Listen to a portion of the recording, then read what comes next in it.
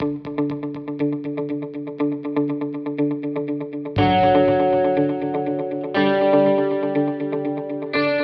we're already running five minutes late. Uh, thanks to all these technical issues that always mess up. Uh, someday the computer industry will become standardized like the automobile industry. So you don't have to buy five sets of wrenches to fix five different cars. Someday that will happen, unless the government makes it. Uh, just quick uh, housekeeping stuff quickly today. Your cell phones. You don't need to put them off. But just so you know that there is a new rule, every time your cell phone rings during the program, you have to make a $5 donation to ZSBC. So please call all your friends and tell them to call you back. We need the money. That's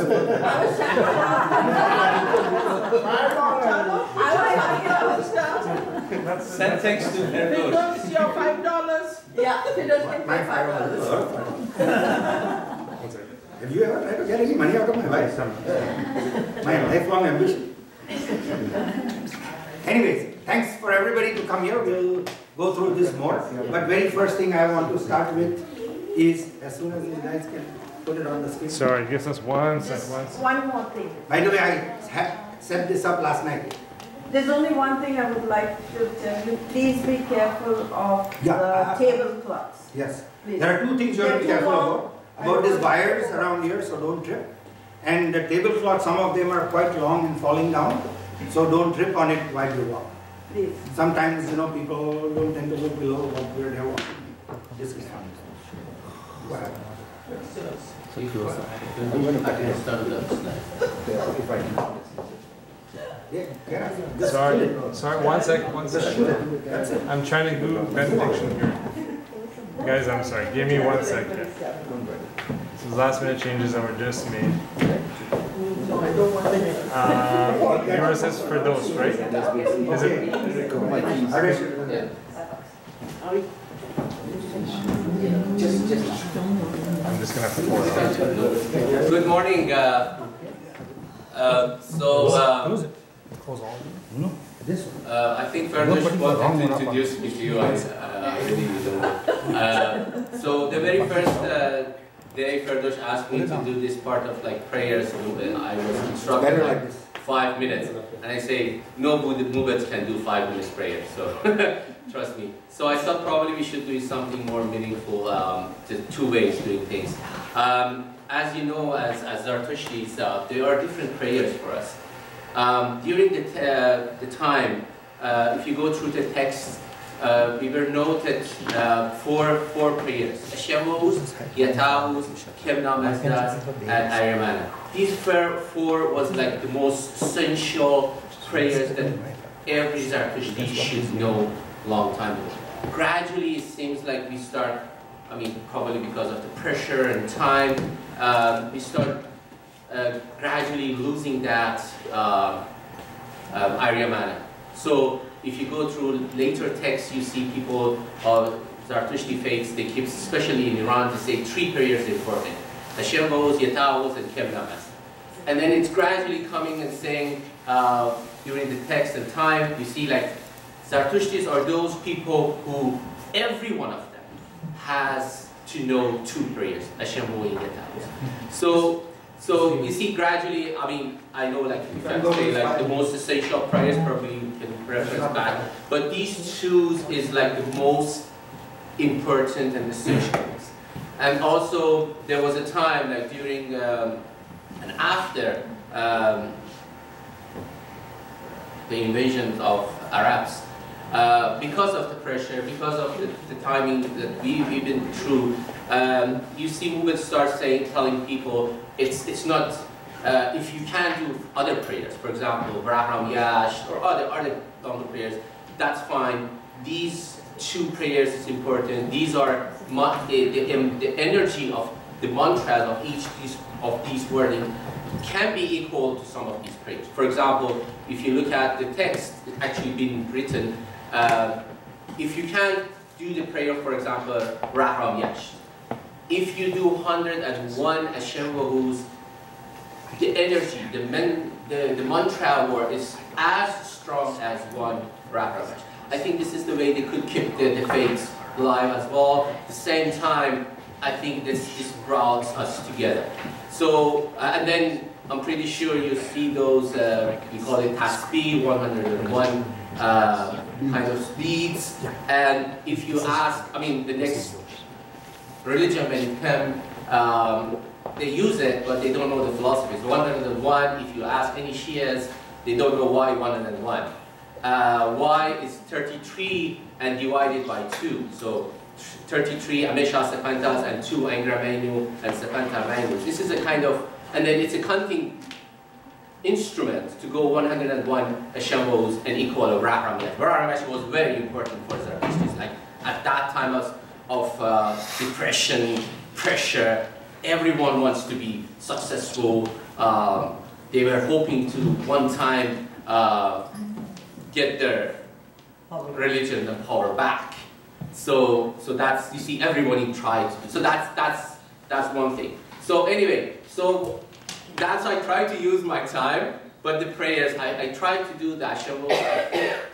Beside the meaning, if the meaning comes out, that would be nice. Uh, so why this prayer has that mantra, mantra, the way that we pray it, it's that mantra version, and of course the meaning of that uh, would be very interesting. So further, do you want to say something, or should I? No carry on. I'll show you that. Sorry, guys. Okay, so uh, so if if if you're okay, uh, so yeah.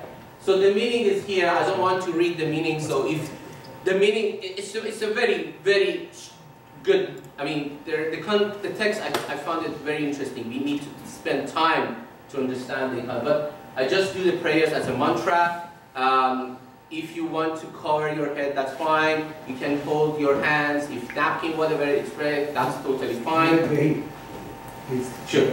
So we do Ashambos. Um, I do three Ashambos, um, and so if you want to also go with me, that's okay.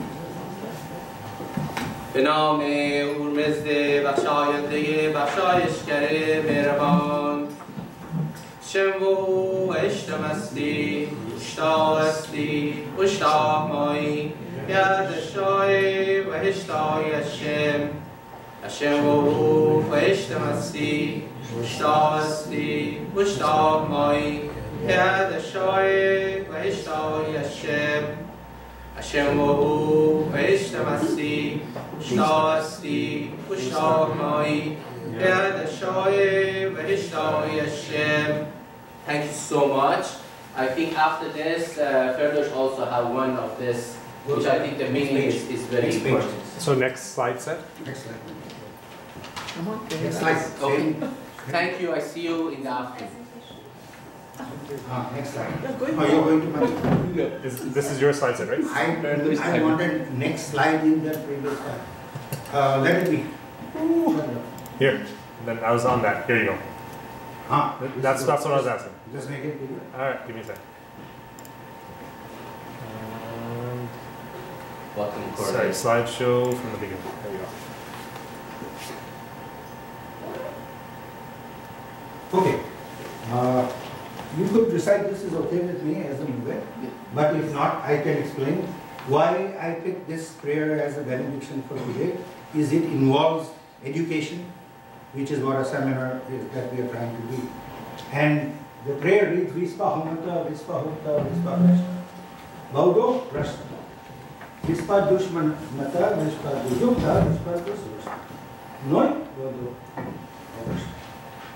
Vispanam cha, Matanam cha, Bhuktanam cha, Durashtim cha. Vaishta Angui At Hacha Chitra. Next slide. please.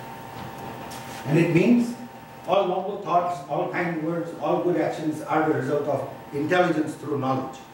Remember, our religion is worship of wisdom. So it has to start with intelligence and knowledge. All evil thoughts, all unkind words, all bad actions are not produced with good intelligence. The result of all noble thoughts, noble words, and noble actions, which I have tried to copy from the Farsi or other Cyrillic Russian translation of good thoughts, good words, good deeds, of Kendarine, Goftarine, Kirdarine, he has noble thoughts, noble words and noble action. I think we need to maybe make that more common. This is evident to the righteous and wise through knowledge. These are the translations I got from Ramiyar Karanjia's book and from the Khordeh Avesta by Ervad Kanga. Then go to the next slide. You're fine. Thank you all for coming here. We have our third seminar this year. Many of you have come to all three and I am very, very grateful to you. Your support is very, very important. Without that, uh, there would be no fun to program anything. Uh, we have some topics that relate to our roots.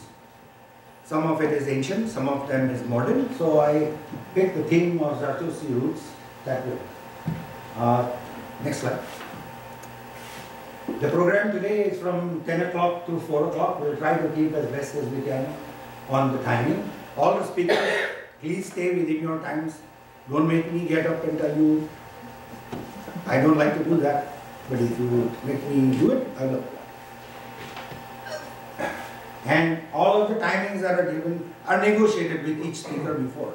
So they should be happy with what the times they have. I have not forced them to do anything other than what they asked for. Anyway, this time we did a little different kind of a seminar because last two times uh, everybody said, where are the youth, where are the, well, we know where are the youth. But this time I tried to make it more encouraging to youth by after lunch putting a panel of four young people to talk about issues that matter to them. Sanaya, who is here, is going to speak, Kairas, Shirin, and Darius. All four of them are here now, and Mobed Behi will be the moderator for that session. He will give a little bit more introduction on them. But these are the topics they will speak on empowering future leaders, return to uh, the Roots program, which is to revive and reconnect. Then Zoroastrian values as a platform for social movements. Any kind of social movement that you have, what would a Zoroastrian platform or values give you how to do that? And the last one is proposal for the prosperity and survival of the Zoroastrian community. This will be done by Darius, who is one of our UBC students. He also has worked towards setting up the Zoroastrian Students Association over there. And Darius is also there. The two major speakers will be Eddie Egalji, he will be our next one, and Ed Cernan is our second speaker. Ed has been uh, here for the first seminar with uh, Dr. Jenny Rose. And he is, was Jenny Rose's student from that time. And now he has completed his PhD and he has a very interesting topic that we want to know.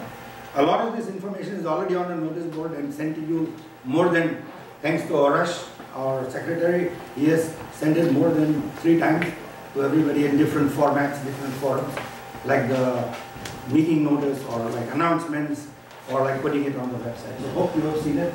I will have to shorten that time of trying to introduce everybody separately. So without further ado, I would like to invite Eddie. Now,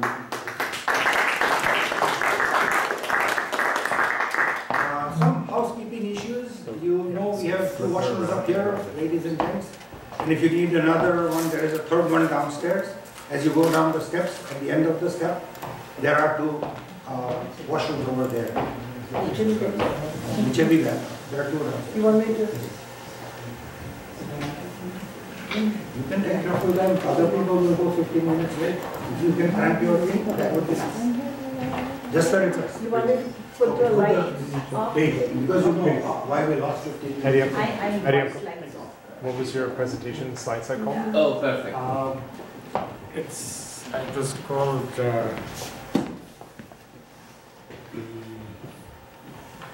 Yeah, this one. Yeah. no. All you need to do is to go to the display. No, and I know how to do it, but I'm just gonna cancel out of this one here, because I don't think we need this one right now. This is yours here, right? Yeah. And then slideshow from the beginning. From the beginning, uh, Lexar, this is this is your left. Yeah, this one out, because we want to go swift.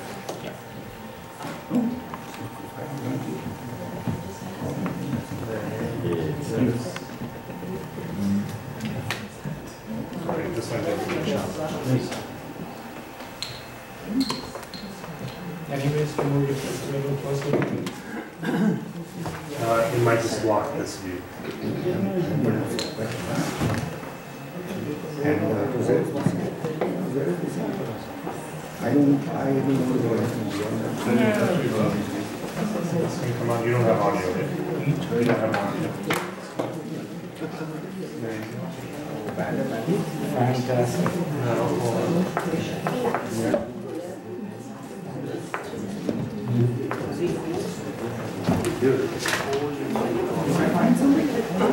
on.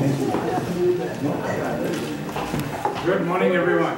Good morning. How are you? Fine, thank you, and how are you? Fine, thank you. Oh, you know, it's, how, how how am I? Well, you shouldn't have asked that question.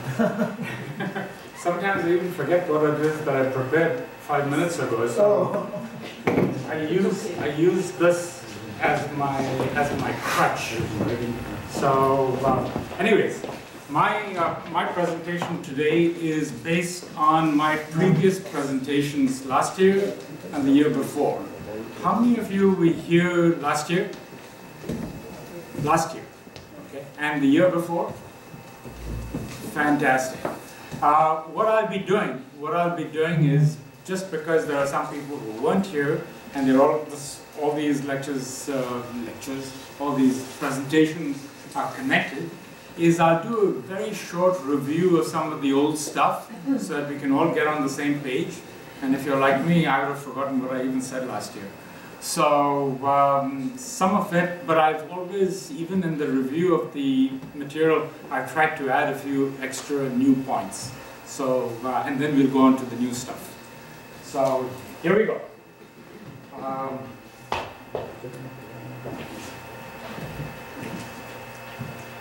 this is a nice little, can you, can you all see this? Okay, nice little artistic uh, representation of Naksha Rustam, which is near, just north of Persepolis. And uh, it's called the picture, Naksh, uh, the portrait, I guess, of Rustam. So this artist, uh, the, lead, he sort of uh, has, has made this representation. I, it looks quite quite nice and imposing when you see it uh, full, full on the screen. But I just thought I'd introduce, put this up, because for one thing, Naksha Rustam has got nothing to do with Rustam. But it's interesting that uh, people would think of Persepolis as Takht Jamshid and uh, the throne of the legendary king Jamshid. And this as being somehow related to Rustam, even though both of them had, you know, had nothing to do uh, with this particular area. In fact, Persia was not even part of the whole Aryan kingdoms at the time when Rustam may have lived, uh, which was before Zarathustra. So, um, but, and, and none of the modern provinces that we know, like Yazd and Kerman, are part of the Avesta. They, they are not mentioned in the Avesta. And um, there are, however, 16 kingdoms that are mentioned right in the first chapter of the Vendidad. And they're listed. And they're not just randomly listed, they're listed in order. They said that the first kingdom is so and so, second one is so and so, third one is so and so. And I believe that that's a chronological sequence. But, uh, anyways, Rustam's land was Hatman, which, is, which has now become Sistan. Sistan and Helmand. And uh, we will start our discussion with the 10th land in, this, uh, in the Vendidad's uh, list of 16 countries. And he had a lot, incidentally, to do uh, with the eastern side, because our, our discussion today will be focused on this side and China, which is somewhere out there. So um, Rustam's, Rustam's land was right here. And Pars, Takht Jamshid and all will be around here somewhere. So, um, now, a quick question that I want to ask you. You notice Hind, Hapta Hindu, which means seven Hind rivers is not mentioned, but uh, there are seven tributaries, including Punjab. So this is the upper Indus that we're talking about. When you see this as the 15th land out of the 16, out of all these 16 lands, what strikes you about India's position or Hind's position in this group of countries? What strikes you? What comes to your mind right away? What? Is it is it separate from the other nations? Is it like a separate country or anything like that? Mm-hmm. It's it's part of this collective. You'd agree with me, right? It's not like India is a separate country from Iran or something like that. It's part of the Aryan countries. And uh, I'll come back to it a little later, but I just wanted to uh, uh, bring that to your mind. Now, this is a little review from 2017. Uh, the uh, oldest known uh, sites, archaeological sites, the digs around here, they coincide quite nicely with the old Aryan nations uh, because this was the old. You see, they, they, coincide quite nicely with this with this group, and um,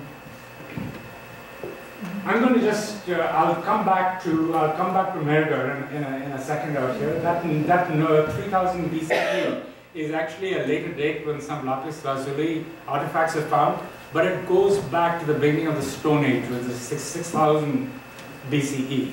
8,000 years ago. Uh, and I'll come back to that also a little later.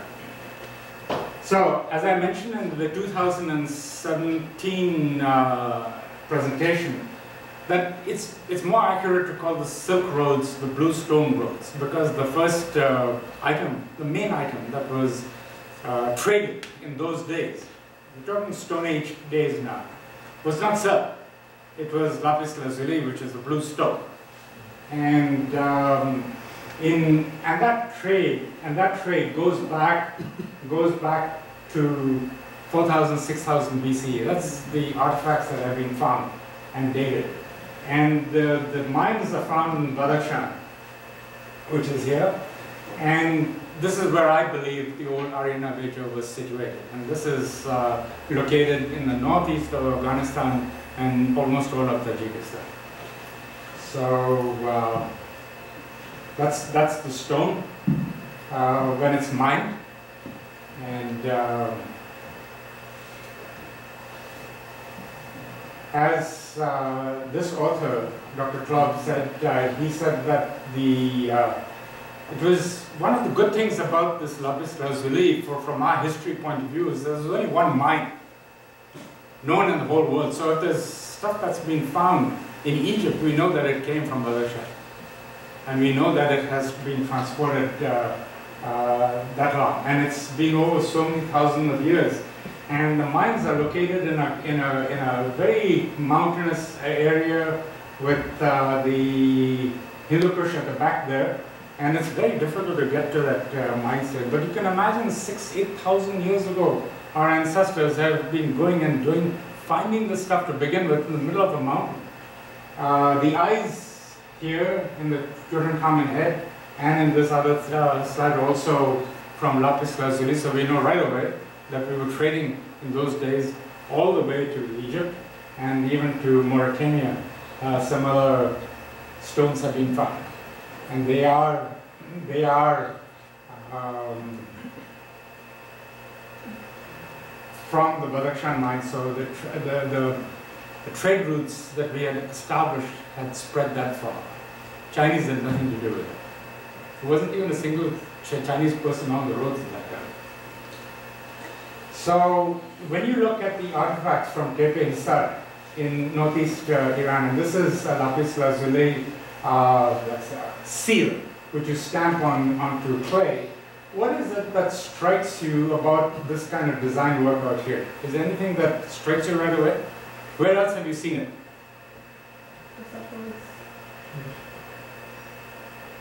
And this is from Gonur, which is uh, now in Turkmenistan.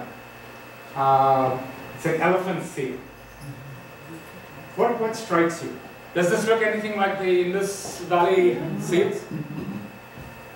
Are you familiar with the Indus Valley seals? From Mohenjo-Daro Yeah. and all that? Okay, people think about this Indus Valley, the Mohenjo-Daro things as some kind of separate culture, as if it had nothing to do with our Iranian culture, Aryan culture. But very much has something to do with it. And uh, we answered that question. So here's uh, what uh, what Mehrgarh uh, looks like. Uh, these are the old settlements found, the homes, and the lapis were workshops that they had there date back to 4000 BC. But um, and they even they, they even they've even found in the teeth they've even found drill marks. So you can imagine how they did that in those old days. Don't ask me. And the other thing that we introduced at last year's discussion was the fact that the oldest known cotton remnants that have ever been found have been found from the same area. And we were in- instrumental in growing cotton as one of the first things, and it would have changed the way that humanity, I mean, imagine you covering with animal skins before that, or grass, or leaves. We now have clothing. It's a very important part of, uh, of civilization. And we, uh, is we kept up this whole idea with cotton even when we migrated to India. We started to grow cotton in the hinterland in Nagpur and all those places there. And we traded it with uh, Hong Kong, with, not Hong Kong, with uh, Canton, with, with, uh, with, China. And um, the cotton exports, if you were here last year, you would have seen that uh, from the time that the British uh, came, came to India after later years, this is how the cotton exports to China went up, and we were the main cotton traders. The Wadias and people like that, they were the main, main cotton traders. And we also started the cotton factories of India. So let's go now, that, that was a little bit of review, let's go on to some new stuff. Uh, we were talking about Rustam, Rustam Talaba. Sorry, can we ask questions or you? Sure, sure. No, Uh, I'll tell you. I'll tell you what I'll do. Please, you can ask, but you will overrun on the time. No, I'll Let him present what he wants. Let- let We me have a question answer period at the end. Let, let me look after it. Um, Yeah, you can look after do- it, but make sure it doesn't go over, please. What we'll do, Ardish, is this, is that, uh, is that if you've got a, a question of clarification, that I've said something that is not clearly understood, please ask me now, uh, because it'll help everybody. But if you have a discussion question, we'll leave it till the end. Just one, the cut regarding the cotton, is, are you thinking the cotton will be the same material will be trade? Or is it, what was the relation between the cotton and the blue stone? So would you explain, explaining about blue stone, cotton and export of cotton? So is it cotton before silk being used in this road or traded in this? road? Much before silk. Much before silk. At that time, there were no, we, we, we- have no remnants of any silk fabric, but we have remnants of cotton fabric. In Maryland, which was nation number 10 in the Ven- list, okay? Uh, silk did come from the Iranian side, but a little later. But it wasn't even Chinese silk, it was from, from, from, from our group of countries. Thank you. Okay, now I was just drawing the connection and I rushed through this because we did this last year. Um, I brought this connection up because look, we've got Mehrgarh in 6000 BC. So let's say the cotton production is 4000, it wasn't right at the beginning. And the Zarathushtis had been trading it with China all the way until 100 years ago. Look at that, look at that connection. It just didn't happen out of the blue. It's, it's part, of, part of an old tradition. That's the point I want to make. Thank you. Okay? Help you? Yeah. Okay. Uh, going on to Rustam. What does he have to do with India? That's, that's, now we're starting this exploration into the east. Southeast, we'll start with the southeast. He's in Sistan. What does he have to do with India? Anybody know the answer to that question? No. Anybody know? No? Immigration, Well, what is that, what is that, sorry? immigration of Aryan people. Uh, not at this point in time, but there's a different connection, but you're close, thank you. Um, you see, in the Shahnameh and even in the Bundahishn, okay, the Shahnameh is based on Zoroastrian texts anyways. It's based on the Khudanameh. And we have the house of Nariman. Which is Sam, Zal, Rustam, and Sohrab, which are the main characters in the Shahnameh. But there are a lot more in the Bundesh, starting with Nariman himself. And these people were called Saka, they were Saka, of Saka origin, which is, uh, so they were called Saka Palavans. And Palavans is, of course, uh, like, a, like the word Parthian, and it means a strong person. It's been used, uh, used in both, both ways. And they were the protectors of the Iranian throne from the Pishdadian times, from uh, Faridun, Manucher, and then into the Kianian times, which was, as you know, King Vishtas was Zarathustra's patron king. Okay? If you're asking me for a time frame, uh, I put all this somewhere around about 3000 BCE. I'm just going to pull a figure out of the air, but that's the time frame that I'm looking at. So they performed their role as protectors of the Iranian throne very well, because they not only did it in the Kianian times, not only in legendary times, but they liberated Iran from the, from the Macedonian rule, Greco-Macedonian rule left after Alexander's invasion. They were the liberators, together with the people of Balkh from Baghdad. Uh, not, not the Persians from, from Pars. And so the initial uh, dynasty right after Greek overthrow was, uh, was Parthian. And then it later on became Sasani. So by um, this is just a brief brief overview. i am going to jump uh, all the way down up to, up to this part. That you notice I'm using the word him, and the Greeks got all the history from the, of the East from us, no one else. And what they would do is that they would drop the H in all the, all the words when there was a starting H. So Hind would become Ind. And from Ind we became India. It was just the name of the Indus River. Okay, that's all. It wasn't the name of a particular country, but we made it into the name of a country. And uh, it's called Sindh in the Rig Veda. So we gave the name Hind to India, what is India today. But the anomaly is that what was India in those old days, the whole Indus River, is Pakistan today. The original Hind is Pakistan. And what is now India is where the people migrated from the Indus Valley to the Ganges Valley and then to the whole continent later on, but that was in later history. I just thought I'd bring that up uh, as, as an interesting point, because not only did we give India its name, Hind to In, but we also gave China its name from Qin. China isn't called Qin by its own people. Uh, and uh, Manucher uh, was the first person to come in contact with Sam, who is the um, who comes into history via the Shahnameh. And um, here, this particular scene, oops, this particular scene with Manucher here and Sam out there is Sam has just come back from India and I'll tell you the connection in a second. And Manucher is telling him to go make war on the king of Kabul, uh, Mirab Kaburi. And um, uh, Mirab was incidentally Rudabeh's father. Rudabeh was, um, uh, he went, he married uh, Sam's son Zal. You remember the white hair, Simurgh? And uh, who, who, who was Rostam's father. I'm just making these little connections. If I'm going too fast, stop me. Um,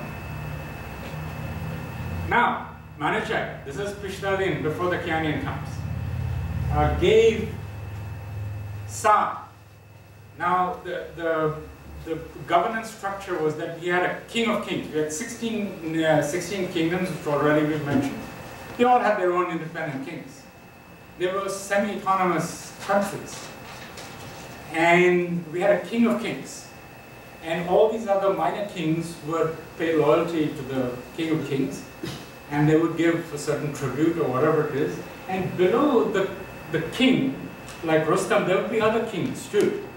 So, or, so like now we have a municipality, we have a province, we have a federal government. It's the same kind of idea.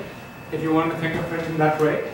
And Manucher gave some um, overlordship over, uh, over him. And this included all these countries, and I'm not going to read them out to you, but it's a huge area. All of Hapta Hindu. And of course, they already had Sindh.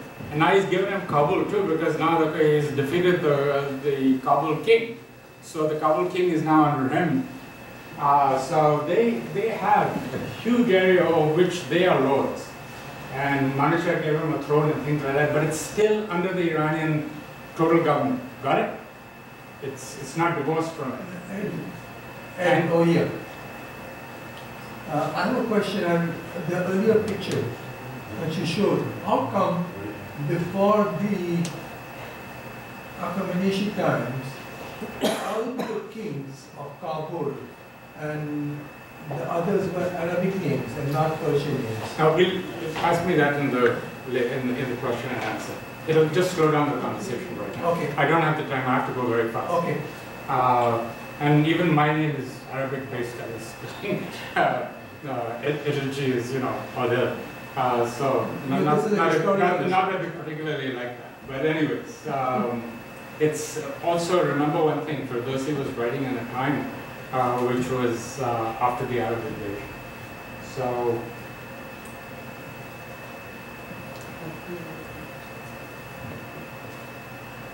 yeah, and Rustam similarly, the, the charter that Manucher gave Sam was renewed by the Kianian kings, uh, who gave Rustam in the same uh, in the same way rule. But now, by this time, the, the Hind area had expanded a bit. It included Punjab, and it included the north of the Ganges too. So it had expanded a bit. So he became the boss, and it had gone for the south also. And in the in the literature, I find that the north continues to be called Hind, and the south is called Sindh for some reason. Though they're both the same thing. So, um, and I'm once again estimating the time frame in this in this in this in this uh, time area. So this is uh, an artifact from from uh, Mathura in India, near Delhi, not too far from Delhi, uh, and uh, this apparently, and I haven't been able to independently verify, the writing here contains the word Sakistan on it, which would have been Rustam's roots. So, once again, my original question to you about did, did India appear to be like a separate country from Iran? People call it Indo-Iranian languages and all this. It was just the Iranian language. Even Rigvedic is an Iranian language. And it's only afterwards that they became independent and separate. And that separation started after Alexander's invasion. Because from then onwards, we lost control. When the Parthians regained it, they found quite difficult to get hold of control of it uh, back again. They did for a little while, but not completely. So, and then it just became independent. They moved also a large part to the Ganges, and India became an independent country. But it is very much part of the Iranian group. And Mongolia, we've done this before, uh, uh, but this is Mongolia here. Don't look at this part up here. Uh, this is Kazakhstan out here. And our connections, our roots, trading routes went into Mongolia and any country with a stan after it um, automatically has a Persian connection because stan is the uh, Persian word meaning place. And uh, it comes actually from, uh, from an Avestan root. Uh, so, uh, and they willingly celebrate Nowruz, Uzbekistan, Kazakhstan, Kyrgyzstan, ah, Kyrgyzstan again, but Tajikistan for sure. But Kazakhstan and Uzbekistan are not Turkic, and they celebrate it as part of their own culture. And uh, it's not something that was imposed on them later on. And the connection here with trade is this carpet is the oldest known fragment in the world. We did this in the first uh, 2017 lecture. And the amazing part, this fellow who writes an article in Discover magazine, he says that there was a mummy that was found with this uh, carpet, and she was wrapped in a silk tunic from India, not from China, but from India. Now we're looking at Ottoman times that this would possibly has, has happened, and I looked at that and said, I, you know, I have to take his word for it because I can't independently verify it, but India would have been in the Hind part. It wouldn't have been, because there are no mulberry trees growing in the Ganges area, it would have been up in the north, uh, north of the Indus River side. So, uh, the carpet has this motif woven into it, which is almost identical because it's got little features about how the tail was braided and things like that, uh, which I found it Persepolis.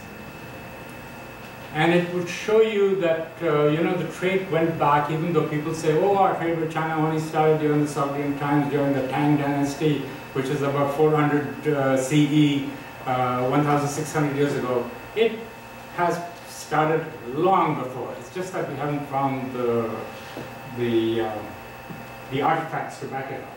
Now, Turan, talking a little bit uh, about this area which bordered Iran out here. You see, this is the Sird area. It was considered to be the old border between the Iranian lands and Turanian lands. Everyone know about Turan? you, what is Turan? How does Turan connect with us? How does it connect with Zardusht? When they attacked uh, old time Persia, Yeah, they had to defend, uh, and a, and a Turanian killed him, yeah, they killed him. stabbed him in the back when he was praying. and he was carrying the beads with him. Yeah, and threw the beads. And he killed that. Yeah. That comes from one story. Yeah. Unfortunately, it's not in other places, but you know, but I really think it's true. But anyways, we have a love-hate relationship. Like one of the Turanians kills Zathorsh in our books, but there's also another story where there's the love part of it, and I'll explain it to you. I do believe that this word Turan, Tur, has turned into Turk, and, and Ferdowsi makes that equation right away in his uh, in his work. He calls the Turanians sometimes Turanians, sometimes Turks. But um, but anyways, um, so they occupied a whole large tract of land. It was very large, just as big as Airyana might have been. And they find you find it mentioned right in the Avesta, right in the Farvardin Yasht. When we are celebrating the Aryan countries, the Haryanam Dakpalyum, we also celebrate and honor the Turanian Dakmai, which is the which is the Turanian countries. And uh, I do believe, and even though Ferdowsi calls Arjas the king of Chin and Machin, I think because what is today Xinjiang province, the Taklamakan desert, the western part of uh, so-called China uh, and Tibet, uh, had uh, the Xin- Xinjiang area had become part of China, that he probably just called it Qin. But I do believe that Turan extended all the way through the Takra- Taklamakan desert, all the way to, to the Great Wall of China. Uh, but, uh, but I don't think they ever actually went into China proper itself, which is beyond east of the Great Wall of China. So, um, just a few, few, few items, few uh, about our connection with Turan. Incidentally, in, uh, in both the Shahnameh and the Bundahishn, Turan was supposed to be, have been founded by one of uh, Faridun's sons. You know, there was Iraj, there was Tur. And um, we had this connection with Tur. You know, let's just put it this way. Let's just think of the Turanians as being half Iranian and half Mongolian. Uh, I'm just throwing that out there. But we had this connection with them, and it was quite an interesting connection. Uh, for example, uh, uh, the Kaikos' son, Siavush, he was uh, um, he was supposed to have founded Kandes, which I would say is somewhere around about the Khotan area, uh, if you if you can think of the uh, think of the map. And also, we have in our, in our eschatology, which is what will happen at end times, we have the fact that uh, the saviors of the Iranian people will come from the east, will come from this area of Khotan, and there's, uh, you know, you must have heard of Shabram Varjavand and all of those, uh, those stories, but the other story involves uh, Peshotan, and incidentally, Peshotan has come from Chitrameni, son of King uh, Vishtas, and my namesake, uh, uh, Khoshicher, which became Khoshicher, was the son of Zarathustra, as being those people who will be resurrected and who will come back as part of this liberating army to defeat Ariman in the end days. But they'll come from the Turan side. Uh, so, um, and uh, even the even the founding of uh, Bukhara uh, was uh, was uh, supposed to have been, which is which is in Sogdia Sub, second country, um, was supposed to have been founded by one of the Kianian uh, Kianian uh, princes. And Siavush had a had a falling out with his father Kekos, and they uh, and he left his father. But first he tried to he, first he tried to uh, mediate uh, a quarrel between the Turanians and the Iranians. His father didn't like it, banished him. Uh, he goes to Turan, and um, I think it was Arjas, I'm not sure. Anybody know the Shahnameh proper? You, who was the Turanian king at that time? Kekos. It was Kekos. No, Kekos was the Kianian king. Who was the Turanian king? It was Afrasia. Afrasya. Afrasiyab. Afrasya. Thank you. Sometimes names, I forget. Afrasiyab gives him his daughter in marriage and then promotes him as a governor and then has a quarrel with him and decides, uh, and I think they killed him in the end. Uh, so that's the kind of relationships that we've had uh, between, between our people. And Zarathustra's first co-worker in the, in the, in Zatsparam's anthology, uh, in Dastur Zatsparam, he was the head priest in his anthology. Zarathustra's first co-worker, now at 20 years of age, Zarathustra decides to leave his father Purusha's house. And he goes looking for righteousness and people who are working to help the poor. And the first person he finds is, is a Turanian. And forgive me, I'm not even going to try to say the word. But you can, you can, you can try and pronounce it. Actually, the original part is even longer than that. And so his first co-worker is a Turanian. And they were feeding the poor, and they would get this big cauldron in the height of a horse and fill it with food, and they would distribute the first food bank, if you think of it that way, to, to feed the poor. Now, this fellow, it's only found in Zatsparam, this story is only found in Zatsparam's anthology. And Zatsparam has a Turanian connection. And the connection was that um,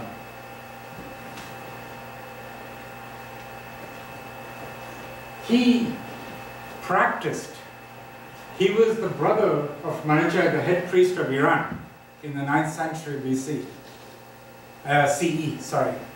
He was the brother, and he was the head priest of the Zoroastrians in Turan, the Turks. So he had this connection with the Turks. And uh, the writer Idrisi informs us that there were fire worshippers amongst the Turks. And these are the Uyghur people who are now in uh, Xinjiang province. Am I, am I making sense? I'm trying to show the connections with the East that go way, way, way back. Uh, they, they go to the beginning of history.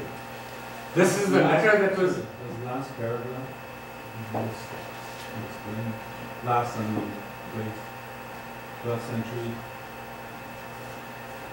there were still Zoroastrians amongst the Turks. And these Turks uh, were part of the Uyghur Turkic people. And the Uyghurs come from southern Mongolia and they came down into what is today uh, Xinjiang province. They came down and there were the other Turks that went into so they uh, which made the Uzbek, the Uzbek Turks. And they took over our land. And push the border to the Sea of Am- which is the Oxus River. So uh, this is just a letter from a, Turk- from a Turkish uh, princess, and she was talking about going to a fire temple to get some blessings. So it's written in Chinese. It's from the Uyghur uh, area, which is Xinjiang province. People, you have a, you have an idea of where Xinjiang is? It's uh, if you look at the map of China, and if this is Korea out here, Japan, and here's Beijing. Xinjiang is right to this end, right up against uh, Kazakhstan, Kyrgyzstan, and Uzbekistan, okay, and Tajikistan. Northeast of China. North, of West. China. East of China. China, northwest, West, west of China. west. I also make that mistake, northeast, northwest. So, well, let's look at the east itself. Let's look at the east itself. And um, this is a bone, uh, uh, an oracle bone. The Chinese had uh, bones of uh, horses and cows that they would scribble stuff on and they would tell you a fortune based on it. This is this was found to have been inscribed with in cuneiform, in cuneiform from where? From Babylon, right? Because that's where they used cuneiform. The Assyrians and the Babylonians. Part of his edict.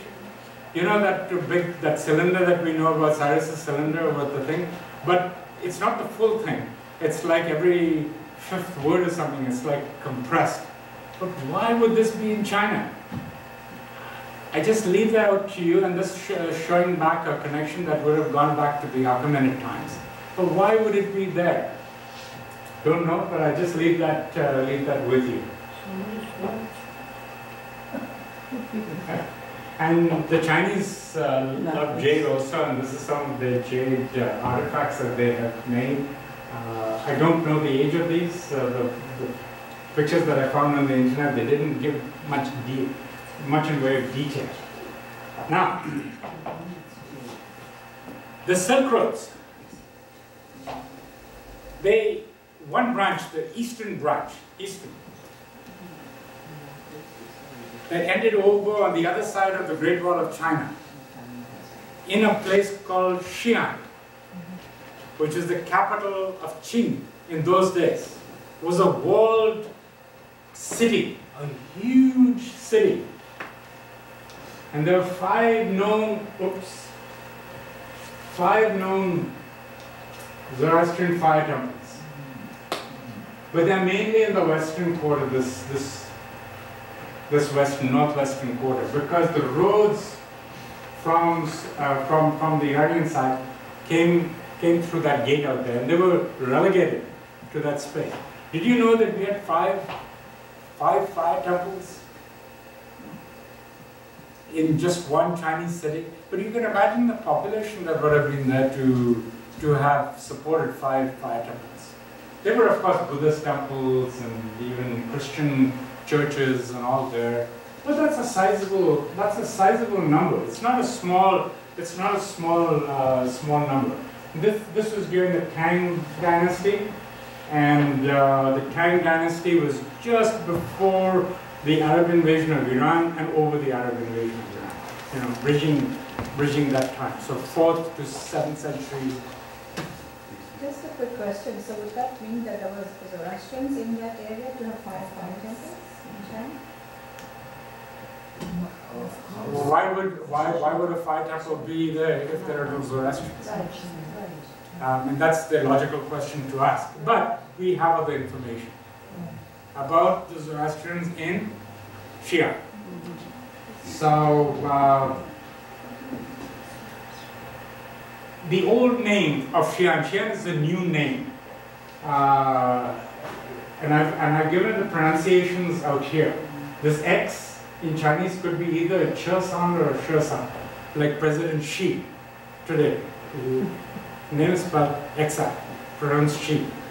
Uh, but it was called Chang'an in the old days. And Chang'an was the, the, the capital of the kingdom of Qin. And Qin at that time was one of seven to eight warring kingdoms in uh,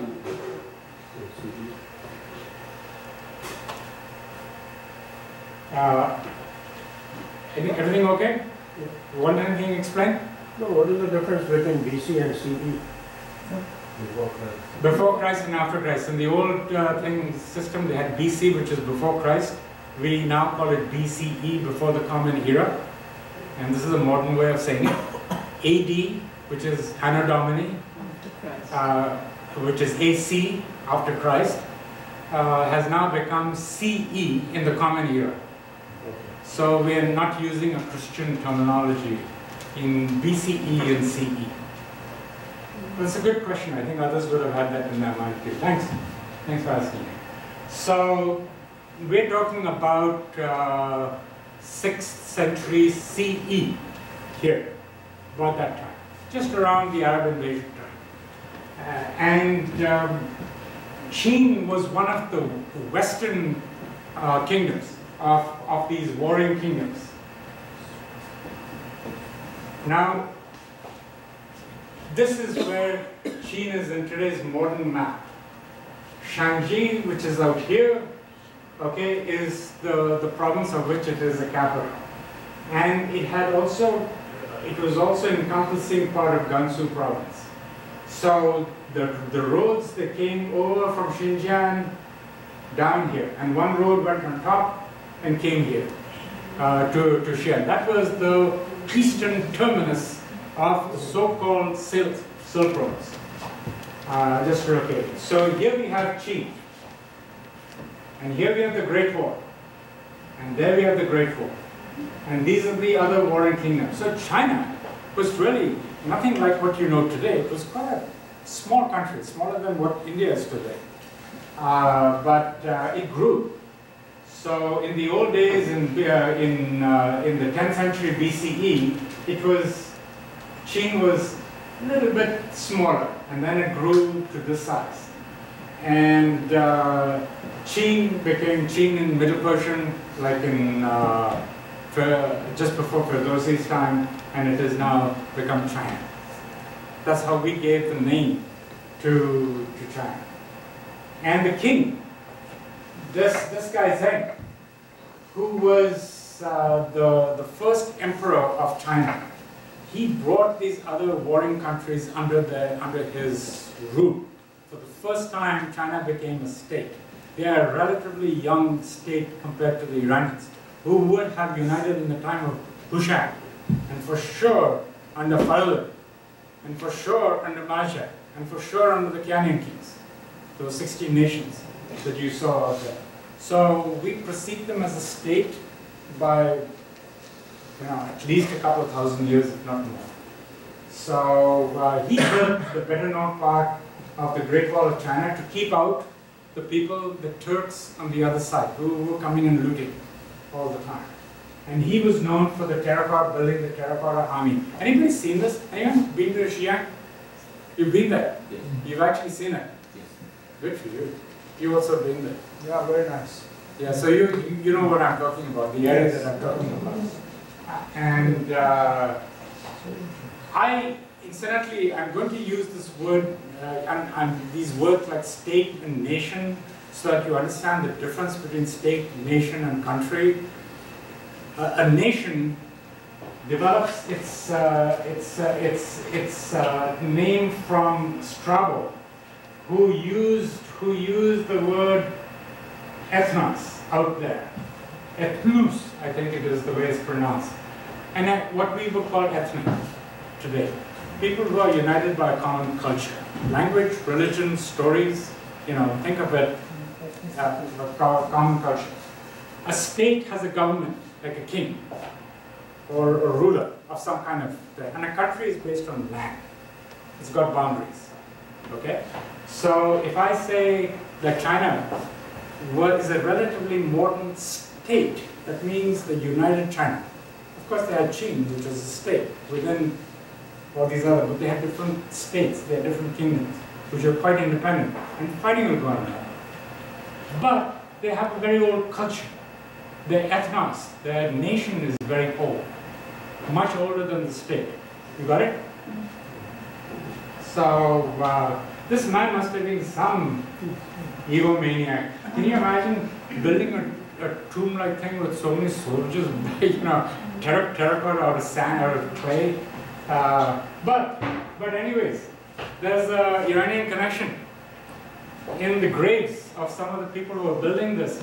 Did you hear about it, uh, Tommy? Did you hear about this when you were there? No, No? but we have seen it. Okay, in the graves of the people, the builders, they tested the DNA of some of the people who were there, and, the, and this guy, uh, this anthropologist uh, from uh, Fudan University, Chinese University, said that some one or, or more uh, of the people there had the DNA that connects them to the Parsis of India and Pakistan, the Kurds of Turkmenistan, and the Persians of Iran. So maybe we had a hand in building that tomb. So the mausoleum of Jeng was this mausoleum, and there's the terracotta army.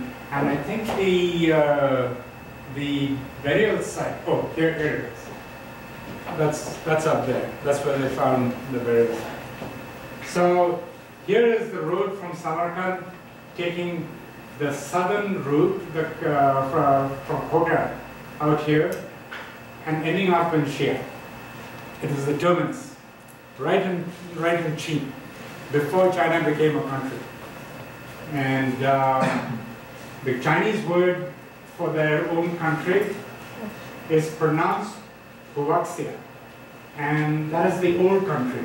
And the modern country, they call Zhongguo. But they don't call China China. Just like India doesn't call India India, they call it Bharat in their own native language. Uh, and Xinjiang, I mean, uh, Chang'an was a, was a huge city, beautiful by, by every uh, by every account. And here's a ma- map of San Francisco, and here's the walled city of Chang'an, and you can see how, how big it, there are a million people living in that city. So, and our group was one of them. Here's an artist's impression of one of the homes, and I you can't see it here, but there are carpets, carpets uh, around here.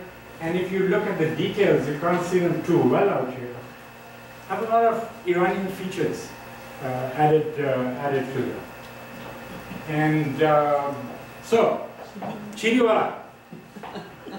we, we, we use that name for those who, who, who traded with Qing, China, in the modern era. But we were, you know, we were the old, there were a lot of old Chiniwalas amongst our group. And the Chiniwalas in Chang'an, who were they? We introduced this in the 2017 lecture, they were the Sogdians, right? And you remember the map that I showed you of the 16 countries? Yeah.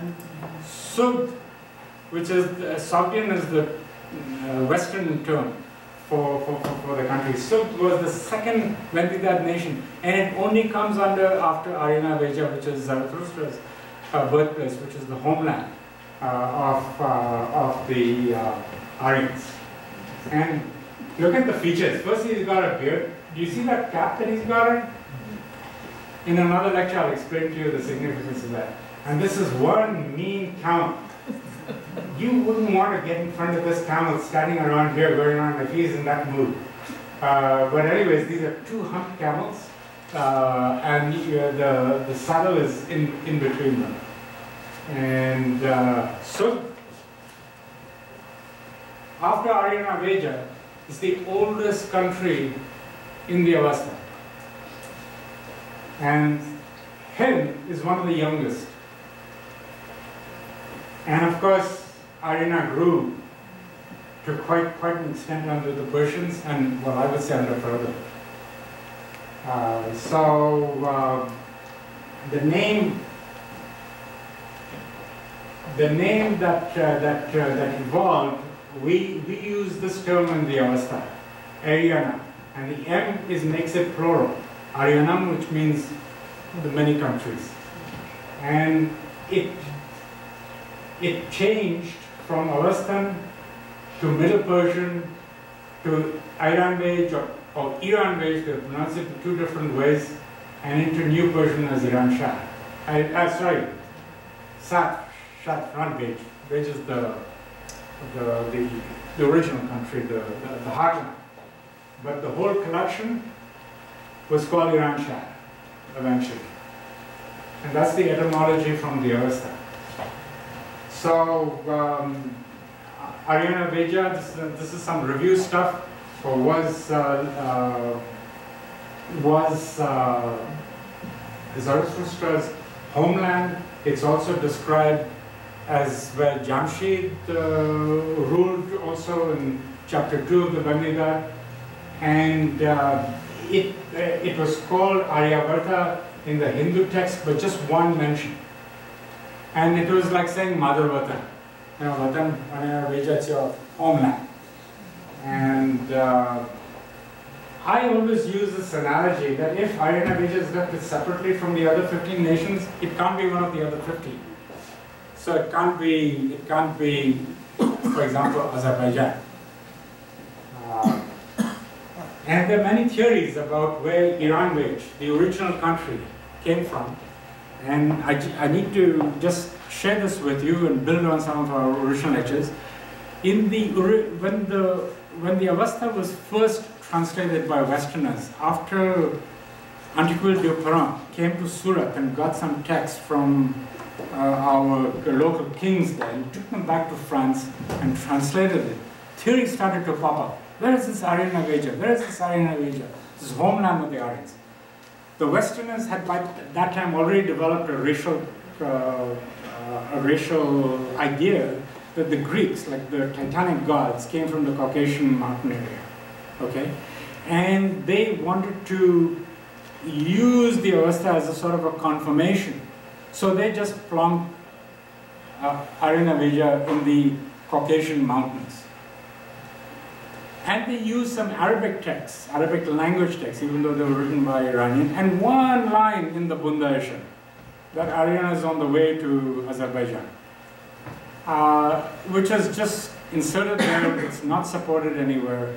And they use that as a theory that Airyana Vaejah was actually in the Caucasus Mountains and Zarathustra was a Caucasian. And consequently, you know, this, he was part of this Aryan mother race, you want to call it that, because there were risks. That theory went down the tubes, that was the old theory. People started to have a more critical look at it. Many theories, Ray, Tehran, uh, the theory that gained a lot of uh, prominence in the 1980s and 1990s was started by a fellow called Victor Sarianidi, who is a Soviet Greek uh, archaeologist in Turkmenistan.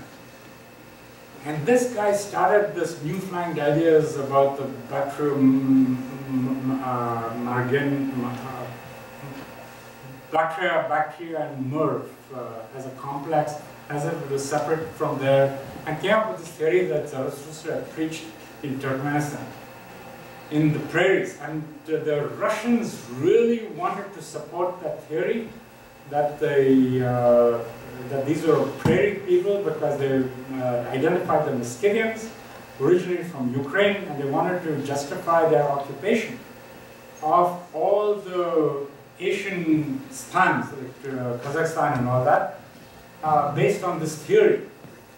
And unfortunately, even people like Mary Boyce latched onto this theory. And her book is now sort of like the standard textbook in many universities on the Zoroastrianism. And many people believe that Zarathustra preached in what is today Turkmenistan, or the Uzbekistan parts, the lower Oxus, sides with the plains. But if you read the, the, the Avesta, there's absolutely no support for that at all, at all. Uh, Avesta is described, uh, I mean, the Airyana Vaejah is described in the Avesta. Just read Vendidad chapter 2 as full of mountains, Mariash, full of mountains, deep valleys, deep snows on, on the mountain tops, and Zamyad, uh, is full of mountains. No prairies, I can tell you, there's no Yasht devoted to prairies at all. So, uh, the latest theory uh, that uh, that I found uh, after I started my own research in the 1970s and the 80s, uh, arriving at that Afghanistan area, I find that it is supported uh, by, um, by this guy out here, who in, in, a, in, a, in, a, in a chapter in Vesta Curtis's book, collects quite a few modern theories. At least I think out of six of the theories, four of them put Airyana Vaejah in the Badakhshan Pamir area. So now thinking, thank God, has changed to people looking at the Avesta first and the Greek uh, and the uh, Greek uh, text afterwards, after that. How am I doing for time? Can you? Your floor. Whatever you want. Okay, so this is what the land of Airyana Vaejah would have looked like. I'm going to go through this very, very quickly. Here are some pictures of uh, some people from the Pamirs. And this woman's name is Ferengis. And, you know, I, I think the Pamir people look a lot like, lot like us in, in, in, in many ways. And you see what they're wearing out here? They call that a toki, and I'm going to just show, show, show that to you a little. And this, this is, uh, the pants are called shalwar, and their uh, shirts are called kameez, which would be, you know, we, we would think of saris as being, the Pa- Parsis of India would think the sari as being, Gara sari as being Zoroastrian, and the shalwar kameez is being Punjabi and Sikh, but it's actually more closer to our original clothing than is the sari, for sure.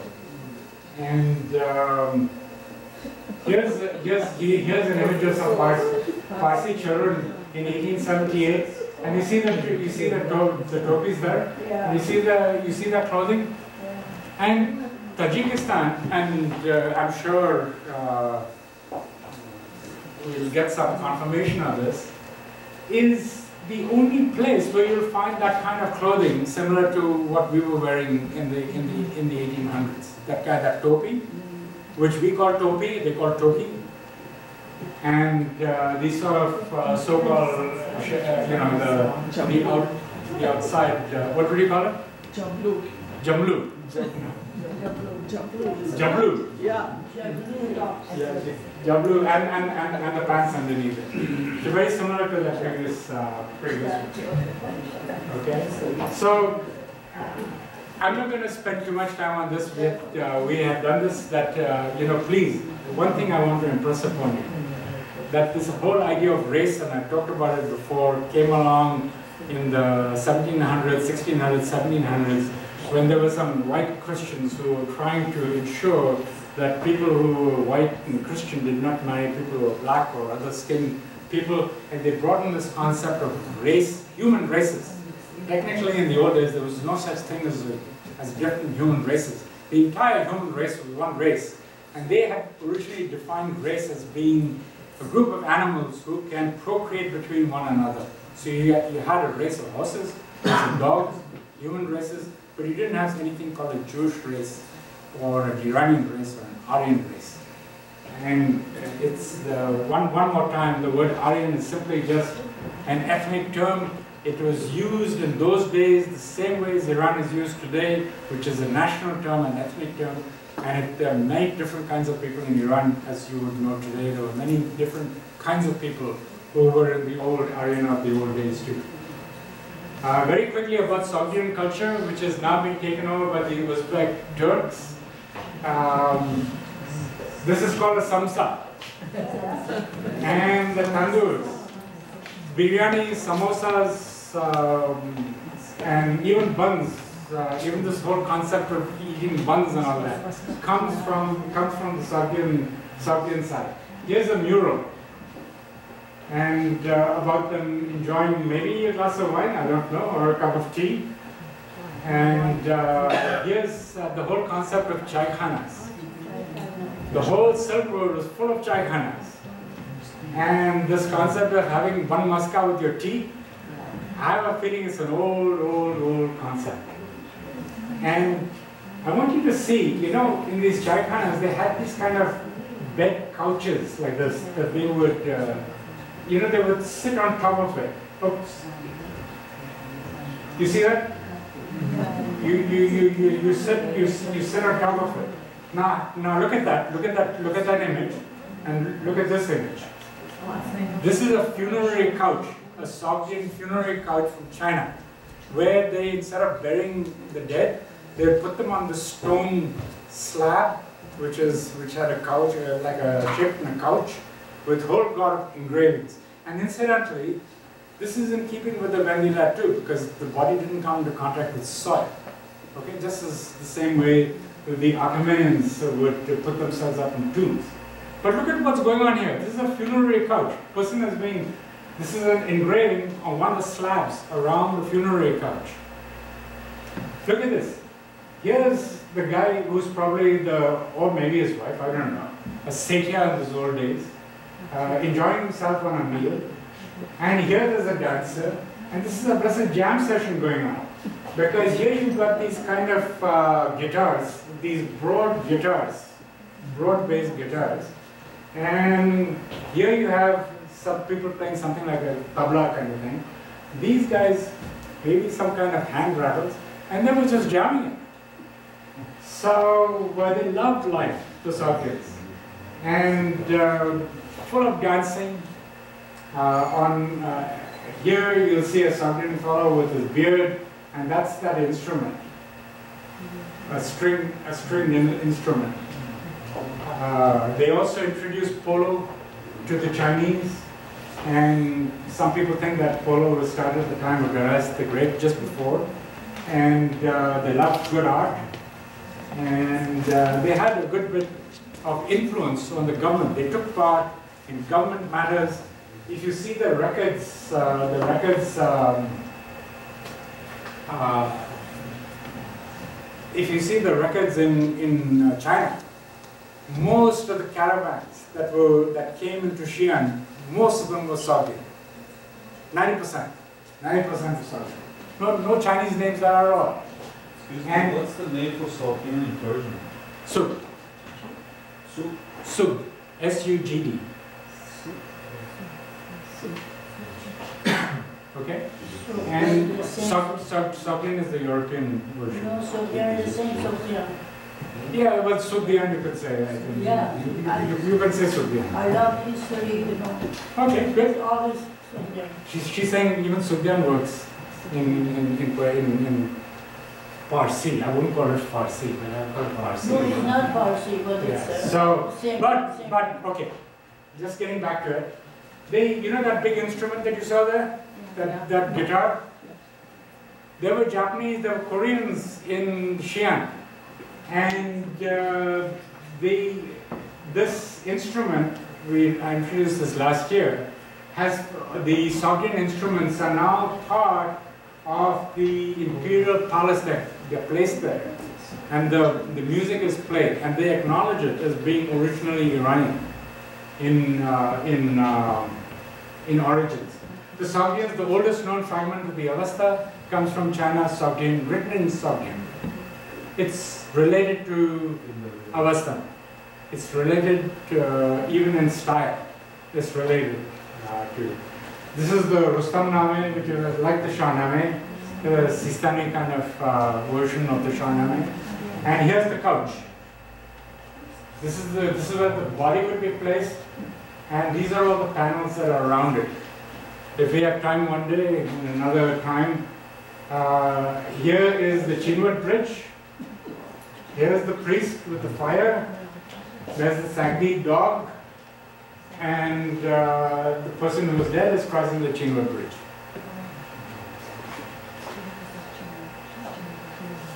They, they acted, the Sogdians acted as uh, negotiators between governments, between the Turks and the, um, and the Chinese. And they became members of the government too, and they became generals in the Chinese army. And um, I'm going to go through this fast because I know I'm running out of time. So if you want to catch me on anything, stop me. But otherwise, I'm going to go through this very fast. The camels that they used, the two humpback cream camel. And as I said earlier, out of a register, out of 35 caravans, 29 involved the uh, Sugdi, Sugdian, Sogdians. Okay? And uh, this is one statement about, uh, in the Chinese annals about, um, about the Sogdians. Even though they come from here, and they speak different languages, but they're all Iranian people anyways. Uh, and um,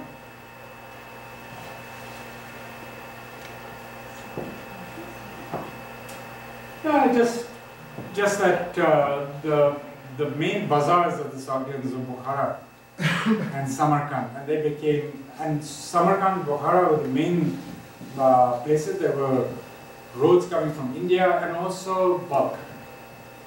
Uh, these three places became the, cent the center of all these roads, and these, this is a map of caravanserais, and the different silk roads, the different trade routes that were all over the place.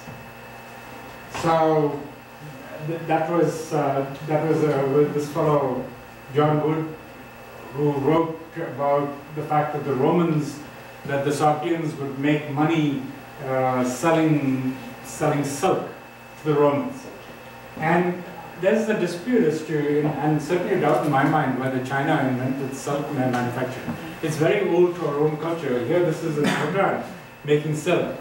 But what the Chinese were very good at was the embroidery. And what they were very good at was fine artistic work. But it doesn't necessarily mean that they invented uh, silk making or for that matter drinking tea. And the word Silk Road is a very modern thing invented by a, uh, by a, by a German author. Uh, and now everyone talks about Silk Road, Silk Road, Silk Road, China, China's doing this, doing that. No one acknowledges our history at all. It's been forgotten.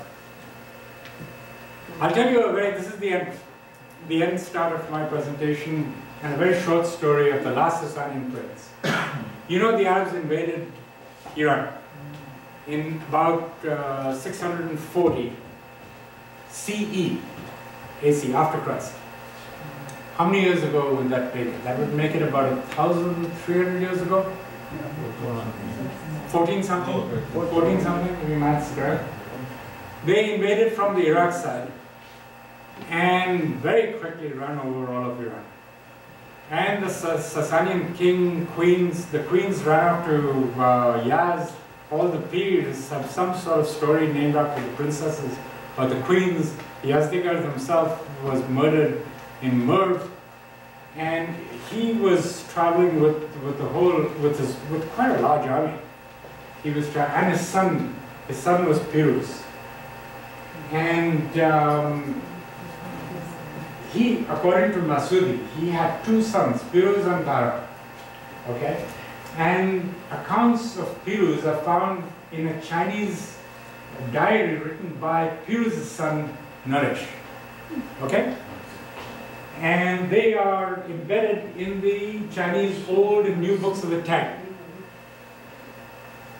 And this is a section of the book of Tang on so-called Persia. Everybody used to call Iran Persia. You know, even the Arabs called Iran Persia in those old days. Uh, but uh, here's a little excerpt. I've got three slides on this, and then we come to the close of our discussion. Uh, upon the death of his father, Piruz sent a letter to his sister, who was a princess who had married the Chinese emperor at that time, asking for Chinese help. The Chinese emperor did send some troops, but they came too late. The Arabs were closing in on Piruz and his army, his entourage, so they had to leave. They escaped over the Pamirs and they went down, you know, Tashkurgan area, uh, Kashgar, and, and through Khotan, and they ended up in Xi'an. And the emperor, he, uh, he helped, he, he allowed the Persians to settle in 38 villages. Can you imagine how many, how many Iranis there must have been with Piruz? That's huge. 38 villages, and allowed them to build their communities. And he assembled an army. Even though it was a bit late, he assembled an army and put Piruz in, in as, the, as the commander of that army. And Piruz goes back, goes back to Sistan and fights with the Arabs and is victorious in some battles. And uh, he governed, uh, he governed today Afghanistan and places like that for 30 years until his death. in 1709, in 709. And in his son's diary, this is the story that's written. On his uh, deathbed, uh, he, he had all his courtiers and people around him. And he looked to the west, which is the side of Iran. And he said, uh, I have done what I could for my homeland, I have no regrets. He had done his best. Then he turned to the east and he said, uh, I'm grateful to China, my new homeland. And then he turned to the Persians, the Iranians who were around him, and he said, uh, contribute your talents and devote them to the emperor. We are now Chinese.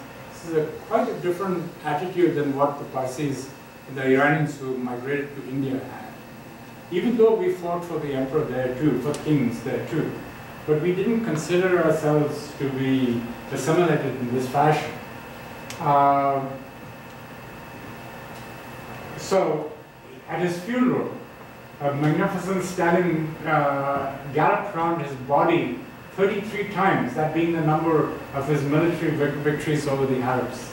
And Prince Firuz has spent his last years fighting the Arabs and the, uh, the Arab invaders of Orient lands. Did you know the story at all? Any of you know the story? No, no, no it's very interesting. Well, I'm glad to add something new to the thing. But not all the Chinese emperors were as gracious as the Tang emperors of the 700s, the 6th and 7th century, 8th century. In the 9th century, uh, they launched a purge of uh, Nestorian Christians and Zoroastrians and Manichaeans uh, who were there. And the rest, by the 11th century, there was hardly a trace of any Zoroastrians left in, in, in China. They had either assimilated, marrying other people, get Chinese names, spoke Chinese, but they were no longer Zoroastrians. And uh, just about all, there might have been a few, I can't make a blanket statement, I'm sure there might have been a few left around, but they all but uh, disappeared. And, but those who went to India, we have survived, and those who stayed in Iran out of grit and determination survived. And I guess we've got to be very grateful to all the forces that helped us survive. But a million or so in China disappeared by some accounts. What we have left is a legacy. And this legacy is uh, our faith, our culture, our history, and our legacy as traders. And I hope we can somehow maintain that legacy as being different from the other people around us. I always end with a, a small, with a small uh, uh, which is adapted from the Pazan Parsi. Hame andar kasan anjuman shad. Amongst all this gathering, may there be happiness. Khubi wa tandurusti offering birth. May there be goodness and health and blessings to, to all. So may the goodness live. May goodness live within your hearts with vigor, as we heard this morning in our prayers. And may the light of wisdom light your path. And may our Master's blessings always be with you. Aidun Bad, so may it be. Thank you.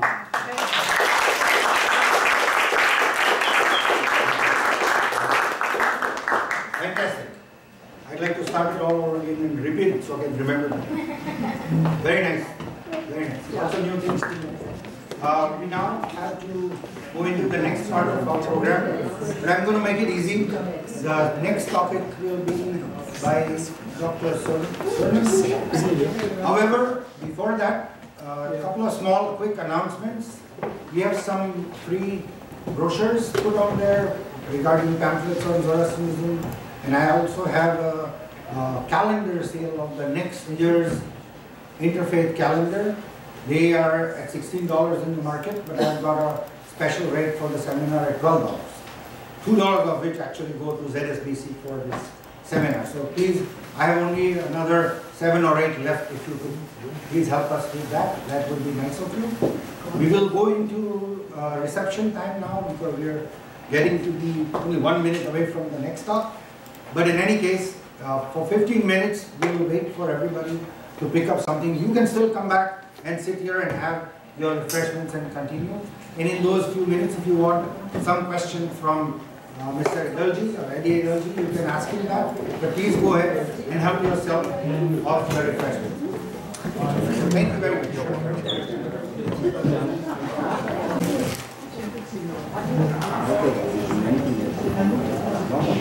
Please, you can even continue to eat at your the chair table wherever you are. You don't have to stand because of that. You're welcome. You want to stand, that's fine. But we need to start the next session. Again, I am going to try save some time, uh, time in not having a long, elaborate uh, introduction, which is already given out in the announcement, etc. And a copy of that is on our notice board if you want to really see. But the next speaker we have is Dr. Eddie Sermon.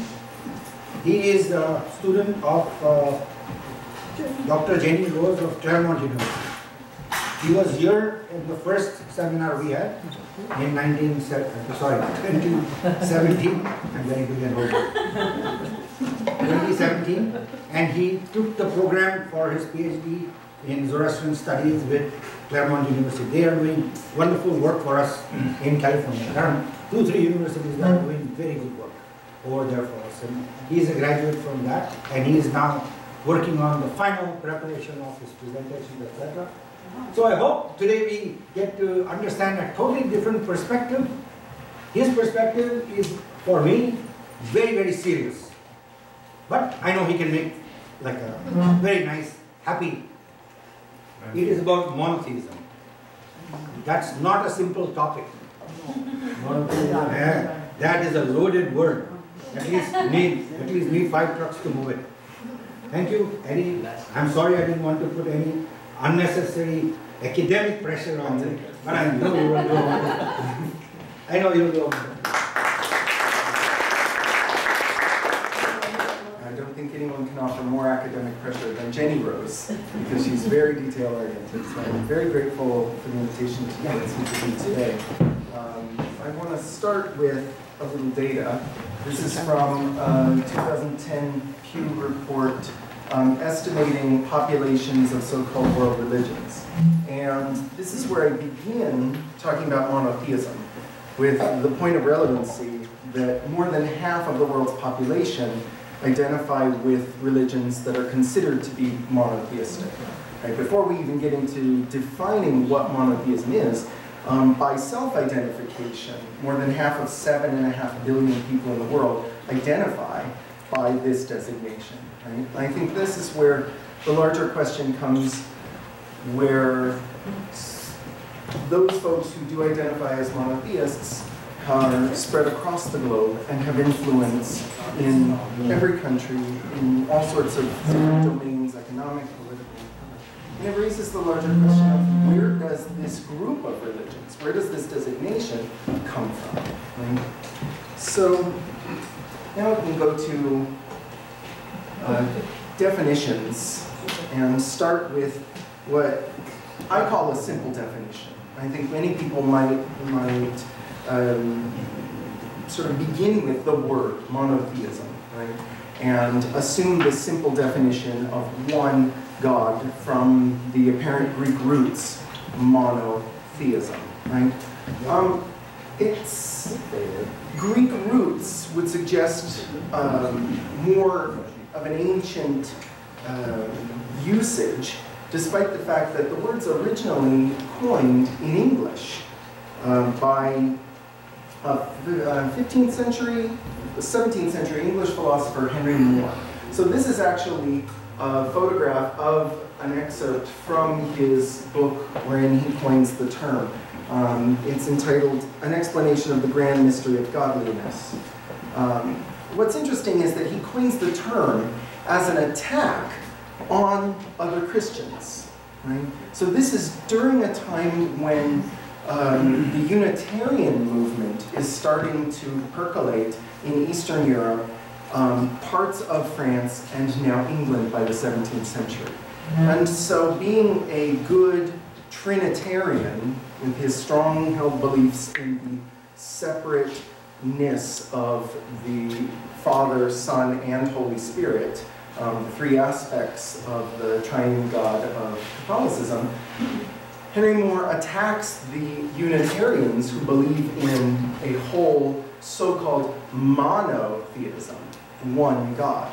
And so it's interesting that he pulls these Greek roots um, to give, create a word to attack Christians who in the 21st century are, at least by European and um, Western standards, the benchmark of monotheism.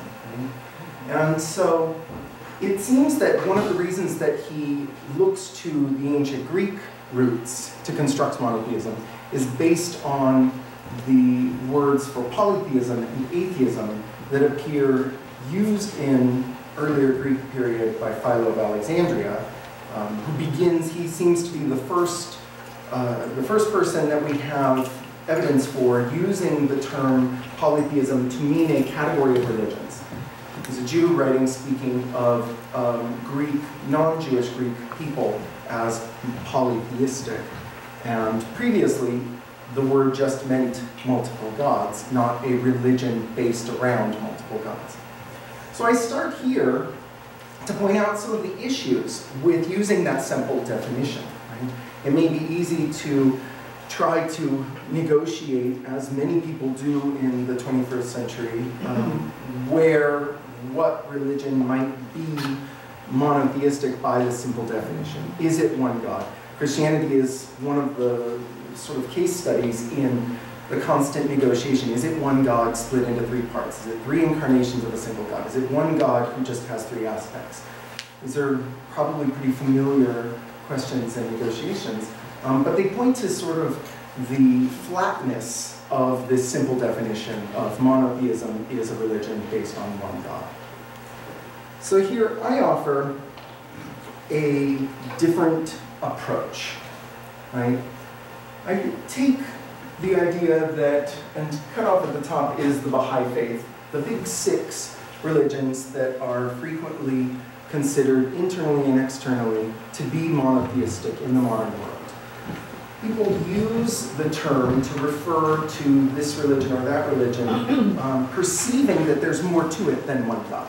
Right? And again, I'll point to Christianity to say that many people who refer to Christianity as the benchmark of monotheism do so with an understanding that however complicated the position and powers and person of Jesus in the religion, there's still more to being this kind of religion than being, say, Hindu or an adherent of an ancient Egyptian or Mesopotamian religion.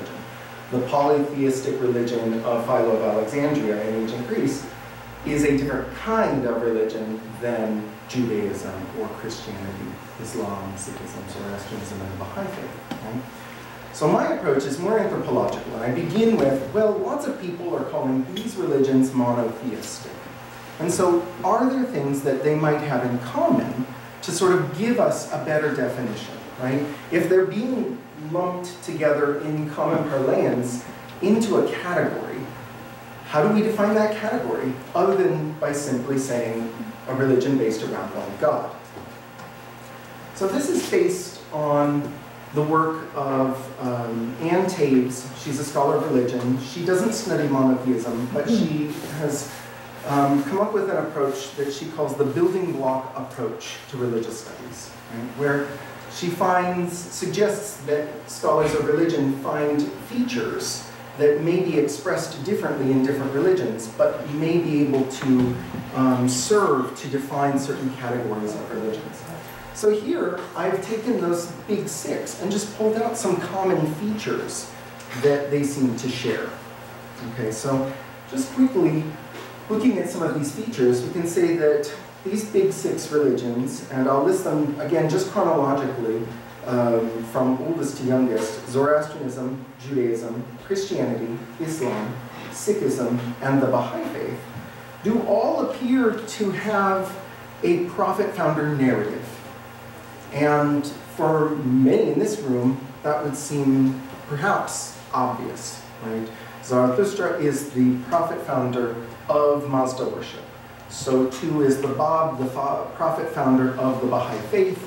Um, the Prophet Muhammad follows through.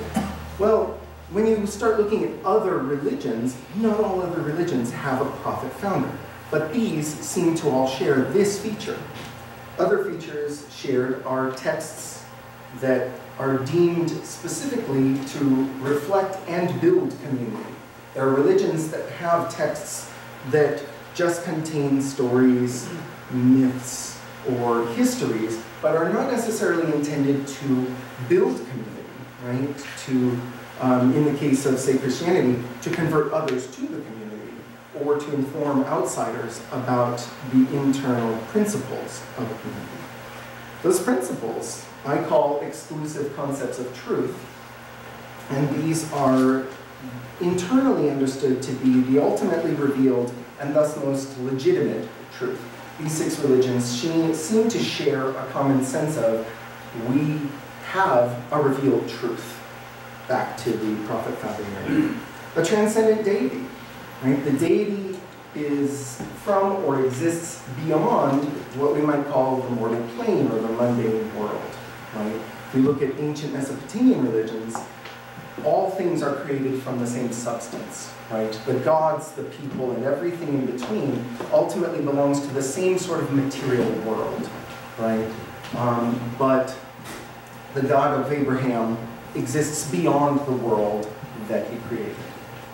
Um, buildings deemed religious.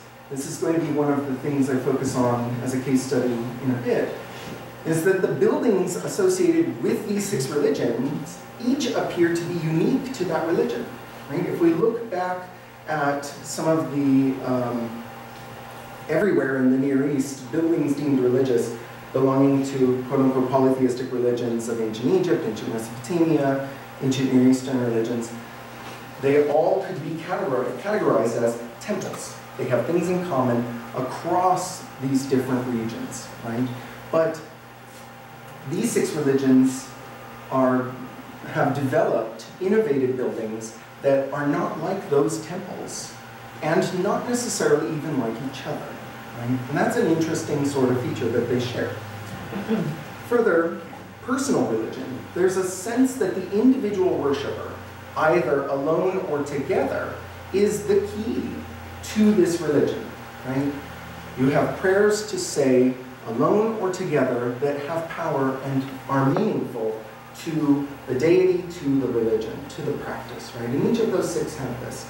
Um, ancient Mesopotamian religion was practiced in the temple by temple staff on behalf of the kingdom or the king, and the individual person may not have even mattered. Right? There would have been popular religion, but the state religion, and what we have much evidence for, doesn't necessarily consider the role of the individual to be significant. Right?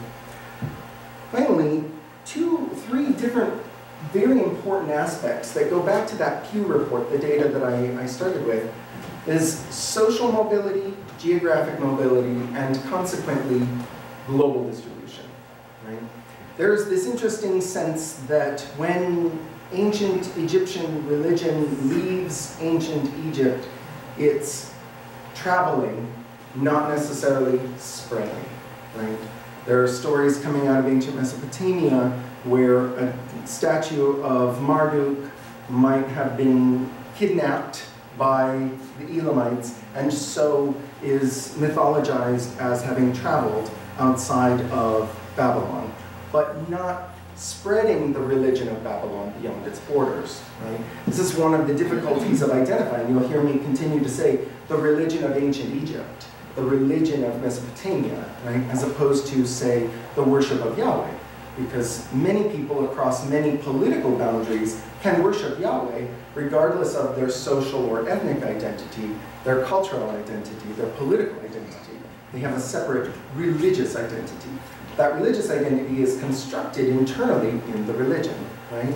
It's interesting that today, in the modern world, the two oldest members of this category, Zoroastrianism and Judaism, by virtue of having been hemmed in politically and oppressed across many centuries, have become quote-unquote ethno-religious communities, right? Um, in the same way that one might ask um, how to, can someone become Hindu from outside of India? You may say, that's a very complicated question that doesn't seem to make very much sense. But to say, can I become a Christian or a Muslim, is perfectly logical for those religions. And it seems that at points in the past, people were able to and had pathways to convert to the worship of Mazda, convert to the worship of Yahweh. Whether or not it was invited or intended by those communities of worship, there were pathways to that that didn't seem to exist in the same way among religions that fall under the category of polytheistic. Right? And so this global distribution that results is where we find mm-hmm. ourselves back at the Pew data set, right? With the six religions that are now considered to be part of this category of religions deemed monotheistic are distributed across borders throughout the world. Some more widely than others, but generally more broadly than almost any religion deemed polytheistic that we have evidence for in the last two or three thousand years. So taken together, we might say that these building blocks sort of define the category of monotheism. And so returning to the title of my presentation, I'm going to look at where this category comes from by looking at where we see in history attestations of this formation of building blocks first. Right? The earliest example of this, and that seems to be among Mazda worshiping communities.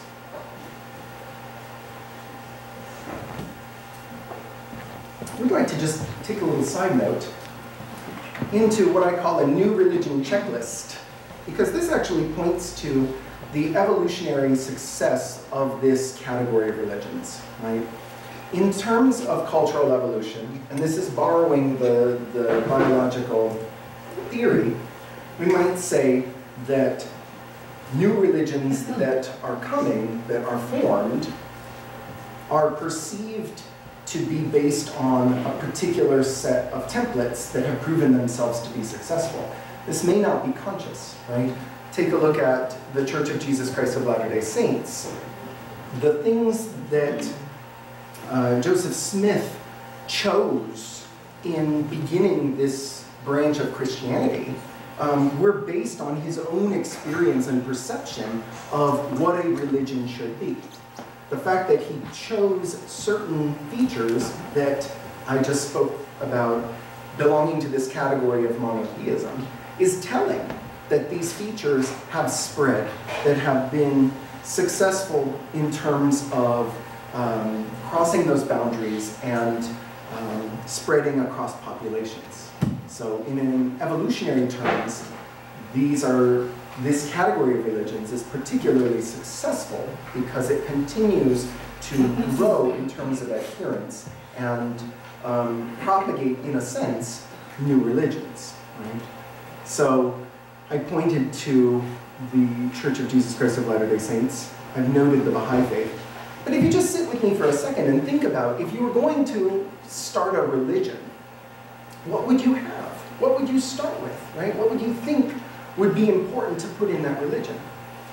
The checklist, as I've laid it out here, seems logical and reasonable, right? That you would want people to join, right? One of the ways you might encourage people to join is by having a message, right? You might spread that message using a variety of tools. Maybe a person, maybe a text, you might want to be able to identify your religion separate from others, so you need a name and perhaps a goal. The goal may be um, a goal uh, that applies to our current lives in this world. It may apply to, um, as noted, uh, maybe an eschatological, eschatological goal, right? Maybe a goal for our next lives.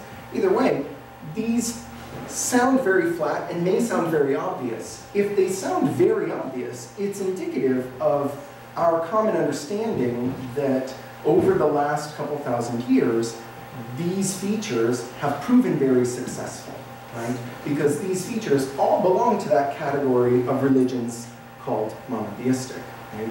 And many religions called polytheistic don't appear to contain these features. Right?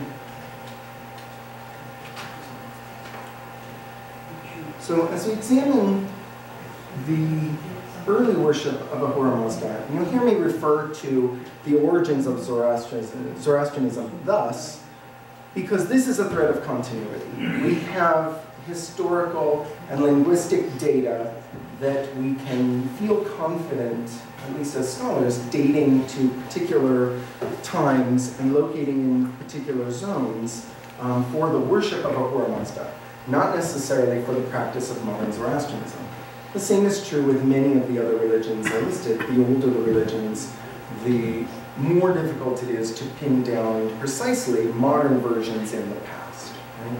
So here I give you two sets of data, two notes, because somewhere between these two we find the linguistic data of the Avestan texts that because of their religion, because of their relationship to Old Persian and archaic Vedic Sanskrit, we can date to some point in the second millennium BCE, roughly 3,000, 4,000 years ago.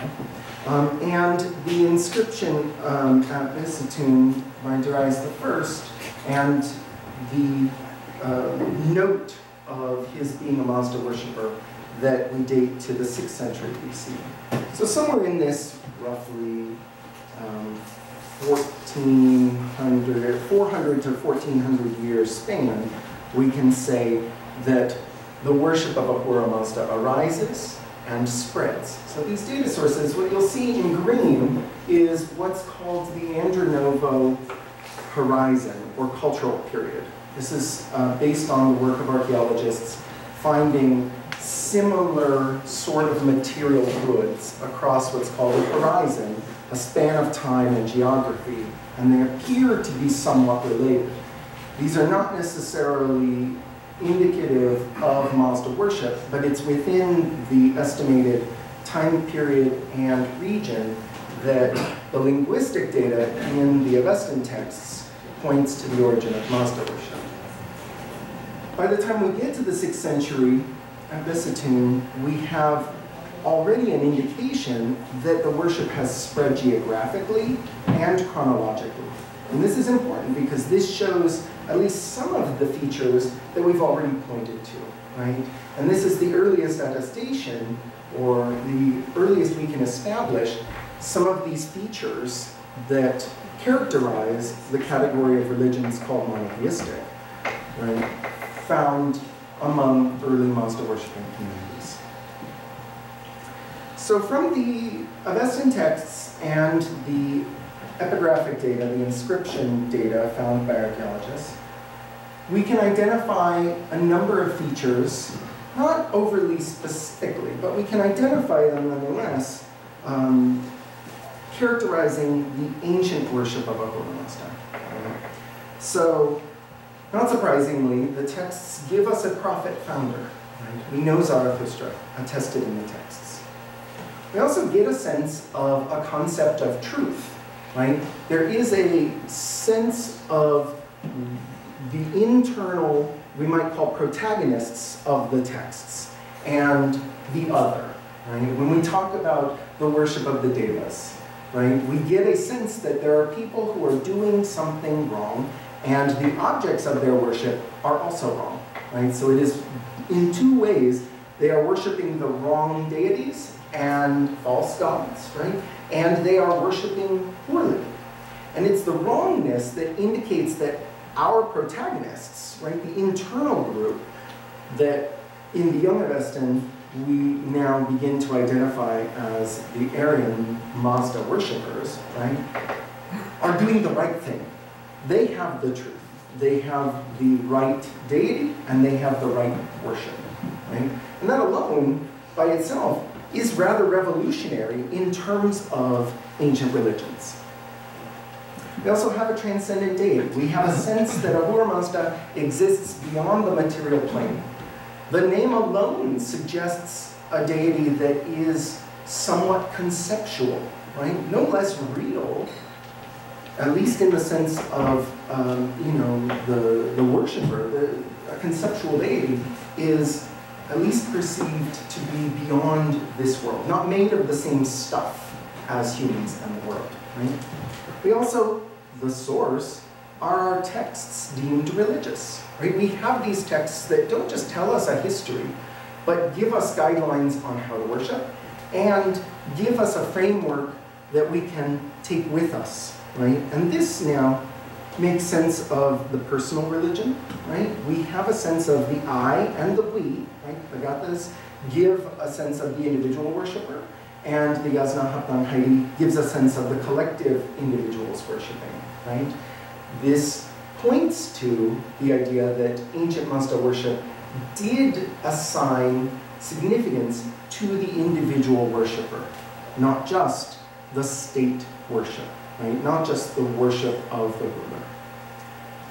These sort of all make sense of the spread geographically and socially. So by the time, geographic makes sense, we've looked at the map. Socially, by the time we get to Bisitun and the Achaemenid period, right, we know that there are Mesopotamians who are living within the boundaries of Achaemenid Empire, right? And at some point, some of them must have begun to worship Ahura Mazda because the number of adherents increases, right? And this makes sense within the framework of the religion that there is a separation, and we get this from the text and now tradition, a separation of religious and social or ethnic identity, right? If you ask who worshipped in the ancient Mesopotamian religion, you would say ancient Mesopotamians. Who worships Ahura Mazda? The Aryans? Someone else? You can still worship Ahura Mazda. Right? And so there is a sense of social mobility. Right? Even as Darius is writing in Old Persian and identifies himself thusly, there is a sense that religion is not necessarily identified directly and solely, exclusively with social or ethnic identity. And finally, we see from the map there is regional distribution because we see in the Bisitun inscription a sense of the Saka or Scythians being labeled as worshipping Mazda poorly, right? And Darius needs to address this, right? Has attempted to address this. Well, we have an idea now that there's Mazda worship happening across political borders. This is all sort of by way of presaging what comes later to characterize this category of religions. So as we look at the list of building blocks defining this category, and the list of features we're able to identify um, characterizing the ancient worship of Ahura Mazda, we see a pretty close connection, right? And this makes logical sense from an evolutionary standpoint that the oldest member of this category would still be characterized by features that the category is defined by, right? So, in a sense, my argument is made that the ancient worship of Ahura Mazda appears to have contained most of the significant features that come to characterize at least the, the big six religions deemed monotheistic in the modern world, and a category that at least fits more properly common reference when we say, oh, that religion is monotheistic, that there are, there's more to it than just the worship of a single god. But to really sort of hit home the point and draw an interesting sort of specific analogy, I'd like to look at two specific building blocks, just a little closer. One based on the textual data, the prophet founder narrative, and another based on the archaeological data, the buildings deemed religious. Because you'll see that they are absent from our discussion of the ancient worship of Ahura Mazda, but we do find them present in modern Zoroastrianism. Here we are. So I want to begin by looking at the prophet founder narrative. This data presented is using a method called verbing the character um, applied to the Old Avestan textual data examining instances where the figure, the textual figure of Zarathustra, is either the subject or the object of a verb. And by using this method, we can use just the textual data to try to understand a little bit more of how the figure is constructed within the mm-hmm. text. Now, it is important to note, this is not an identification of theology. This is not a note on how the texts frame theologically or how tradition has framed or interpreted the textual data, but rather the linguistic data alone, how is the literary figure of Zarathustra presented in the Old Avestan texts? Right? What we see are English translations of verbs and the instances in which the name Zarathustra, the figure, is linguistically the object or subject of these verbs. This is the data set. Right? And we can see somewhat of variety. Unfortunately, the, the key is cut off at the top or moved to the bottom. We get somewhat of a sense that there are not a lot of verbs to begin with. Right? But what they do do, how they present the figure, is interesting. So there's two, two insights um, that I want to share in this brief examination. First is that the verbs you can identify here, which you can see in English, the verbs that are identified with the figure of Zarathustra do appear to sort of shape that prophet founder character, right? That the prophet is giving or being given, right? Is invoking, is assigning, or being invoked, or being assigned, right?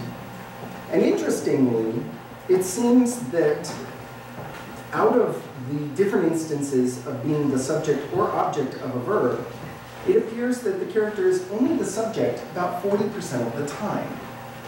And it's interesting when we think about setting aside Zarathustra individually and think collectively about the model, the building block or feature of a prophet founder in these religions deemed monotheistic.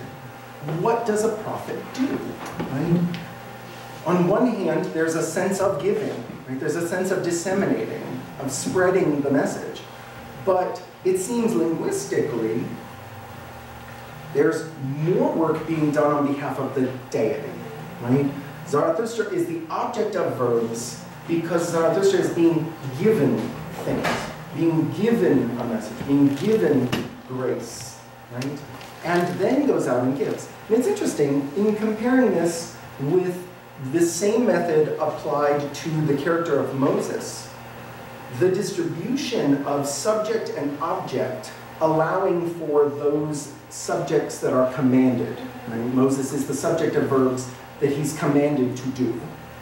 Seems to distribute about the same way. Two-thirds acting, or two-thirds being acted upon, one-third acting.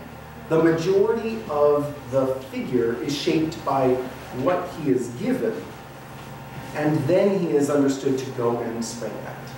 And this makes sense for a founder of a religion because their authority is given to them by the deity.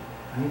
And here we have this figure attested for the first time in the oldest monotheistic texts, the Old Avestan texts. So if we look, one more insight is Another way to sort of understand how the figure of Zarathustra is constructed in the Old Avestan text is to look at some of the words being associated. We see this a lot in modern news, right? Where we can say, not necessarily, oh, you know, Eddie is kind. But if we say, oh, Eddie was here and kindness was happening, seemingly two different statements, the association, if we again and again and again link the name Eddie with the word kind, we start to make the connection. And it seems that the Old Avestan texts do a similar thing, right? Because if you look at this list of words that appear in, with some proximity in the passages of the Old Avestan texts near the name of Zarathustra, you see essentially a roadmap to Mazda worship, right? You see the key pieces of good words, good thoughts, good deeds. You see the key pieces of worship of devotion, right, of gift. And this in some way appears to add to the construction of the figure, right? And this, again, in the texts, is the first time, the historically oldest instance of the construction of this kind of figure. And we see a little bit more closely here how that figure is constructed. So some key points about what is a prophet founder and the narrative that explains it. They're human, right? They're human, that's key, because they are acting as a mediator, as a conduit, right, between the deity and the community, right? And what is important is not what the prophet comes up with himself, but what the prophet is given by the deity, even if that is authority to construct, to spread. Also, the first worshiper, right, the prime worshiper, and the model for worship. And this makes sense now when we go back to that list, the new religion checklist, of where that might fit anthropologically into the geographic spread of the religion, right? We can say, we have a model for how to belong to this religion. We have a model for worship, right? It's not just laid out in the texts in explicit instructions, but we also learn how to behave by looking to the prophet. Finally, interestingly, nearly all the prophet founders in these big six are attributed authorship of the texts in which we find them. Right? And this is the most confusing, perhaps, in the case of Moses, where he is said to have authored the Torah, in which he also narrates his own death. Um, but tradition has it that the prophet founder also authored the texts. Here's a list of the prophet founders for those big six, and a very curious sort of pickle. At the beginning of my talk, I mentioned the obvious sense in the West that Christianity is the benchmark of monotheism. But in terms of the expressions of this feature, this building block, the figure of Jesus seems to be an outlier. Right? The others make sense for a type, a type that may be based on the figure of Zarathustra, right? that is attested for the first time in history in the figure of Zarathustra, and so may have served as a template for the younger religions that come after. So my final investigation is regarding buildings deemed religious. What we have in this map is a distribution of ancient temple sites that are derived from the literature, various archaeological volumes, um, fairly well established, non, um, uh, non-controversial sites. Right? We know there's archaeological evidence of a temple in Babylon. It's there. The individual sites don't matter as much as the general comparison between the distribution of temple sites and the distribution of settlements, right? Building cultures build buildings, right? We have a fair amount of linguistic evidence from within the Avestan text that suggests a mobile pastoralist context out of which Mazda worship emerges. And there's not a lot of building language in the Old Avestan texts. But if we look at who has temples in this data set that runs up to Cyrus's conquest, we see here a very familiar pattern to those who were educated in world history and world civilizations. A lot of Egyptian temples, a lot of Mesopotamian temples. Um, the temples that were perhaps up in the northeast Iranian plateau um, are listed archaeologically as um, here BMAC, was mentioned earlier, the Bactria Margiana Archaeological Complex.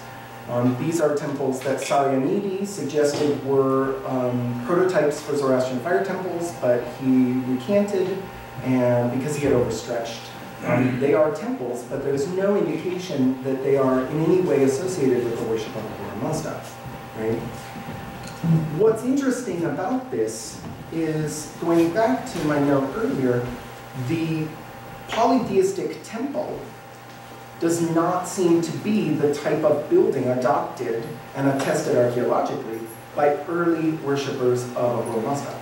Nor do you see really, there's a questionable Israelite temple, one of which is Jerusalem, because it is so agreed upon by history that there was a temple, it's hard to omit it from the data set. But there's no archaeological data for a temple dedicated to the worship of Yahweh in Jerusalem. Right? It seems that the worship of Mazda and the worship of Yahweh, right, the next oldest religion on our list in this category, uh, didn't do this kind of temple. This is the distribution by percentage of the particular temples in the data set. And here we have the type. So if they didn't do that kind of temple, what kind of building did they do?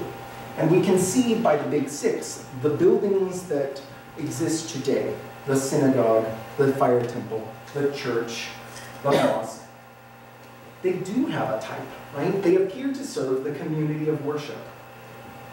Look at that. Right? Worship can be conducted on or off site.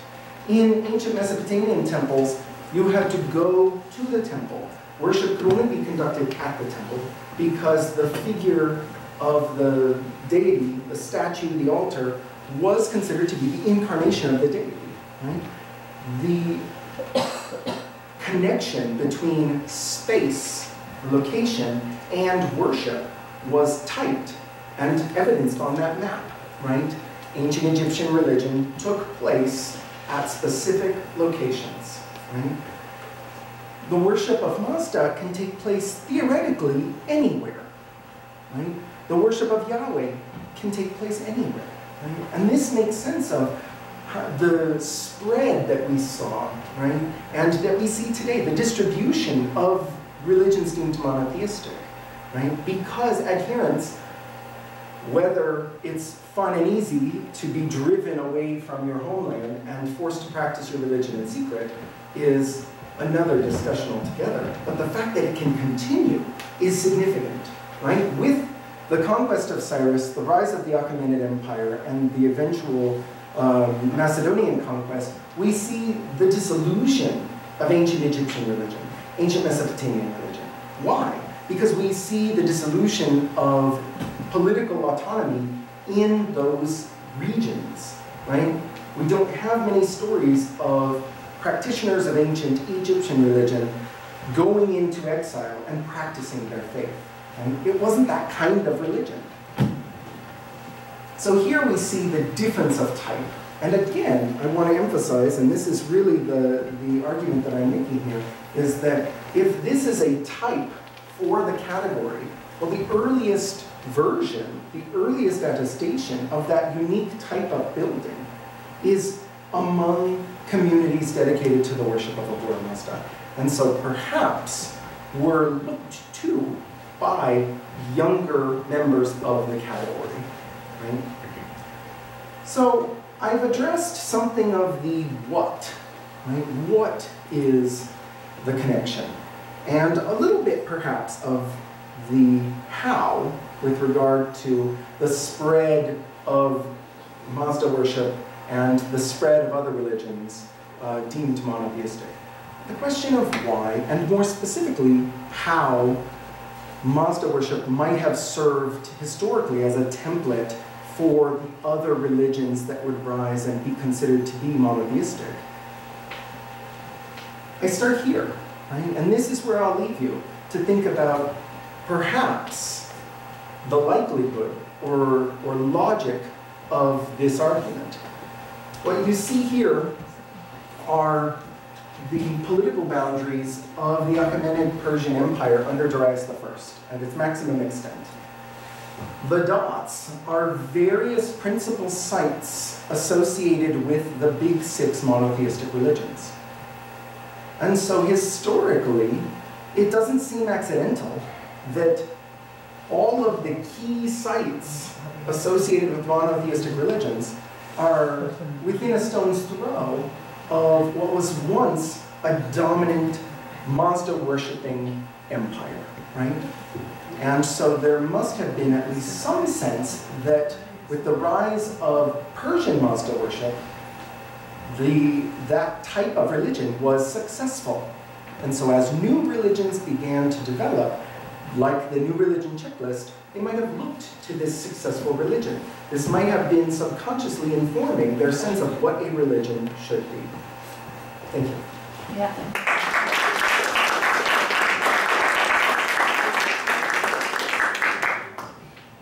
Thank you. Uh, Different kind of uh, presentation, which is more, I would say, on the scholarly side. I understand you guys are dying to ask your question, but I am dying to have lunch. So, here here is the answer. The lunch is already ready and getting cold. Have- have We have uh, announced the lunch hour is already started, sorry because we are late. I would do the same thing as we did for the uh, refreshment break. Please go and start taking your lunch. You can ask Eddie any questions you like as you sit down, because got whole hour for lunch. So see you back here at two o'clock to start with the pattern. Thank you, Eddie. Gentlemen, We're getting the younger folks involved. Great. And today is the new lesson I've learned. You can hardly read it. To get younger folks involved, you can't ask them to come as a audience, you've got to make them talk. Very few younger people.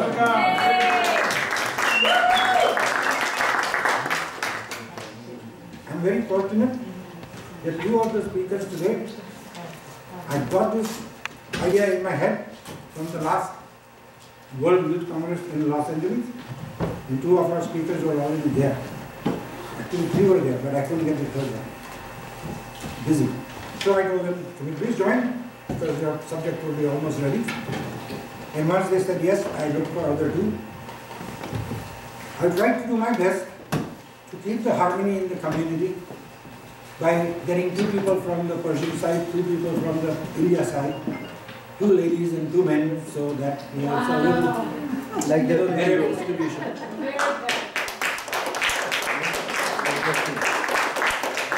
I have a problem. If I had my way, all four of them could be there. Then then the men would beat me up. Anyway, please come. You can sit right there. Okay, yeah, you're speaking, right? Later on, you're welcome to some, anything. Please, please. Ladies and gentlemen, Kiana Zayat. Right on the spot. And the other thing I did was, I have to mention this. Though I didn't want to, it is a very sour note.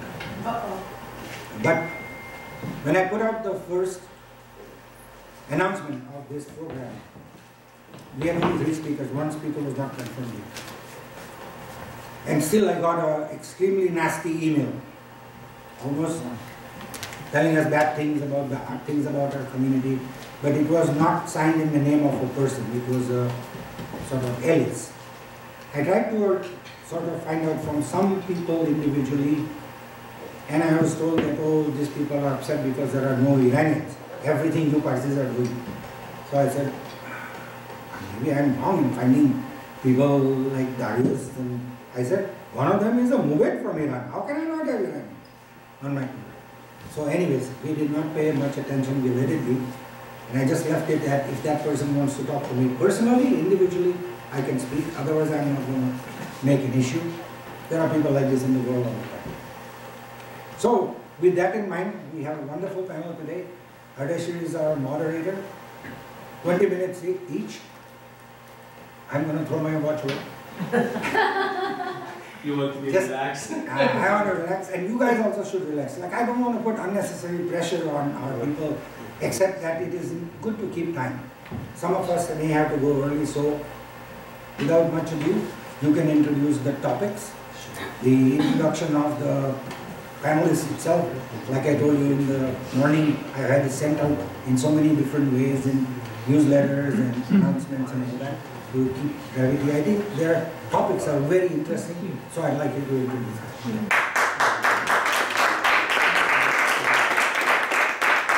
So first of all, I think I should thank uh, Pradosh, I think every one of us. Yeah. It's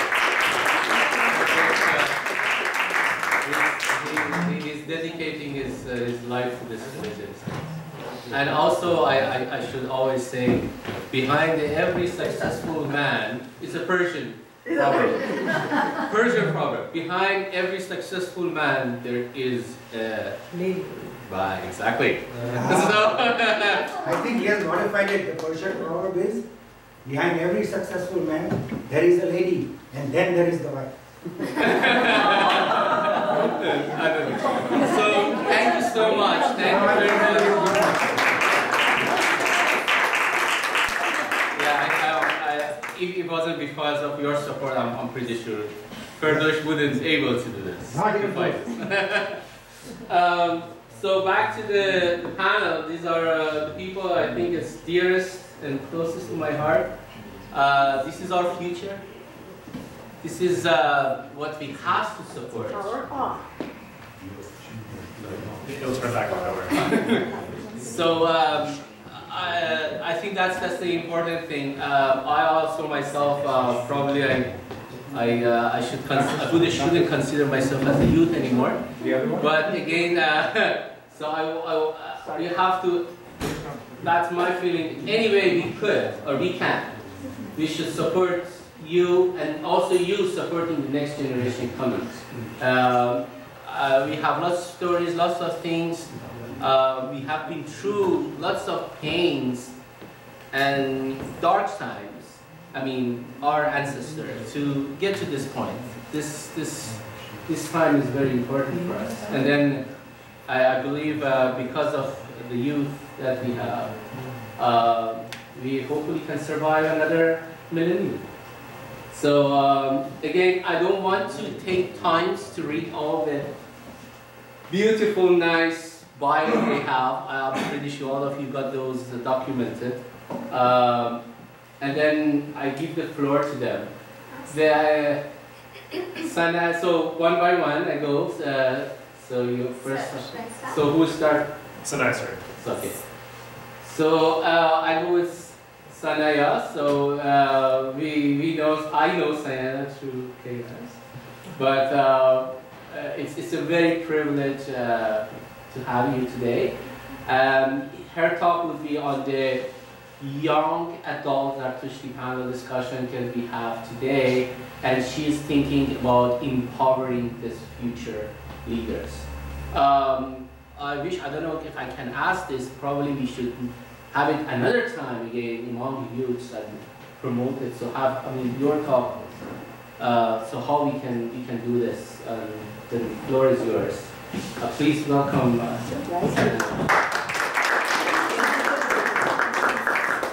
Um, thank you, everybody. Maybe I should stand. Is that better? Uh, thank you, everybody, for having me. Fidoshanko, thank you so much for inviting me to speak today. Can everybody hear me? Yes. Is that okay? Cool. Um, so, uh, as, as you all know, my name is Sanaya, and um, Power on. I'm from New Zealand, and I've recently moved for love. Husband. Um, uh, and I'm very happy to be part of this wonderful community. Um, so thank you for having me. Um, and oh yes, so as I don't know if this was mentioned. Oh yes, Vidoshanka just did mention it that um, both our presentations were done at the Youth Congress that happened in LA. Um, so we're very happy to share that with you. And also my presentation is about an event, a forum that I've organized in March 2018 at the Asha Center and um, thanks to Kairos I did also have the community, uh, sorry, the support of the Vancouver community which I'm incredibly grateful for. So I, I just thought that I'll talk to you all a little bit about that forum that I've organized. Gee, oh, where's the clicker? All right. So um, my story starts back in 2013 when I first tagged along with my mother, Farida Master, who was the author um, of Zerbanoo biography, An Uncensored Life. And that was when I was first introduced to the beautiful Asha Center, which is nestled in the Forest of Dean. I could not believe that such a place even could exist. Um, I was completely enamored by the beauty and the wisdom that this place had to offer. Um, and I knew at the end of my three months, I knew that I had to come back and I had to somehow just spend a long time and volunteer at this place. Fast forward to 2017, I, I knew it was now or never, and so I quit my job um, and I flew to the other side of the world, to the Forest of Dean, where I was volunteering at the Asha Center for nine months. And that is when we first started you know, speaking about with Zerbanoo um, about this Youth Leaders Forum. Um, oh, no, you Sorry, I accidentally pressed it. so first, let me just talk to you a little bit about Asha Center. So as all, you'll all know, the word Asha, it means the righteous path. Um, and the Asha Center is built on the Zoroastrian principles of sustainability, social responsibility, and selfless service. One of the most striking features about the Asha Center are beautiful gardens. There are five acres, and it's just magnificent. Um, and uh, also the gardens were inspired by the Persian gardens, which is even how the word paradise came about. And the reason that the Persians were such keen gardeners is because they believed that, that by cultivating the land, they were also cultivating their inner lives. And that is also the philosophy that the Asha Center believes in.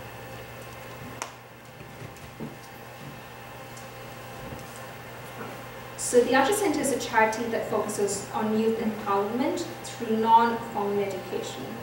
They host courses on subjects like ethical leadership, social innovation, intercultural understanding, sustainable development, and the performing arts. And through these pillars, um, they are able to deliver transformative, holistic education that is designed to bring about lasting inner, social, and environmental change. So, um, coming now to the forum, um, as we are all aware, again, unfortunately, our community is facing a lot of challenges at the moment. There's a lot of arguments, there's a lot of divide, and unfortunately, that is just pulling us all down. Um, but while I was doing my research for the forum, I realized that there were little pockets of young Zoroastrians around the world who were incredibly proactive, um, taking on initiatives, understanding that leadership is about service, and doing some incredible work to unite and educate and empower our community.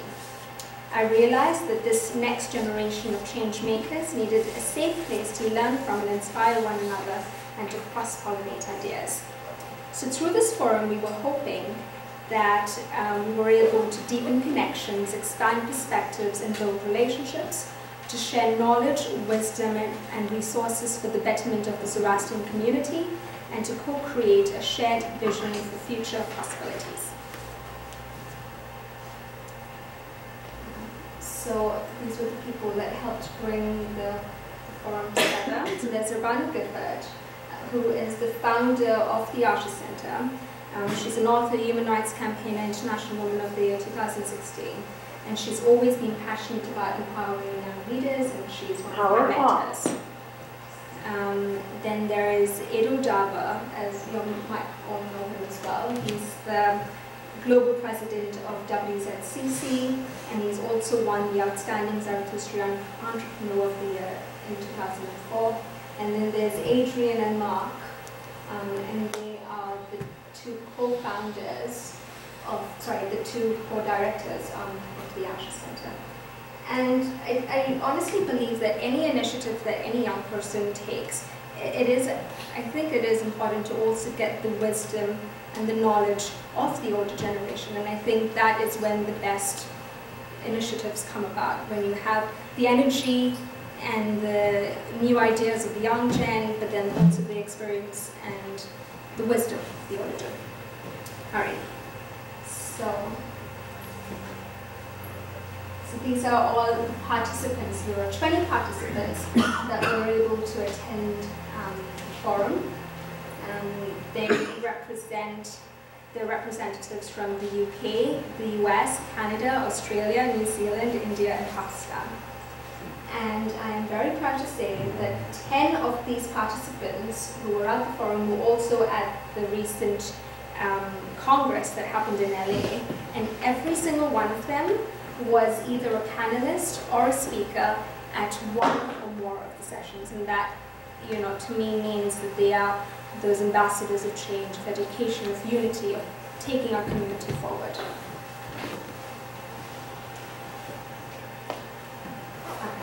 So I guess what makes the Asha Center different is their holistic approach. Um, they use numerous techniques, um, you know, including meditation, visualization, the arts, and it's about integrating the faculties of thinking, feeling, and willing.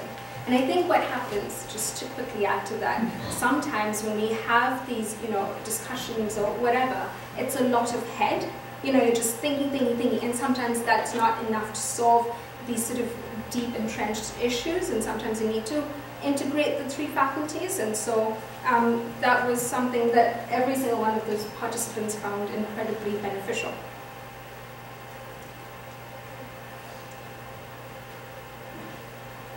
Alright, so, um, so to start to start off our process, what we did, um, and this was led by Mark. Um, he led us on uh, a meditation, and it was about envisioning the ideal Zoroastrian future, perhaps 50 or 100 years from now.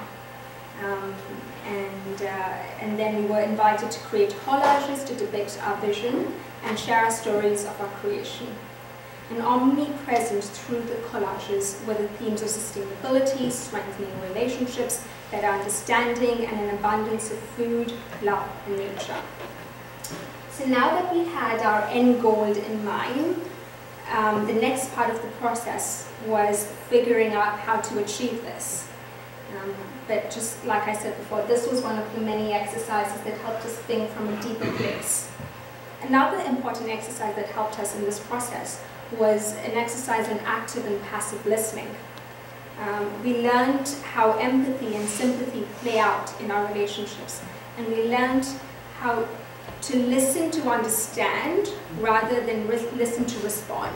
I think there's a huge difference in those two factors, and I think that is key if you're trying to solve any problem in the world.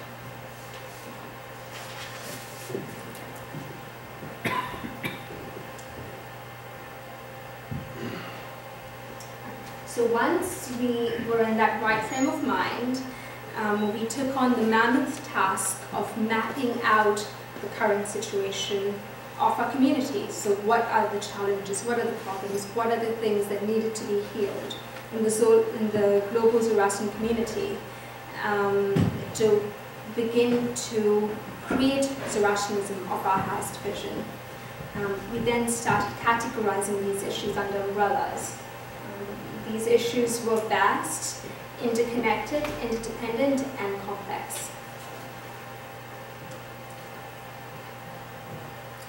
Um, so that process of, you know, just getting out all those issues, it was like a whole huge room just full of all these different issues that we were facing. And it was very cathartic in one sense, but it was also extremely overwhelming just to see, you know, all that we have to deal with as the young incoming community. Um, but what was really beautiful was that uh, we were then able to look at the rationalism itself to find the answers to these issues and, you know, looking at the centers and looking at what they stand for and really living by those values. Um, I think that was uh, how we so that was again about knowledge discussions. So um, during our nine-day forum, we also did a day trip to Oxford, where we heard, um, which included a talk by Professor Yuhan Vevaina, right there, on Zoroastrianism, um, professor at the Oxford University. We met with uh, Baroness Jan Royall, right there, and um, and she's the principal of Somerville College at Oxford. Um, so that was really awesome experience. Um, we also had a bit of fun. Um, so this was usually our evening events. So right here in the corner, you can see a picture of us cooking. So this was our Zoroastrian Master Chef um, competition that we had uh, done, and that was really, really fun. We had a bonfire, we had a talent night, traditional talent night, um, we had some outings. And I have to tell you quickly about the last event. So, you know, when we were putting this forum together, I knew that that last event needed to be something really special, something that everybody was, you know, going to remember. But unfortunately, when you're in the forest, you know, your options are very limited.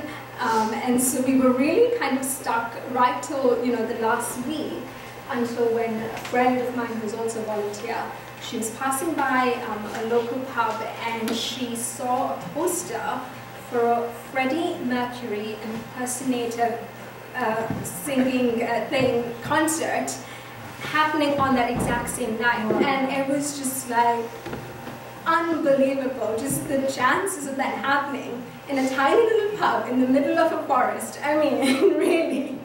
So that was really very special, and uh, there was a reason why that night was an empty night, and that is serendipity, and that's when I knew that Ahura Mazda, he had his blessings, that was for sure. So that was really fun. So as you can see over there, I don't know if you can see, but that's Freddie Mercury right at the back over there with all of us, and then there's Edul Daver over there as well, but that was really special.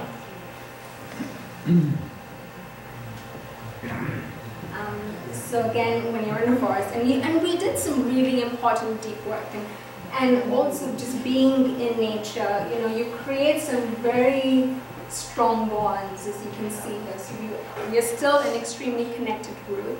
Um, we depend on each other when we are in crisis, you know, community related, or we need help, or we need inspiration, or collaboration. You know, we're extremely connected even today.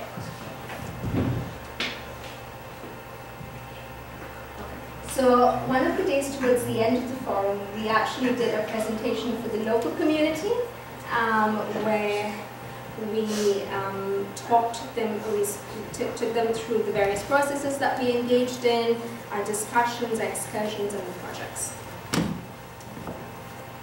So this was sort of our outcome document that we created towards the end. Um, it encapsulates our vision for the future of Zoroastrianism, and again, it looks at the different issues, or the, the umbrella issues.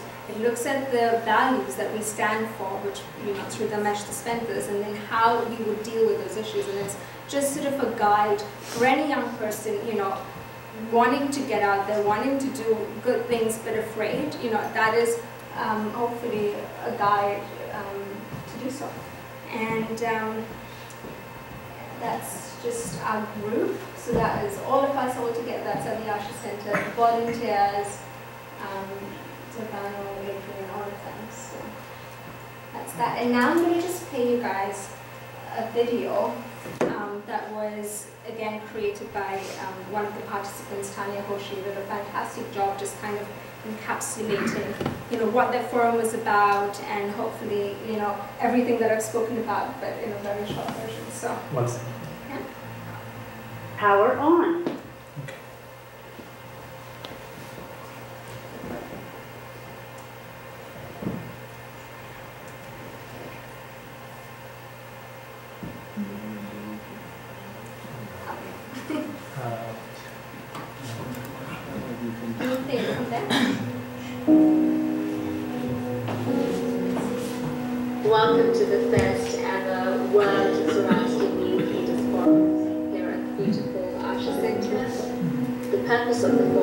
To bring together young, dynamic, enterprising Zoroastrians to reflect on the current global Zoroastrian situation, to connect with one another, and also focus their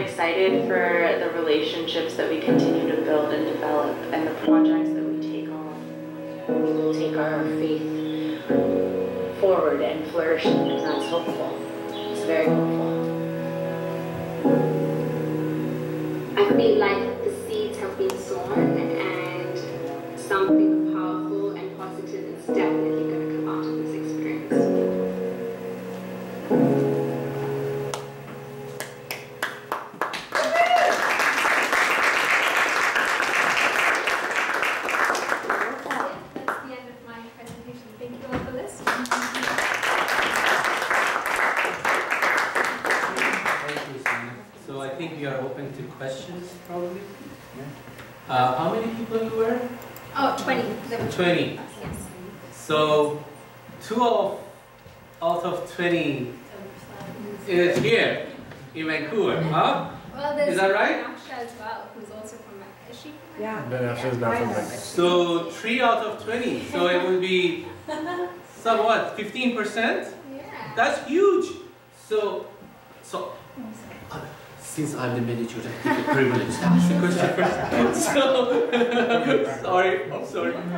Uh, so what's the plan? what Um, can we do? I mean, we have Zartushti board of directors here. One, Yeah, yeah. two, three, and also old one. What do you want? How can we help you? I mean, so as you all know, I've just recently come into the country and I'm, you know, No still excuses. getting to, no, but I'm here, I'm here. but, no, but we're very, Paris and I have both discussed it, how, you know, we're very much into contributing to the community in every way, supporting our, you know, just doing whatever we need to. Um, but we're definitely now that I feel like I'm a little bit more settled in, um, I'm going to be collaborating with the others and definitely we will do some good things. So there's a talk also about the next Youth Leadership Forum. Okay. We're still actively planning it, Yeah. but it happening next year, 2020, Okay. just after the Return to Roots program. So there was a lot of support from this community last year when I approached people, uh, and hopefully we can count on your support again.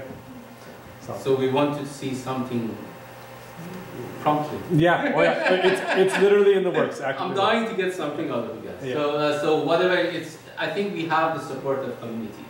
So we probably need to plan something for kids. Stay Or a tuned. little bit. Stay tuned. Oh. Stay tuned. Uh-huh. So timing? Yeah. Uh, We're, we're thinking the next month and a half or so, we're gonna figure something out. Okay, so it's uh, Stay tuned. September, October? Uh, no, we're thinking, we're thinking like as early as like May 2020 for May the, the next so event. it's not a month. Oh, sorry. Talking about youth, Youth. Oh, of course. local. Of course, that's also happening. I was just talking with Jasmine today, so Okay, that's also. Good, so we have something, huh? Yeah. Good. Sorry, your question. Yeah, no problem. Thank you so much. That was so inspiring. I actually had never heard of the Asha Center, so I feel I feel like I'm more enlightened. Thank you. And I'm keen to know about some of the visions that came out of that. What were some of the ideas that you've been bringing around the world? Can you just give us a little taste of what people are going to do or what they're already doing? So every single one of the participants that were at the congress, uh, sorry, at the forum, were already very involved, you know, in their local communities, being leaders, you know, organizing prayer classes or whatever. Um, and it was, I think sometimes what happens with the, with, with the young people is that they feel like they're all alone, doing, you know, fighting this fight. Um, and for, for a lot of them, it was just nice to know that there is a community out there that they can lean on, that they can count on. Um, even, for example, at the Congress, there was, you know, there was a bit of backlash for some of our people, just uh, in terms of ideas and more forward thinking versus conservative. And, and and it's just nice to have that sort of community. Obviously, you know, in terms of our vision and things, that is very much in detail in the guiding doc, in the guiding um, principles, which is available on our website. But I think it was, I would say that it's, it, it just was that bond and that community and that, you know, um, support circle, I guess, which was really positive.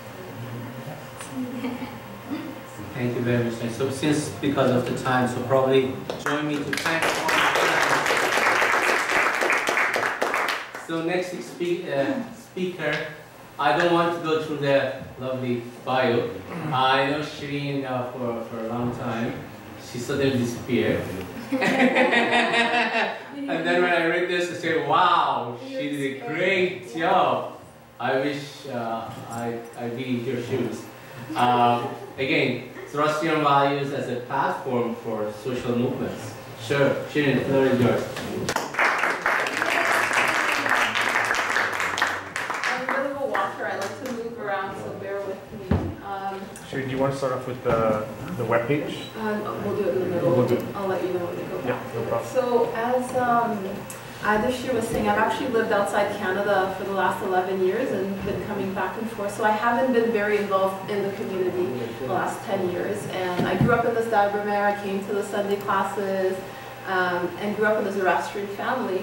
When Firdosh uncle asked me to come and present, I was like, what am I going to talk about? And how am I going to relate this to Zoroastrianism? I also didn't know about the Asha Center and a lot of the stuff that's happening around the world with the youth. The youth is also news to me. So my presentation is growing up in the Zoroastrian tradition, how did that impact me and the work I've done in the last 11 years abroad. So I've worked in humanitarian aid settings. I was working in the Syrian crisis the last two and a half years, um, and another crisis context like in Haiti after the earthquake, and just relating that to being Zoroastrian somehow. And I've moved back to Canada about a year ago, and I'm trying to find my place here, and what can I contribute to in Vancouver. So my presentation is how a lot of the features of Zoroastrianism are actually also around social justice, equality, because that's what interests me as a youth, you know, how can we connect with other things happening in Vancouver and in Canada. Um, so I wanted to start the presentation also by recognizing that we're gathered here at our Dal which was built on the unceded territories of the Musqueam uh, Squamish and Tsleil-Waututh people. I think it's very important to recognize this, especially because we have a lot in common with indigenous people as Zoroastrians. Our land in Iran, Iran was also taken away, conquered, our fire temples turned into mosques. So I think there has to be this recognition. Um, I think it's on a timer, uh, Oh, sorry, I'll go back there. Sorry, I think it might be just, yeah, a recognition uh, of, of the people's land that we're on, so just wanted to make that point. All right, there we go. So the values that I think are very interesting for me, and I like what Sanaya said about it's overwhelming to look at the issues in our community, but I think in the world at large, we share a lot of the same issues as other youth around the world. And the solutions are maybe also in our religion and what we can find in it. So um, some of the scholars might correct me, but the understanding I have of uh, and the things I like about Zoroastrianism are the freedom of religion and free will has always been a founding principle. Gender equality is something that I found really important uh, when I was working abroad, and environmental stewardship as well. Um, then I wanted to talk very briefly, is there an advantage to being a minority? We always look at that as a disadvantage and we lament that minority status, but for me it's actually been a benefit. And then also, I, I had hoped there were more youth here today, but I, I was wanting to hear how youth or anybody wants to get engaged in Vancouver in the issues here. So I dragged my nephew here. I'm really glad he's here. It's Kia and uh, other youth that are here who want to contribute. But I think engagement is for everybody, right? So, so this picture actually credit uh, to Shireen Abadi. Some of you who came to the Nowruz uh, function remember her presenting this in a very teary way. She went to the Human Rights Museum in Winnipeg, and the first picture she saw in the timeline of human rights uh, was of Zarathustra, being recognized as one of the founders of this concept of human rights, and then other people were recognized. And I think uh, one of the other presenters this morning talked about the, sorry, I'm mixing up, uh, the, the Cylinder of Cyrus, which talks about human rights and cuneiform. Um, and when he uh, won the Battle of Babylon, he granted religious freedom. So this is such a precious and beautiful aspect of Zoroastrianism that this is how we look at other world religions. I don't know if I'm romanticizing again, Ed can correct me, um, but I think this is something beautiful that when I worked in different countries, I didn't see it at all. So freedom of belief is very precious, and a lot of the countries I worked in in the last few years, people were displaced because of their belief system and their religion. So for those of you who are familiar with Sri Lanka, this is me with my team in Sri Lanka. I worked at a disability, health and disability center. And these were the minority Hindu Tamils and Muslim uh, that were persecuted uh, by the Sinhalese. So I was there in 2009. There was a civil war going on, and a lot of the staff were quite marginalized. And we had to talk about these issues of, you know, your belief system, your history um, can be quite repressive. So that was one place where I was like, oh, it would have been great if freedom of religion and belief had existed. Then here, this was in um, Iraq. I was uh, in Erbil, which is two hours away from Mosul. Mosul was one of the hit cities that ISIS hit, and it's a predominantly Christian city. So people then came to Erbil and gathered in a church, and we were trying to assess. I was working with more of uh, the children with disabilities and adults with disabilities because I have a background in disability, and we were trying to assess what the needs were. This child was having a lot of malnutrition. Um, and we were talking with the mother about what kind of food we need to get to the child so the child didn't, uh, didn't have enough calories. Um, so freedom of belief, I think that's, that's super important. The second one, um, as some of you know, uh, and I had to read up on this a bit more to confirm, but again, I'd love to check with the two scholars, but in the Gathas, actually men and women are mentioned equally. There's often references to men being spiritual and praising men, but in the same verse as women as well. So I find that very unique to Zoroastrianism. And when I was abroad, I often mentioned that when people, most people assumed I was Muslim because I was from Iran, and I was like, actually, I'm Zoroastrian, and this is what Zoroastrianism is, and women and men are equal. So for me, that's something I absolutely love about our religion. This picture is from an online article from two years ago about the um, female priestesses in Iran. There's been a resurgence of female priestesses in recent years. There used to be some in antiquities, and I think the numbers went down and have come back up. Ardashir actually knows some of these priestesses. They had to go through rigorous testing and uh, to get to the priesthood. So um, it would be great actually to hear more from Irish about that, so I think that's quite beautiful.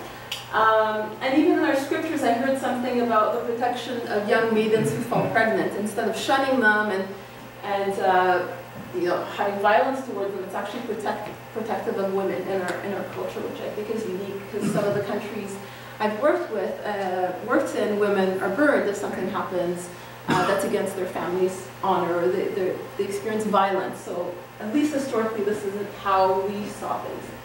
Having said that, um, there's also a lot of social structures that we've lived under in Iran historically, and I wonder if this gender equality is a bit romanticized, because in reality there is probably some level of inequality between men and women, and we also need to talk about it. Um, there aren't that many examples of female shahs, I think. I've read that the children of Zoroastrian mothers and non-Zoroastrian fathers didn't always get brought into the religion, whereas uh, children of Zoroastrian fathers got brought in. Sorry. Um, do we raise our boys and girls in the same way? Uh, I know in my parents' generation, my mother and aunt were brought up very differently from my uncles in terms of opportunities and expectations. So just to think about these things as well uh, while we're doing all this work. And then I did want to make reference to an awesome project that Darius, and I think this was led by Dr. Farah Shroff, for people who want to find out more about uh, the history of a lot of our Zoroastrian women. So Farah, do you mind going to the webpage now? Yeah, sure. It's called Her Stories, so Farah can maybe tell us about it a bit later if we have extra time. But I think this is also an interesting way to learn more about the experiences of our, the women in our community. So I just wanted to show the webpage really quickly. Give me one second. So because a lot of this stuff isn't documented, and I did an online search, but I couldn't find much, and then I met with Farah, and she reminded me there is this website with like interviews with all these different women from our communities, and it's really beautiful, and there's a lot to learn uh, from it, so I think it's just something good to be aware of. Just give me one second.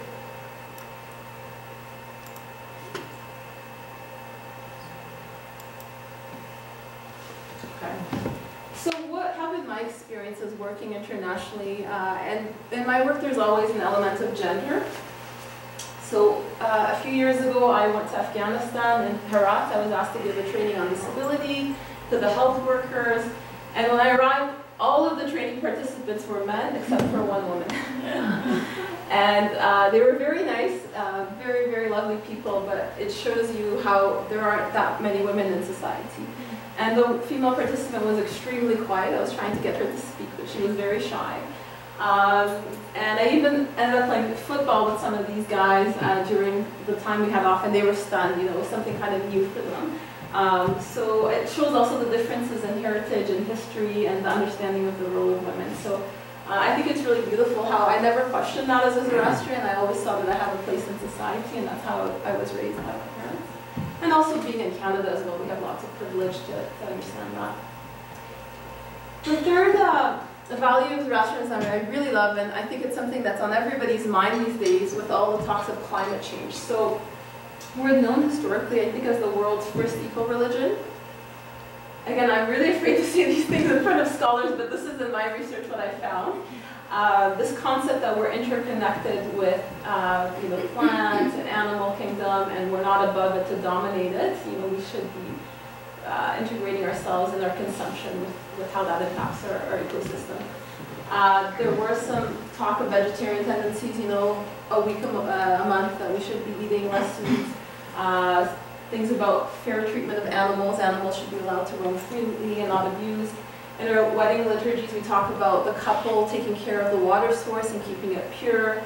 Funeral rituals, you know, the towers of silence, where um, we make sure that we're not burying bodies to not contaminate the ground, not cremating bodies to contaminate the air. So ecologically, our religion um, is really aware, has been very aware. So that's something I really value. I don't know, again, to what degree we're doing that today in Vancouver, but this is part of our heritage.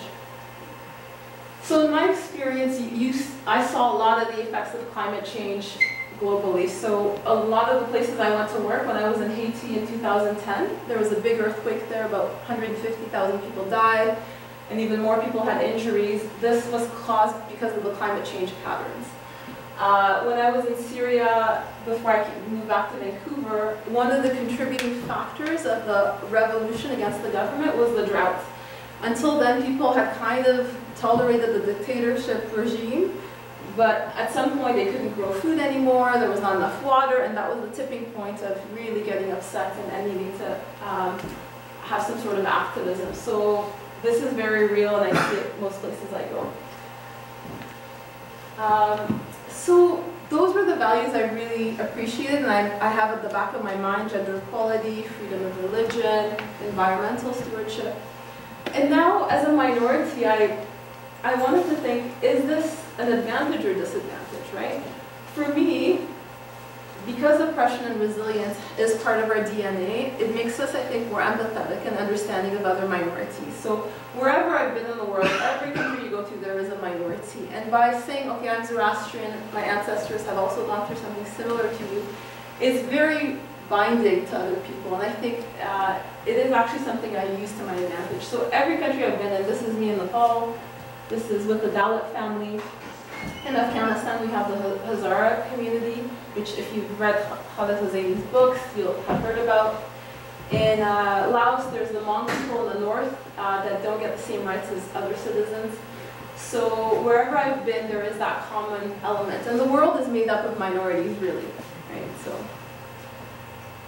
And then also, I did, when I worked in Syria and in Iraq, I met a lot of Kurdish people, and they also felt like, oh yeah, we know what Zoroastrianism is, and historically we had lots of Zoroastrians, so we were able to relate over that. One of the quotes I really like, um, and I keep in mind in my work, is uh, something by an indigenous uh, feminist in Australia, Lilla Watson. If you have come here to help me, you are wasting your time. But if you have come here because your liberation is bound up with mine, then let us work together. So the fact that Zoroastrians can also connect with other communities and find liberation in our common history, I think could be very powerful. And that's what I'm going to talk about next. How can we connect with other communities in Vancouver for this kind of liberation together?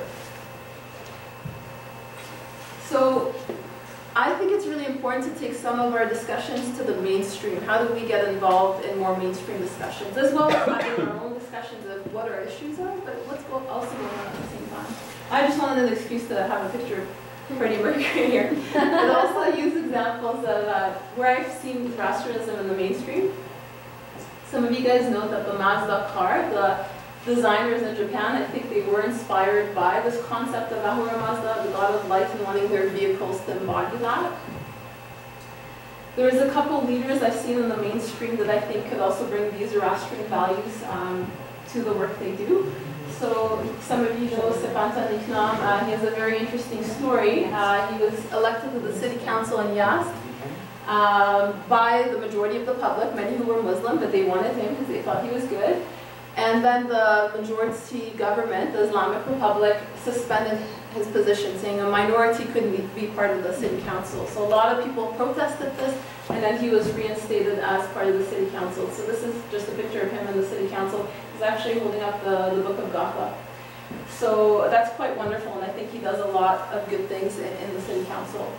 And some of you might know Sherbin Shari. He lives on the North Shore and ran for city council last year, uh, again, which is great to have. We're so few in numbers, so when some of us go into leadership, I think it's really great and, and, and taking that kind of Zoroastrian thinking to how we lead. Um, so that's also referenced. So as an SBC, as people who live here, um, you know, what can we do? And Zarathustra says we each have a divine spark. And how do we use that spark, that purpose we have, that thing that we're each good at to contribute and that bring Zoroastrianism to life? So for me, although the history is very important, and we have to know where we've come from and how Zoroastrianism has evolved, we're also part of creating Zoroastrianism and shaping it into the future. It's not a stagnant thing of 3,000 years ago. So in terms of our involvement in Canada, or globally, but mostly in Canada, because that's where a lot of us live, how I'm interested right now, and I think it's really important we think about this, is do we have a connection and um, an awareness, uh, awareness of the issues of Indigenous people in Canada? I think there's so many common elements between Zoroastrianism and Indigenous peoples that we could find common ground on. Could our youth do some joint activities together? So in terms of gender equality, women are also quite recognized in indigenous cultures. They have a number of chiefs. Um, as you guys know, is super important. And then the history of decolonization, colonization work that we have to do right now, which Zoroastrianism has a history of that as well. So there's different ways that we can get involved. I think a lot of it is being aware of where we are, what's happened to the, uh, to the people who live on this land. And then um, it's also down to simple things such as just caring about the issues and making more friendships with indigenous people. Uh, there's various holidays that are also celebrated, which again, like the summer solstice, just like Nowruz was three months after Nowruz is National Indi Indigenous Peoples Days. Is that something we could celebrate together? Uh, there's various Indigenous allyship courses that we could take. And then there's a set of recommendations for truth and reconciliation that could be very healing for Zoroastrians to participate in, I think. What is 94? Oh, that's just the, the Truth and Reconciliation Commission of Canada to help raise awareness, has 94 recommendations on how Canadians can help you know, address these issues. So I wanted to actually say that there has been some activities done for the times that I've participated, thanks to K. Ross, who's sitting right there. He organized uh, an event with the Squamish Nation, right, I believe, in North Van. Yeah, this was this was in Grouse Mountain, um, but yeah, it was It was alongside Beruz, who was also part of Zyna at the time. Yeah. Great, great. And I think it was something quite small, but it was, it was a first step of, okay, let's kind of learn what's going on. It was a retreat. Yeah. Yeah. It was a young professionals retreat. Yeah. Bring back think- memories. And I think that was a great first step, and there was so much more we could do. But there have been such things done. I don't know if there's been anything else since. So. There's then like other things like return to roots evolved from youth professional stuff as well. So. But yeah, no, this is one of the one of the first. Great. Um, another thing I think is really a great opportunity for Zoroastrians again to hit the mainstream just to see what's going on and how we contribute interfaith events. That's something I'd love to learn more about. Again, I'm not an expert, but I do have a trivia question for you. When do you think was the first interfaith activity in modern day that Zoroastrians attended? What year was it? The first interfaith activity that Zoroastrians. Will you just put No, you didn't see anything. it's at a time. Sorry. So it was in 1893 in uh, Chicago. That was our first activity. And I don't know if your uncle went. Oh, there he is. I hope you speak during uh, the If question would've- period If I about would have gone there, I'd be more than 100 years old. Yeah, you didn't go to that one, but uh, I know you're No, quite I, involved. I have been to many of the same things that are repeated. in it. Yeah, and I would love to hear more about that because I think that's also a great opportunity for us to. Yeah, first one they did 100 years later, but now they're not waiting for 100 years. They- They are doing it every 10 years. Okay. So something I like that I read in FEZANA about interfaith events was it's not meant to increase awareness of our faith necessarily, but more to have common activities for peace, social justice, religious freedom, which I think is great. And then the last key thing, uh, I think is climate emergency. We had a strike about a week ago, 10 days ago. I don't know how many of you participated, were aware of these issues as Zoroastrians. it's quite important. Uh, in June of this year, the House of Commons of Canada recognized it was a climate emergency. Again, as Zoroastrians, we stand for protecting the environment. Are we going to these protests? Are we participating? How aware are, we of our diet? That's one of the biggest things we can do for climate change. Are we moving more toward these healthier habits? Uh, so I just wanted to put that also in like bringing these elements of what's happening in mainstream to, to our, our religion. And I think it's because we say, why aren't the youth here? Well, I think the youth are out there and some of them are working on these things. So that's how to bring them together and see, okay, who's working on these things? And, and that's an interesting way to, to convene people. So the last slide, uh, it's a quote from Shania Shayari from a FEZANA article, journal of many years ago, but I really like the lens he had towards youth. Um, so what he thought was this new generation will not separate or segregate itself from other human beings. There is an innate universality in humanism that is coming through these young spirits that truly reflects the good news that Archie Strong was saying about. So how do we connect with others? And that's my nephew, Kia, and his sisters. Uh, couldn't make it because they're under age. You have to be 15 to come today. They're uh, Anita and Tiana. And um, yeah, so thank you guys.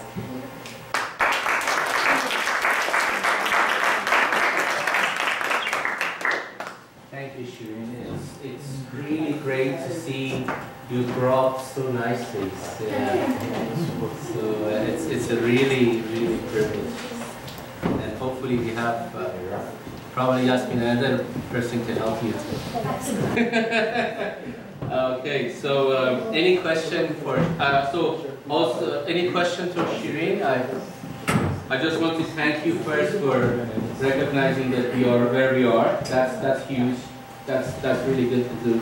Also, uh, the work, I start taking items. So first, the work, taking the risk, your life, and going, I, mean, I think you're a better human than me.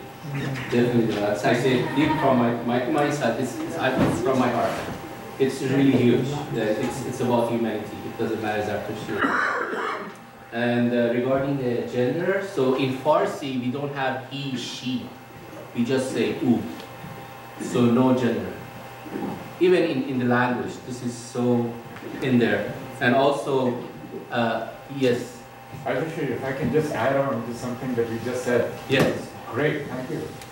In the Avesta, there's no he or she for God. For Ahura Mazda, why do every, why does everyone keep calling Ahura Mazda he? Yeah, but that is interesting. So since I'm the movements of, so people put me under pressure. So I tell you the stories of my side. So there is no he and she, no gender. So there is no discrimination. There is one.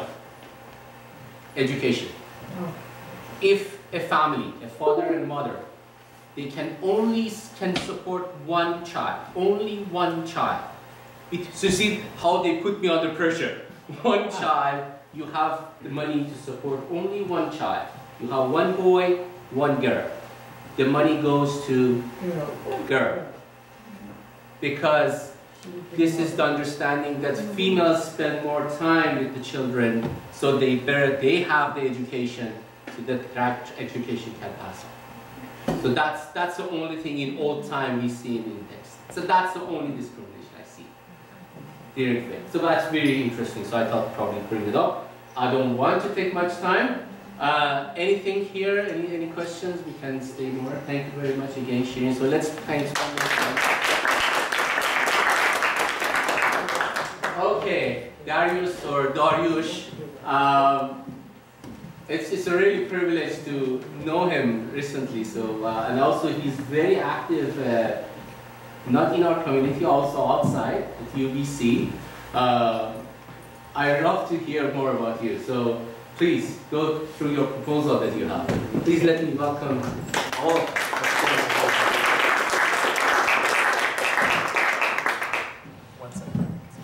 So I'd just like to introduce myself for those of you who don't know me. My name is Darius Darcy, and um, I first came to Vancouver uh, two years ago from the UK, and since then I've been involved with ZSBC. I'm also a student at UBC, where um, myself and Kiana Ziafat have created a Zoroastrian Students Association, which is currently the only functioning Zoroastrian Students Association outside of Iran and India. Um,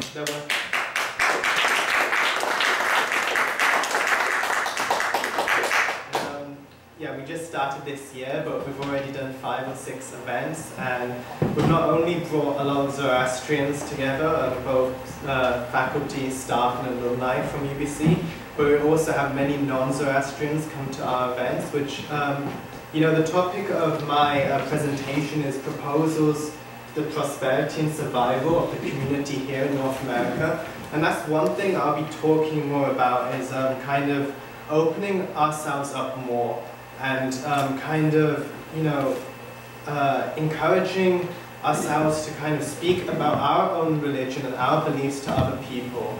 And, and, and kind of not being afraid of kind of having events and having a lot of, you know, people of other backgrounds come um, because, you know, there's so many people who you know, just this year at UBC, I, I, have encountered so many people who have such an active interest um, in this religion and really have a desire to learn more and to, um, you know, kind of participate in, in Zoroastrian events, which I think is a very encouraging thing.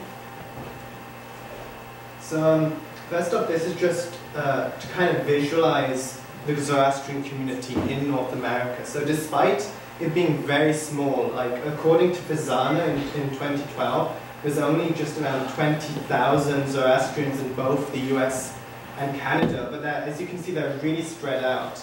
And there's so many Zoroastrian organizations, despite that not being that many Zoroastrians. Um, especially in California, there's actually um, seven Zoroastrian associations alone in California. And um, really, the, these proposals that I've uh, come up with are really kind of, over the last year, I've made it an effort to attend every single event at the Darbe Mehr. I've tried to kind of attend every single event for kind of a multitude of reasons. Firstly, to kind of get, try to get to know and speak to as many people as I can in this community um, of all backgrounds, Parsis, Iranis, um, and also older people and the youth as well, to kind of get their opinions on different matters.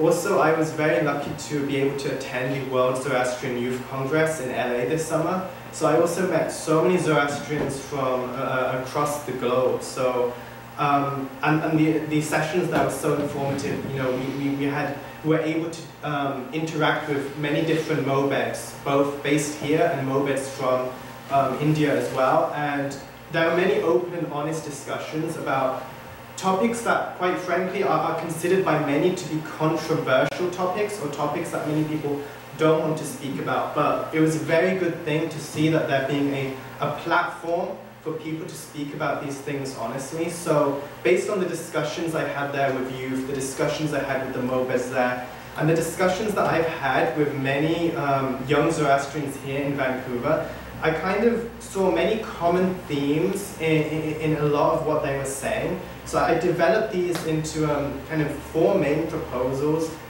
that I, I think that if adopted by um, Zoroastrian communities here in North America, it would really secure the future continuity of the communities here and their prosperity. Because many times I've, I've been uh, because of my work at UBC, many times I've been asked by people here, you know, uh, what can we do to encourage more youth to come to these events? Or, you know, why, why aren't there any youth coming? How can we get more youth coming to like the Nowruz event, for example? And, you know, I've spoken to many, uh, many of the youth and, um, you know, th there are many reasons why that there appears not to be, uh, you know, youth coming. And like, as Jareen said, yeah, it's because they actually are involved, they're just involved in different ways. Um, but really kind of getting on to my first point, um, you know, there is an unspoken, well, there is a divide between the Parsi and Iranian Zoroastrians. And yeah, okay, a lot of this is a natural divide. When different languages are spoken, when there are different calendars, when people have their own different interpretations, like a divide isn't necessarily a bad thing. It's like it's just a natural thing that occurs and people have their own way of looking at things. But what I found was that most of this divide was really um, felt more by kind of first generation immigrants or, or, the older members of the community. The, the youth I spoke to here, people who either came here when they were very young or born and grew up in North America or elsewhere, did not feel that they segregated themselves along kind of uh, inter-community li lines. You know, they, they, they found the idea very abstract. They saw themselves first and foremost as Zoroastrians.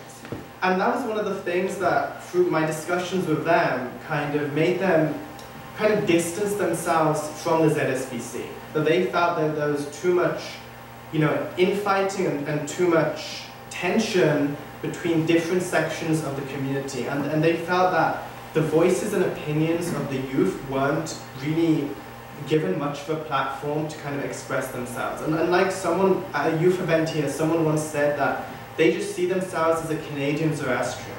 They don't identify as a Parsi, as an Irani, as anything. They see their identity based on their religion, and then secondary as the country where they live.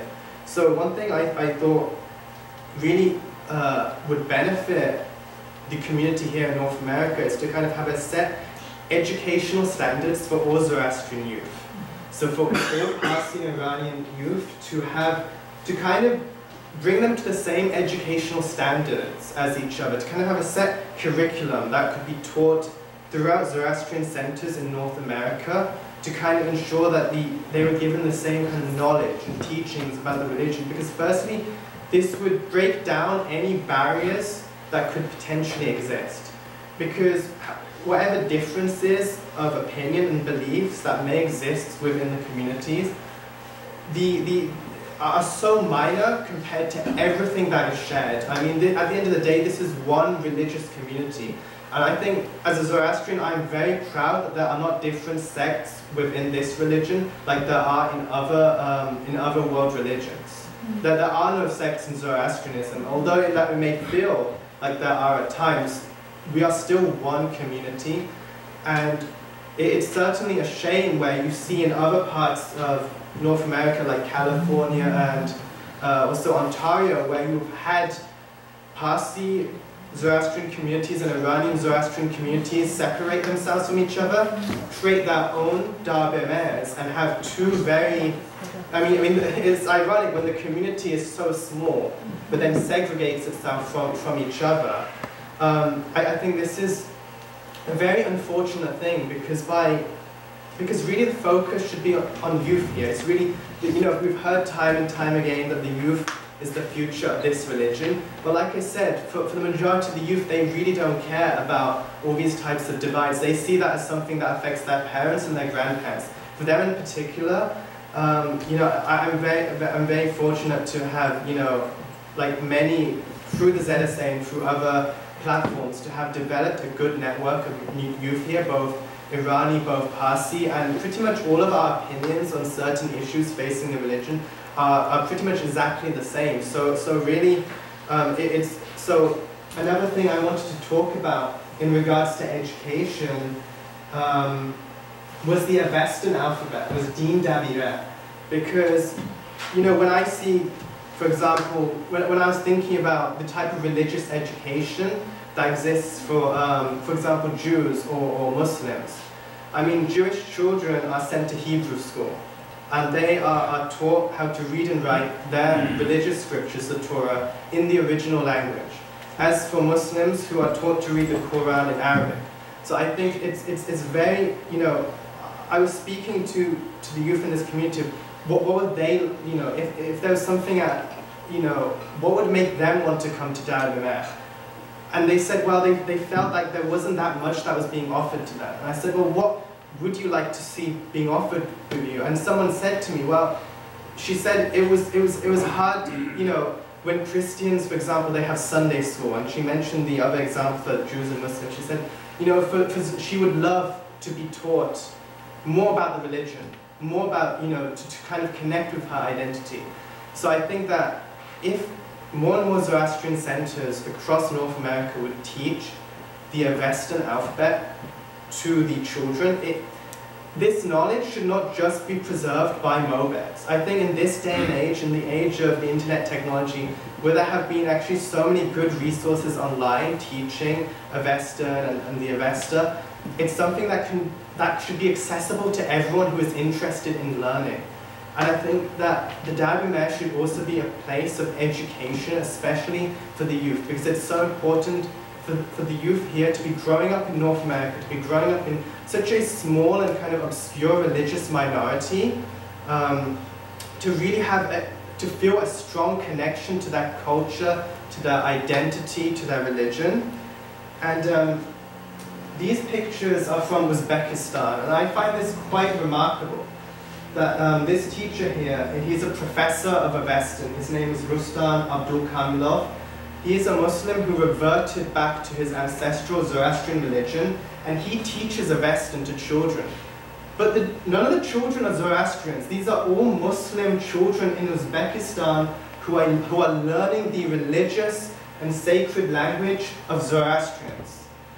And I just found this, this quite remarkable that, um, that was, this was happening in Uzbekistan of all places, that there were so many people interested in this. And I, I found this was such a great thing, that they themselves were um, kind of relearning and reconnecting their ancient heritage and culture. And I was just thinking, well, if, if Muslim children are learning the, these holy script and holy language of the Avesta, then surely Zoroastrian children should also be given that opportunity in North America. And I think for the uh, take questions the end. Thank you. So I think, you know, for the future, in order to connect to their roots, that'd be a very good initiative taken on. And another thing I'd like to say, this community is, is very, very blessed to have uh, a great academic by the name of Rastin Mehri. Unfortunately, he couldn't be here today. Um, he's in the US for a conference, but he is a full-time faculty member at SFU, and he has created a Pahlavi language course at SFU, which started last year. And all of his students, I went to one of his classes, there's 40 students, all Iranian Muslims, and he is teaching them not only to read and write the Pahlavi language, um, but he, all of the materials he is teaching them are Zoroastrian scriptures, are Zoroastrian scriptures from the Sasanian times written in Pahlavi. And it was so remarkable to see a, a room of, of 40 Muslim Iranians who are so passionate about their identity, about their, their, their past, their ancestral identity and culture, that they were so enthusiastically um, studying Zoroastrian texts and studying the Pahlavi language. And I just thought this was such a brilliant thing that he was doing because every class he would teach them through um, Pahlavi, through the scriptures, he was teaching them so much about the Zoroastrian religion, so much about ancient Iranian culture. And through UBC as well, I've discovered that, that there are so many people like this who are not Zoroastrian, but have, have such, such a thirst for learning more about the religion. And I just thought this, this was a wonderful thing, a wonderful source of motivation and passion that, if possible, the Zoroastrian community could really benefit from tapping into.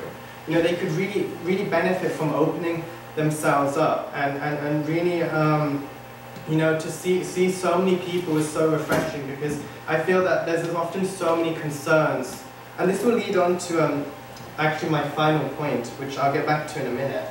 Um, but another thing that I was, um, that was a concern raised at the, uh, the World Youth Congress was about MOBEDs, was about the number of MOBEDs. You know, there's many people talking about how to increase the number of MOBEDs. And as, as other people have mentioned here today, that our religion, you know, many people are so proud to say that our religion has gender equality.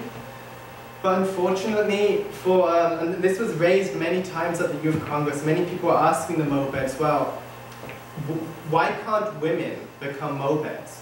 And they explain, well, women can become MOBEDs, they can become mobedyars. And this is a relatively new thing, and they, it's a type of assistant MOBED. And as you can see, these pictures are from Iran, where women have been ordained as mobedyars. So again, that's an assistant MOBED. Um, but yet there are more questions. That, okay, well, that, that's great, that's, that's great. But here in North America, why can't women in North America actually attain full MOBEDship? So I spoke to um, I spoke to the president of the North American Mobeds Council, um, Ada. Uh, yes, yes, yes. Uh, I spoke to him about this issue, and actually, what he said really enlightened me, enlightened the other people, because he said many people assume that it's the MOBEDs who are kind of in charge of these rules. It's the MOBEDs who, are, who have a lot of power in this religion to change these types of, types of rules. And he actually explained, no, like, um, the, NA, the NAMC, the North American Mobeds Council, has actually been pretty liberal um, with some of their rulings and some of their declarations over the last few years, especially compared to their counterparts in India and Iran. But he said, really, it's, it's not up to the MOBEDs to decide these things. He says it's, it, it's based on the people in the community.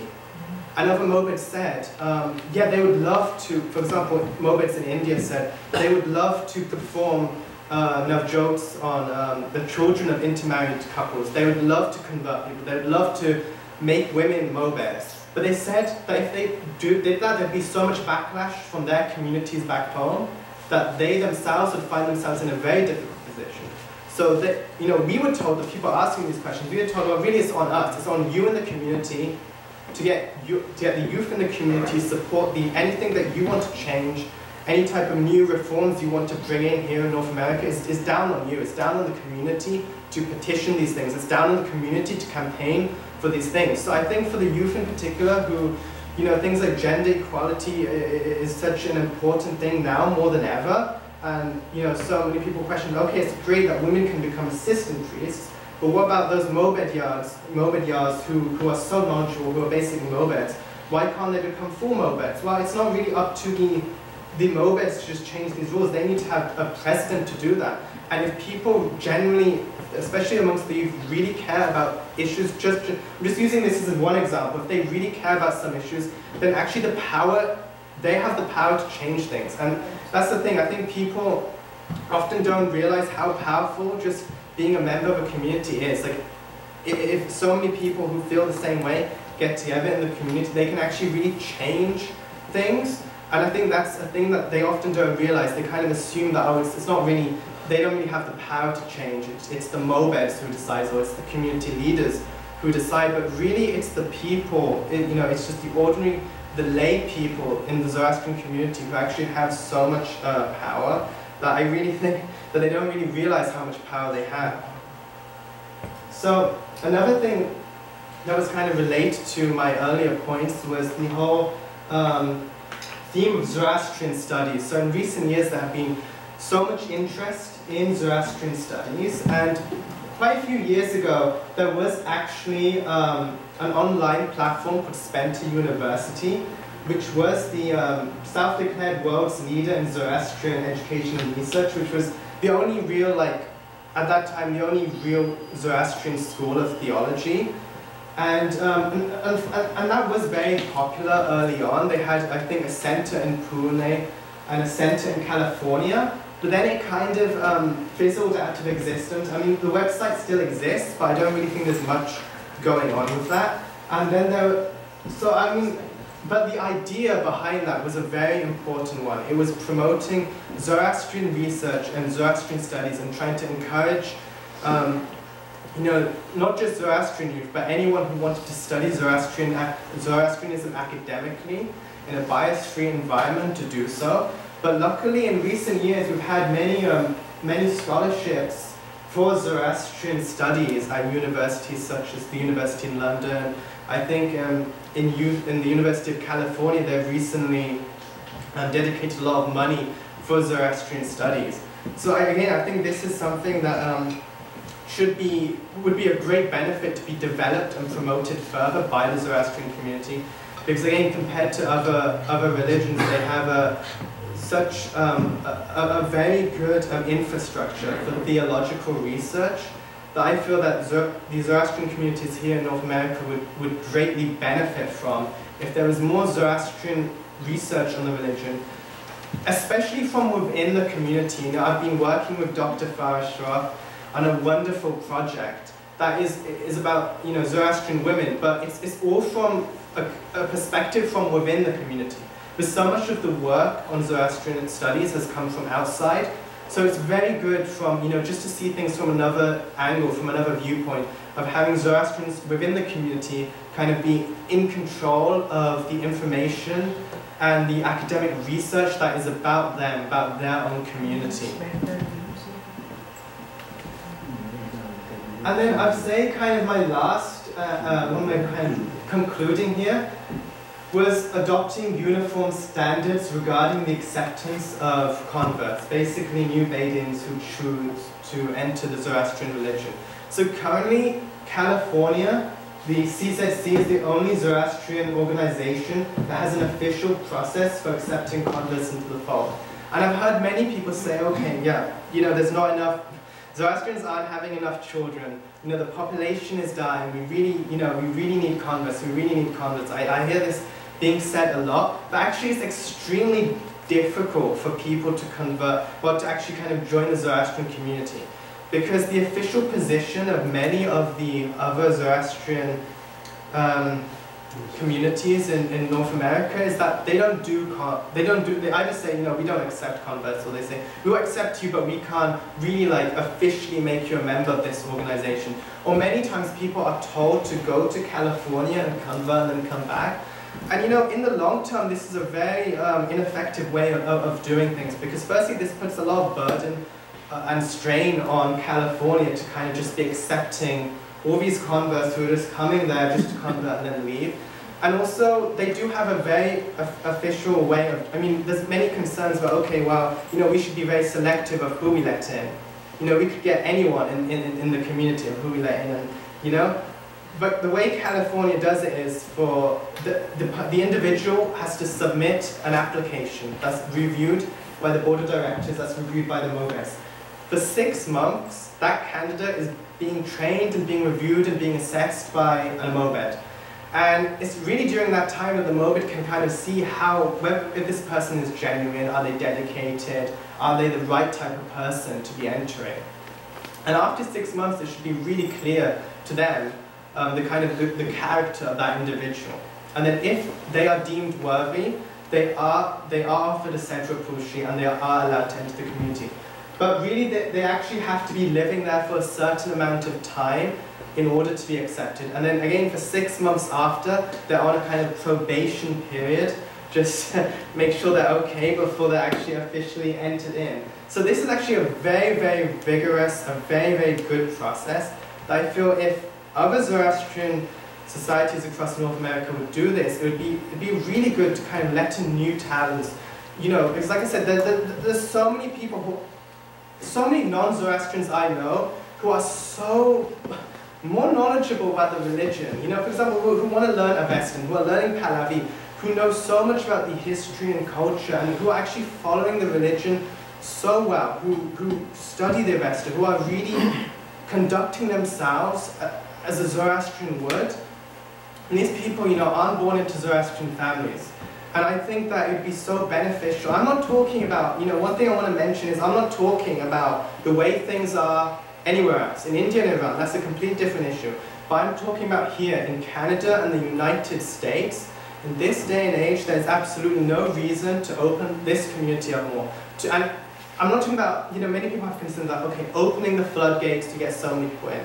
No, if the California, if the protocols that California introduced are followed, they're very strict protocols and they really filter out just so the right people, and like I said, it's very, very obvious when you encounter people what their intentions are, you know, the type of, it's, it's very, very, very, very easy to, to, to, to really, when someone has so much knowledge of the religion already, when someone is, you can, you can really tell, you know, and I, I just think that you can't, we can't have it both ways. We can't talk about, okay, the, the population is decreasing, but you know, what are we going to do about that? But at the same time, you can't say, okay, well, we don't really want to accept anyone, but the population is decreasing. This is a very, I mean, we're talking about the future. We're talking about the future and for the youth in North America, what, what, would, the, what would this organization look like in 20 years? What will the other Zoroastrian uh, communities look like in, in 20, 30 years? Will, will they be bigger? Will they be smaller? And it all depends on, you know, yeah, where things go, how open we're going to be. You know, the, the way in which the Zoroastrian communities see themselves within the wider, you know, North American diasporas, within the that, that, that, that position, the way they see themselves in the, in the Iranian diaspora as a whole. And, and that kind of goes back to one of my earlier points. Um, I had a link up there for the, uh, the Iranian Renaissance movement. I don't know whether any of you have heard of this movement, maybe Farigos has. Um, but this is a very recent movement and it's promoting, it's, it's not a political movement, it's more of a cultural renaissance, promoting Iranian culture and values academically. I think they're based in California. And so much of what they do is, it, it, is, is really kind of promoting Zoroastrianism, not as a religion, but really as a philosophy, as, as, a, as, as an element of Iranian culture. So, so much of what they have done has really created and fostered a lot of academic interest in the religion.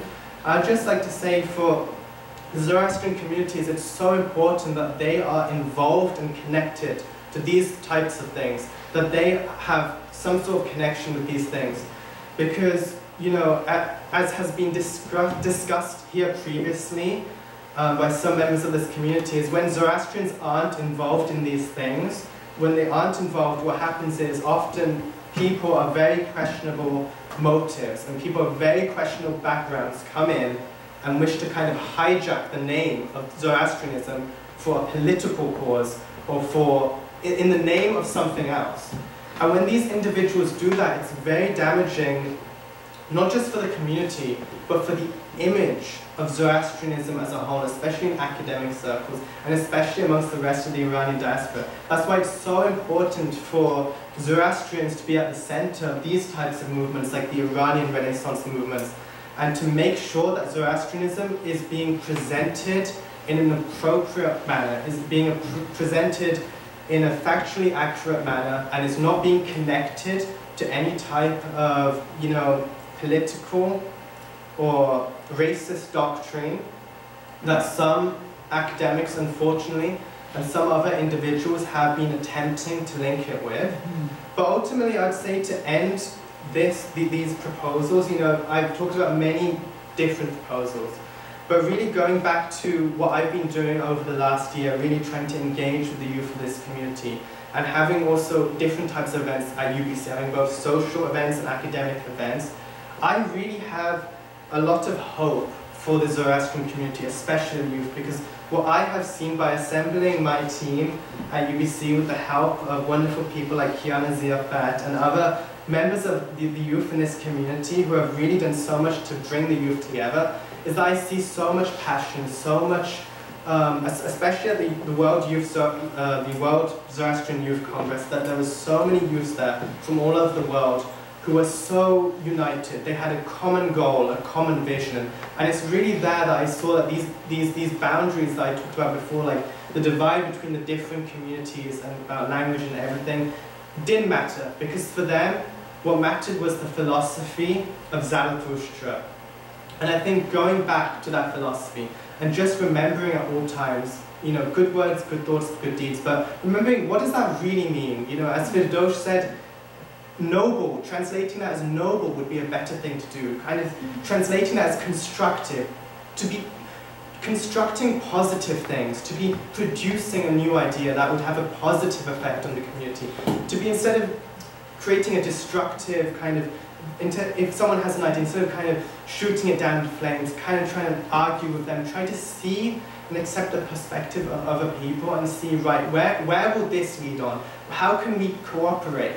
Together as a community to make sure that in 10 years, 20 years, that this community actually still exists in the form it does now, but not only still exists, is so much more stronger. And I really believe that I really have hope that the communities in North America can flourish and can prosper, but only if the appropriate measures are taken, both to make sure that sufficient education and knowledge is being passed down to the youths to make sure that, you know, the children from Mobed, from families of Mobeds, including the daughters, have the same opportunities to attain Mobedship here in North America without having to go to India or Iran to do that. If they have that, that'd be a, a, brilliant thing. So I would just like to thank you all uh, for coming here today. I'd just like to thank Firdosh for organizing this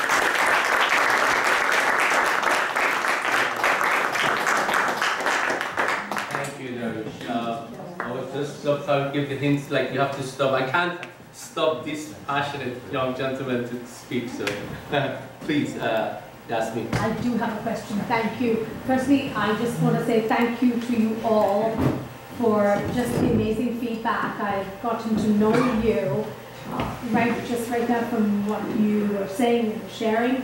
And uh, I just wanted to ask you a very quick question. I've had the pleasure of meeting you previously and talking with you, and I think it's wonderful that you hold this amazing passion uh, to lead our community. I think that's fantastic. Now, I did get from Sanaya that the Asha Center and what she's been doing has been to heal the bridge. And we, we can you know, say for sure that uh, we are a community that's come through many wars, right? So there's a lot of emotional and physical healing that has to be done, and a lot of the separation comes from that. So I was very clear on, on sort of where Zoroastrianism and where uh, that sort of filters in. Um, uh, with you, Shirin, I was very clear on the fact that compassion was a great part of your work, right? Uh, clearly, compassion not just for self, but for others and team it in together. And sort of I can see how you would bring that into, uh, into the future generation. So you bringing healing, you bringing compassion. I ask you, Darius, Darius, um, I get very clearly that you have a social political platform, correct? Um, and I think it's wonderful. I do think that uh, coming together is uh, a wonderful thing. I think uh, including more people into our community is a wonderful thing. But I want to know where you stand on your personal contribution, your own internal contribution, because I say you can only heal the world if you heal yourself. You can only show compassion to the world if you can show compassion to yourself. So where is it that that aspect of it is that you're sharing with the youth? What is it about being Zoroastrian? And I think I've asked you this question previously. Um, what value, what, uh, uh, when I say value, maybe Abesh centers have their values, right? And you were talking about being a mobed, and you can know that this man lives it, eats it, breathes it. It's not just wearing a robe, it's not just performing the ceremonies. Mm. It is living it, eating it, speaking it, mm. being it on a daily value. Where does that come in for you rather than just simply coming from a political, social? Because religion has also created a lot of trouble in this world, mm. right? So I do think that this next generation needs to come in more from a from a practical, where can we bring this into our daily life? It's kind of like, you know, uh, it's, it's a fantastic thing to talk about and watching a cooking show. It's very different when you cook that meal and actually ingest it.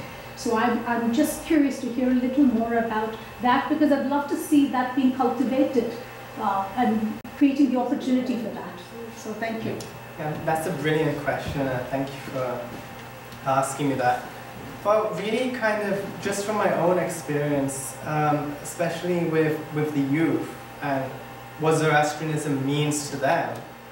You know, unlike other faiths or philosophies that tend to be very dogmatic, something that I've really heard over and over again, especially from my research with Dr. Shroff, is the idea that Zoroastrianism does, has no real prescriptive dogma, dicta. I don't want to get into it. I'm asking you, if I was a five-year-old, and I say this because you haven't come to one of my Z classes yet, and I always say when you're talking to an adult, you're still talking to the inner child, because that's where a lot of the listening happens. So I'm asking you to just tell me in a very simple way, healing, compassion, where is it that it comes for you? What is it that drives you on the social political agenda? Very quickly. I would say what drives me is just from the words of Zarathustra, just from the essence of that philosophy, and just from the love that was within that philosophy. It's just such a simple message. Which just is? caring for what I can't really just summarize it in one thing. Because it's love, like I just said, love. But it's love towards your fellow human beings. It's love towards nature. It's love towards the world. That, that, That's yeah. perfect. Thank you. That's awesome. I also really got a sense of reform and change from Darius that I've never felt that energy before. I've never- Someone actually facing reform and. I don't know. That's the feeling I get. Yes. Thank you for your talk. Uh, I would just like to address this to everyone in the room. This is just my opinion as a youth in this community. Uh, I do agree with Darius. I think that it is important that when children come to Avesta classes or pretty much any of the educational events at ZSBC, it's important for them to know why they are coming, what it is that they are learning and why they are learning it. So for example, teaching them Din Dabireh, that teaches us about exactly the original messages that came from Zarathustra. I think that is very important for the children to know. Also, one suggestion that I have, something that I would like to see this community offer the youth, is something, for example, like a networking event. You know, we have a lot of doctors, engineers, professors in this community. It would be very nice to see those people gather here in Dagomar, and then we can have our youth, like high school students, university students, attend these events and kind of speak to them, have them mentor them in their future path and their future careers. I think that would be very useful, and it's really going to help our youth and our community in general. That is just a suggestion that I have.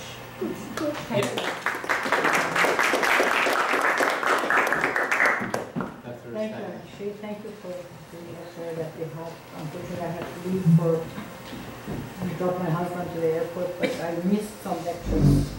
Um, In regard your passion that you have in to Kiana's uh, uh, offer, I like to say our youth in our community should know our past history.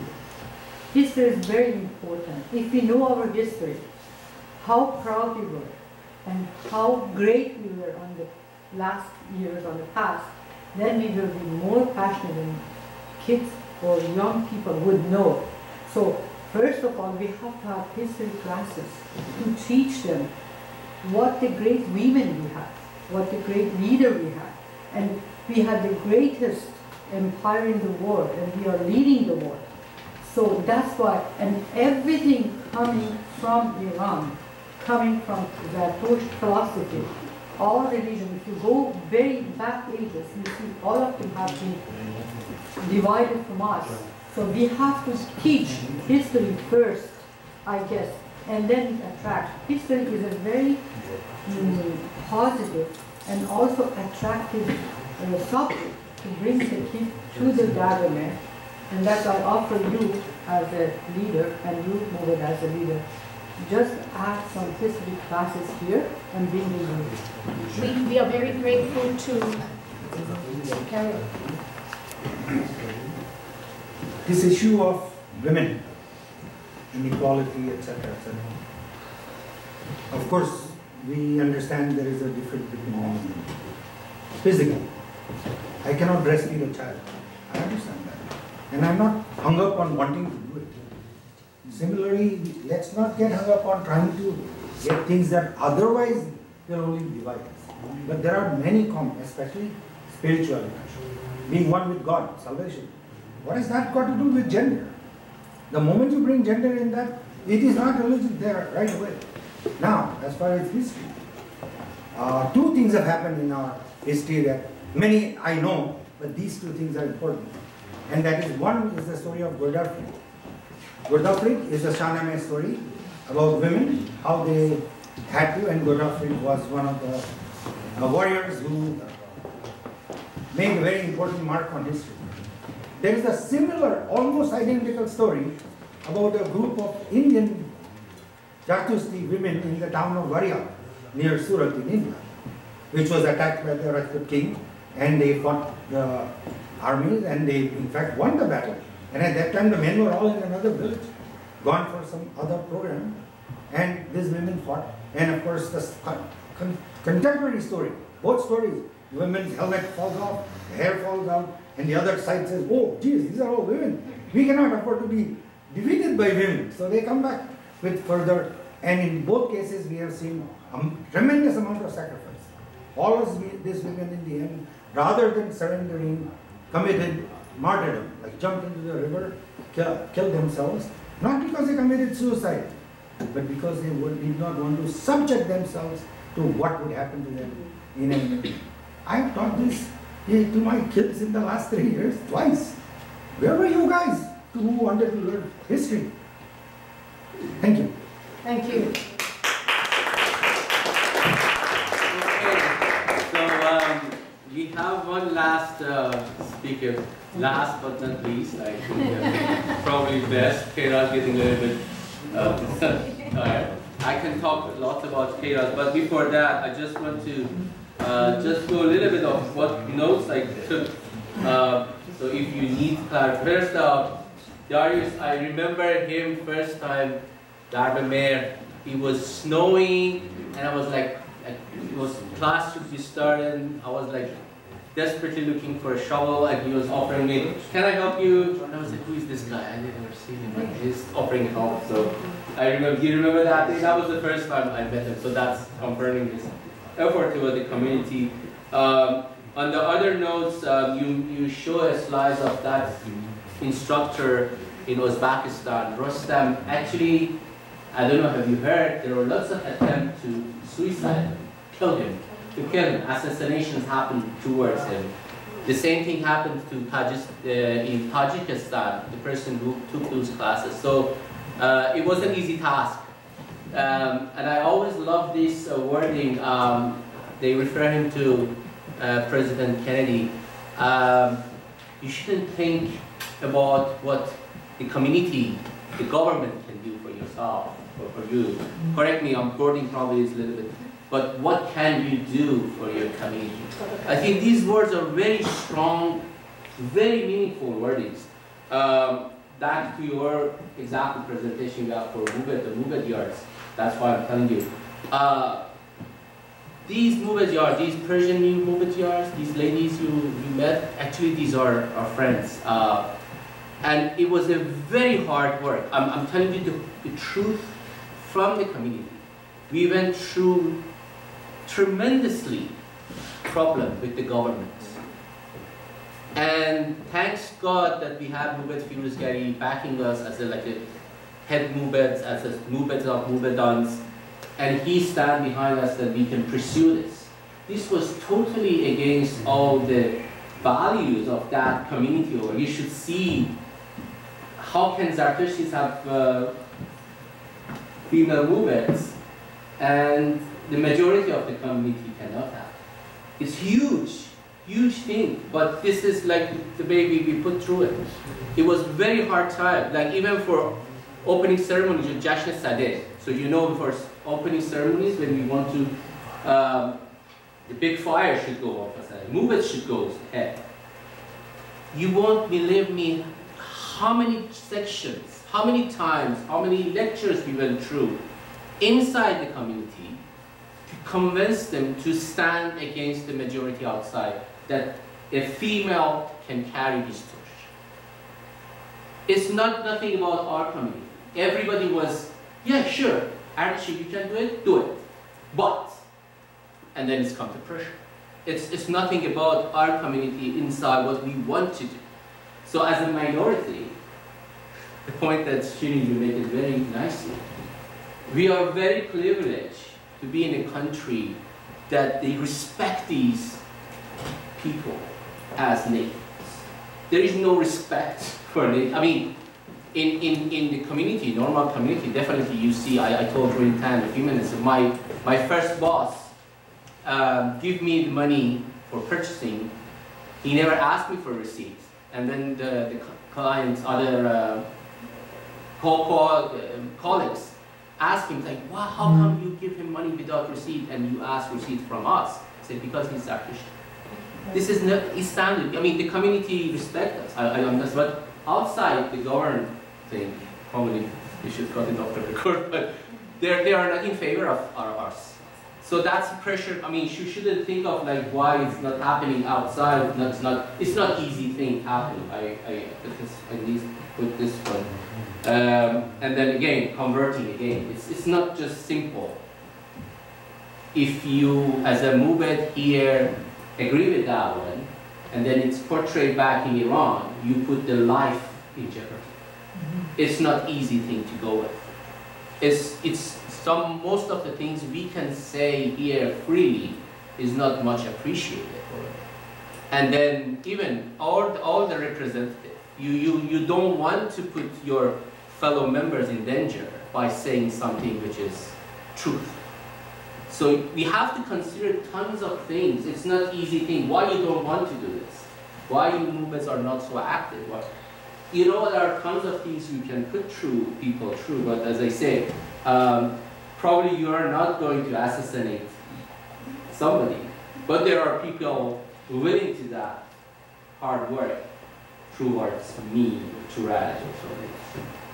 We've been, lots of our heads have been cut. Is that true? Farhang Mehr, we know him, something happened to him, huh? Uh, Mr. Wafadari. Mr. Ferfeli. Ferfeli. So there are people, like head peoples, good peoples. True Zartushtis. We lost them. Um, accidents? or something else.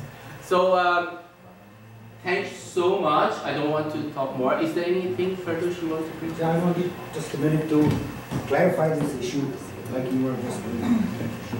My understanding, in our religion, Zartusi religion, a Zartusi does not convert.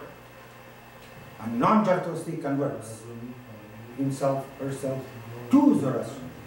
I don't convert them. But my problem is, once they convert to Zoroastrianism, with the proper calling and the choice, and the learning and the commitment, then what do I do as a Zartusi? My problem now becomes acceptance. Do I accept that individual as one of me? Forget about one of my community, one of me. Because if that person becomes one of me, my family, my community, that is acceptance. And that is where our hang is, not in the convention. And I'll give you a wonderful example of not what is the difference between conversion and acceptance. Joseph Peterson, a person born of Jewish parentage, got in knowledge of Zoroastrian religion, became so interested that he decided to get his Surya done. And it was done by two senior priests from the Indian ordained men who converted him. Of course, those poor priests are getting crap from everybody otherwise for doing something wrong. And he said hundred times, I do not want to become a Parsi. I know I cannot become a Parsi because I cannot be born a Parsi is my birth. So if I'm not born, I'm not born. But I just want to be a Jardasi. Leave me alone.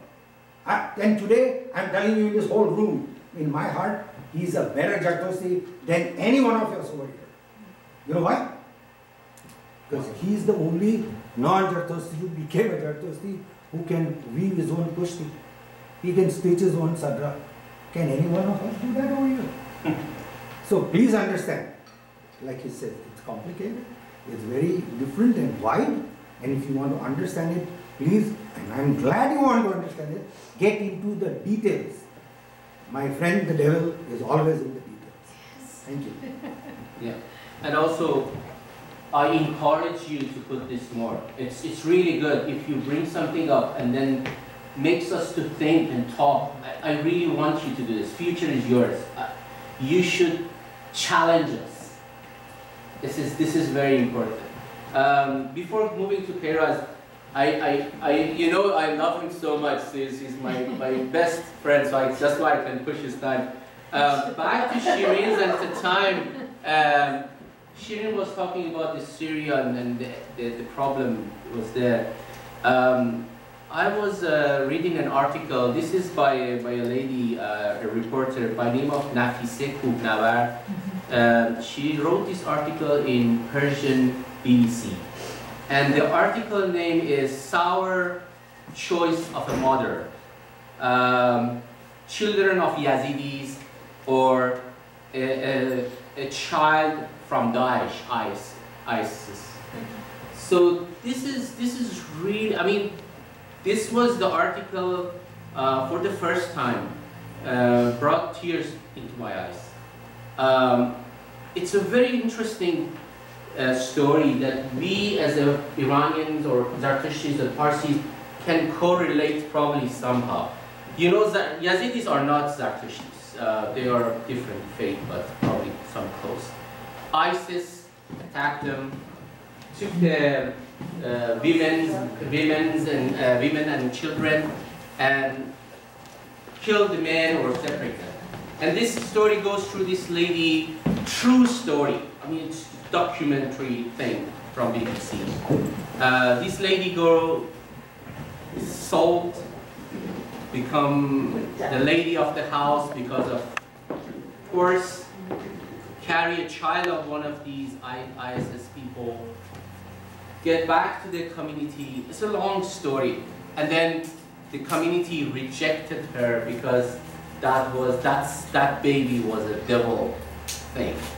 And she goes through lots of pain, which every one of us can probably, when you're going through the history, probably me reading too much history of our past, um, and I correlate like what's happened to us. And then when I explain it to other fellow Zartushtis or non-Zartushtis, they keep saying to me, are you exaggerating? This is not possible. How it's possible? And I tell you, this is 21st century story. And imagine 1400 years ago, the barbarian time, no education, nothing. Um, some of these ISIS people are from West. They're from Canadian, Jack, uh, the UK Jack, or something like that. All Western going back and breaking all the statues, arts, and they were proud. They filmed themselves and shouting it loudly. So, so that's history back to your history kind of thing, uh, Dr. Rostamian. Um, I, I, I, really want you, if, if you have the chance, please go and read it. You also, like history is, we, we shouldn't forget our roots. Um, so back to K-Raz, um, I think I. Uh,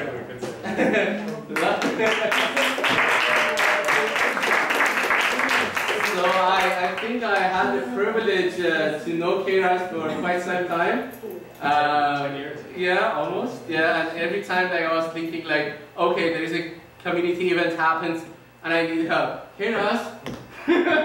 so it was community event for me was equal to K-Raz. So asking for help uh, and he was uh, there like, you tell me my bro, what you need, I'll be there. So I mean, I mean these are three words. I sometimes I take the privilege, um, I mean, abuse them somehow, taking this like wording like, I don't know the K-Raz really, yeah, so, and then I, as I say, uh, uh, Sanaya was like a little bit angry at you when you took his news from us, and I was like, oh, shit. but then, uh, glad to have both of you here. Um, uh, the floor is yours. I think he's going with the three R's. I think you never forget, try to never forget, return, reconnect, and revive. That's right. Well, floor is yours. Thank you, thank you. Ajay, thank you very much. So we got a, we got a good long day, but a, good day of like amazing topics. Um, I'm gonna end off with this one, but before we do that, can everybody just stand up? Up. This is a part of the personal exercise we're gonna do, okay? I haven't done one of these in a little while. So can everybody just sort of rotate this arm here? Yeah, good, good. Let's rotate this arm too. Try to go like this with your legs. Don't kick the person next to you. Cool. All right, and then now arm here, arm here, and then shake it. All right, guys, have a seat. Have a seat. Yeah, we started. So, guys, thank you. The last topic of the day: uh, return, reconnect, revise, or actually return to roots. Full disclosure. You see these three names here? It's because I just did this presentation in July at the Youth uh, Congress in LA. And I'm not taking those names down because it's going to be the same presentation. It's not mine, but our presentation. And I want to give recognition to these three uh, other two people that were with me. They're also attendees of and volunteers of the Return to Roots program. Um, that's it. I don't. First of all, just to get an idea, who has not heard of RTR or Return to Roots? Just one. That's okay. That's fine. No problem. Well, uh, let me enlighten you. And for those that have heard of it, um, I'm going to give you more detail about it, more information. But before I get started, can Farah, do you mind just uh, dimming down the lights there? Yeah, sure. Perfect. And then we're going to start off with a video presentation. Uh, this was made by Tanya Hoshi. Uh, and he, I may have the present from over here, so just give me one sec. Power on.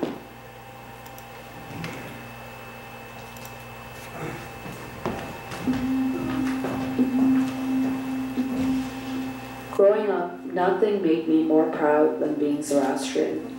It was at the core of my identity.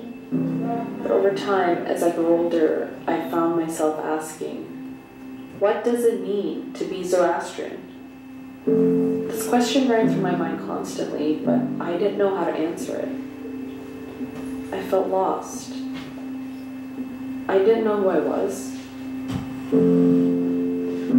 I didn't know my own identity. So I took a chance at a life-changing trip that would help others like me to heal and feel more connected.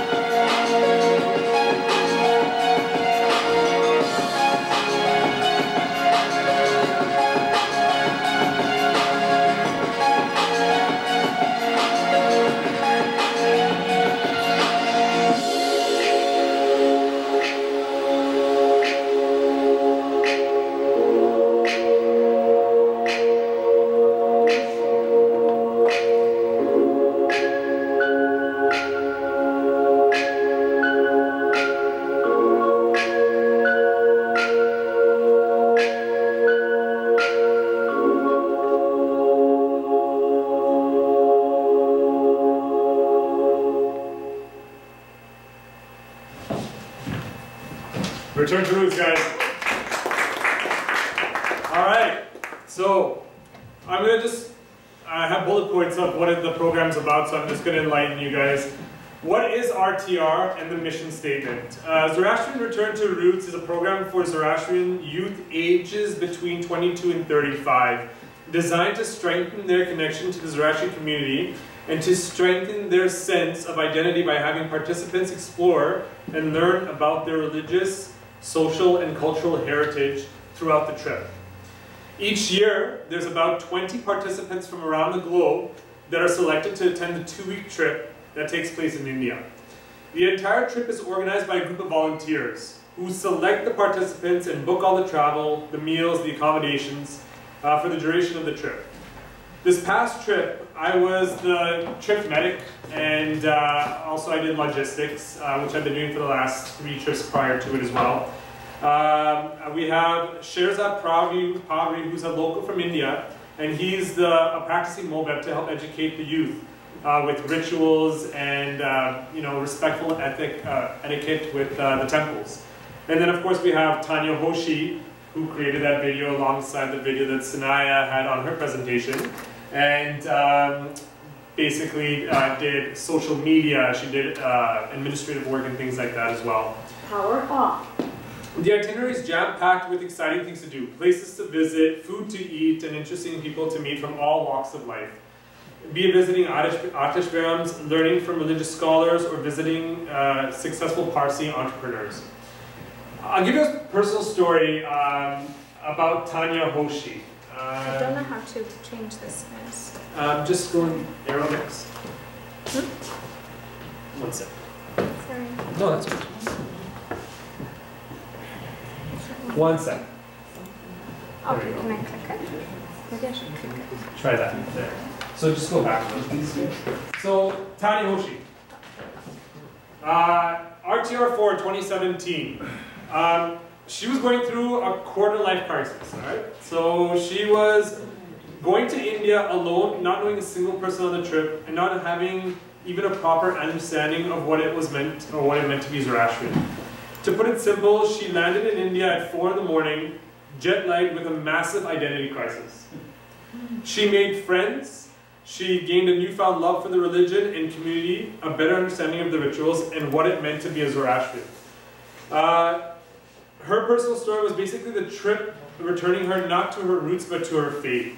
After having lost touch with it due to the pressures of school and work in Canada, and not having a healthy understanding of what it meant to be Zoroastrian. She took away so much from this trip that uh, from RTR4 in 2017 that she returned just uh, last year in 2015, sorry, in 2018 uh, for RTR5 as a volunteer to help others sort of develop their own experiences and take away the most from the trip like she did. So who is RTR for? The trip is for anyone interested in learning more about Zoroastrianism and hoping to get more involved in their local Zoroastrian community. There's a great program, sorry, this is a great program for youth who are struggling with their identity as a Zoroastrian. Whether it's due to living far away from other Zoroastrians, not growing up uh, practicing the faith, having lost touch with the faith and with the community, or just other factors that were just out of their control. The trip is for any young Zoroastrian from around the world, including those currently in India. We have had uh, some participants even from India who have walked away learning from learning more about the religion and their community, even though they were actually living in that country and prior to the trip. This trip gives you access to scholars, institutions, experiences you may not otherwise get access to, so it's very exclusive. We hope that everyone who attends this trip walks away with a stronger connection to Zoroastrianism, to the community, and with friends from all around the world that they continue to stay connected with. And that they use the experience to get more involved in their local and global community to keep the faith and culture alive for generations to come. So the experience. One thing that you get from this trip that you just won't really, you just get a lot from is learning. Every day is full of it. It gets so overwhelming that the only time for true self-reflection is not during the trip, but it's after. Um, the sites you get to see, I mean, you visit a minimum of about eight or so cities just in, in India alone. and it's a 15 day trip. You go to wake up early every day, go to sleep late every day. You're sleep deprived, you know, you're exhausted, but you know, it's you're you're basically infused with just so much that it's it's overwhelming. Um, you get to see Agyaris, Atashbaram's businesses, archaeological sites. You go to people's homes. Like there are people that welcome you into their home because they've heard about the program. You get to go to a chance to go see medical facilities. Um, each trip has a minimum number of sites and locations that must be visited, but it's not the same trip every time. Each trip evolves. So there's a core foundation of things that you need to see, but they keep it fresh, like especially for the people that are returning as uh, volunteers, right? You need to keep them also engaged in the program and not acting like tour guides for it. You get to meet and connect with new people with new people and people within that age demographic of 22 to 35. The trip was, this past trip was so unique uh, that on one occasion, New Year's Eve, December 31st, 2018, we got the chance to visit Mumbai's WZCC chapter. Now, we also have a WZCC chapter here in Vancouver. Well, there's a chapter there in India. And um, we got the chance to go to a go-karting event. It was just coming up to the end of our trip. Uh, and one of the Zoroastrians there had a go-karting track and just welcomed all these Zoroastrians to it, free of charge, no cost to us. And they got our group to connect with the local group in India. And it was just a networking option. And I know, yeah, you were talking about networking. Yeah, it would be nice. But it was a professional thing as well, right? As well as sort of figuring out who the local Zoroastrians are there. Um, and again, you know, these people were between the ages of 20 to 35, with the odd person being in 40 or whatever, but that's, that's fine. Um, this trip, uh, going back to the experience, I think the biggest thing that I took away from this trip is being an independent traveler. So this program, not only being an independent traveler, uh, giving you the ability to travel, but also gives you life experience. Um, I remember one person from the past trip, and I'm actually going to single her out right at the top. She um, had never left Pakistan, ever.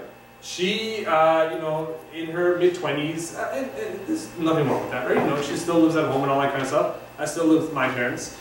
Um, but she had never left the country. There was anxieties for her. She, you know, she's well, she's professional, so she's um, well established in her profession, but anxious to travel. And this was the first trip she took outside of uh, uh, Pakistan to India. And in the beginning, there was anxieties, nervousness, stuck with one or two people she knew, but at the end of it, she's at the top of the tower, right? So, um, and now she's just exploring, getting a chance to live, you know, a, a, life and see beyond what's outside of her own country, right? So, uh, she was quite inspirational to me. Now, the other thing is career paths. Um, for those still trying to find a career path, this program that helps you find that direction.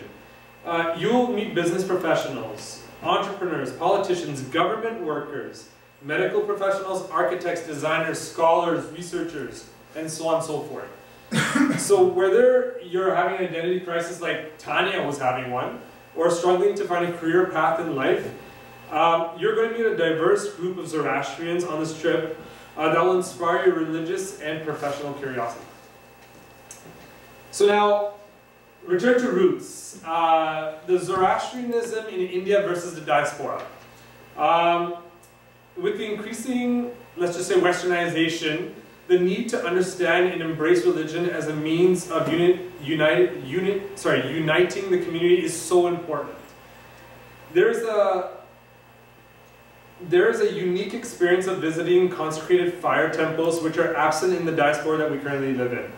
And we learn the importance of rituals and customs, importance of wearing sadra, kasti, the power of prayers, and then we just appreciate the understanding of the greatness of our forefathers, the sacrifices they made to keep the flame alive. RTR's impact. So, from five trips, starting in RTR 3, which was in, uh, sorry, RTR 1, which was uh, back in 2013, to just 2018, we've had 81 people go through this program worldwide. Where are they from? Um, well, I'll get to that in a minute. But um, these alumni have now a stronger sense of identity and connection with Zoroastrianism. Everyone leaves the trip with strong friendships from around the world. Several have gone on to organize congresses and forums. Here's a good example. Sanaya did this forum out of the, well, she was working on it prior to Return to Roots and got the chance to meet a lot more people after the fact.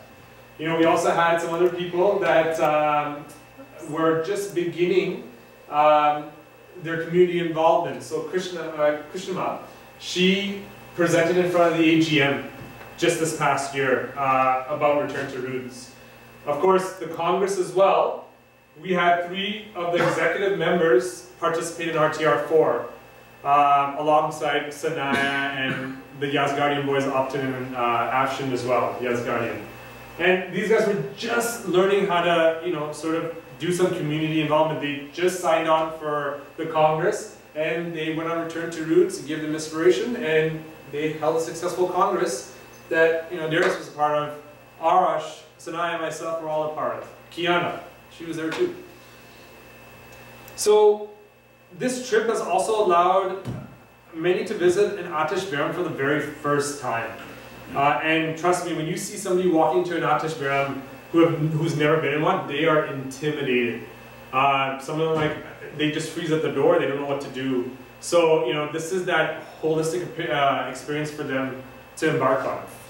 Um, each trip, participants and volunteers donate a significant amount of money to the Parsi orphanages, seniors' home, and infirmaries they visit. So I'm going to single out some people here uh, very briefly, and not not based on just this alone, but just RTR support.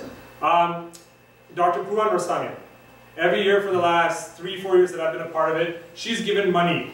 And I, like one year, this was donated by someone else, but she has given money to help feed orphans at the places that we go visit. And we serve them food, we serve them food, but the money's come from her.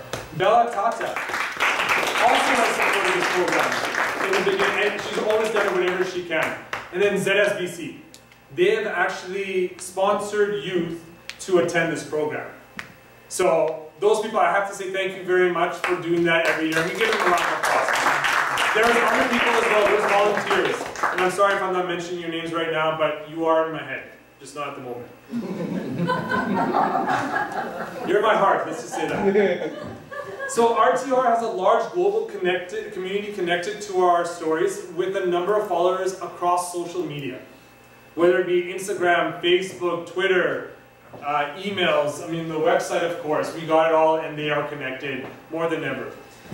Um, the alumni, now I'm talking about who are they. Um, you're talking to, you're sitting on one right there, right there, Arash Yazgardian, your current secretary of ZSBC. Secretary, right? Not sure, if secretary, okay. He's one. His cousins, Optin and Afshin Yazgardian. My brother, he was one of the first as well. There was another gentleman, he's, I'm losing his name, but he was in the first program. I just can't remember him off the top of my head. Sanaya. These are alumni, local alumni that have taken part of this program.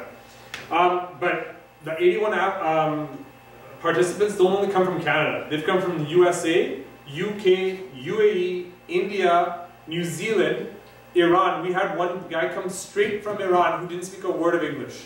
But at the end of the day, he learned a bit of English and a, a bit of profanity too. But uh, he learned that as well. And then, um, of course, Pakistan and Australia. We've had people from all over.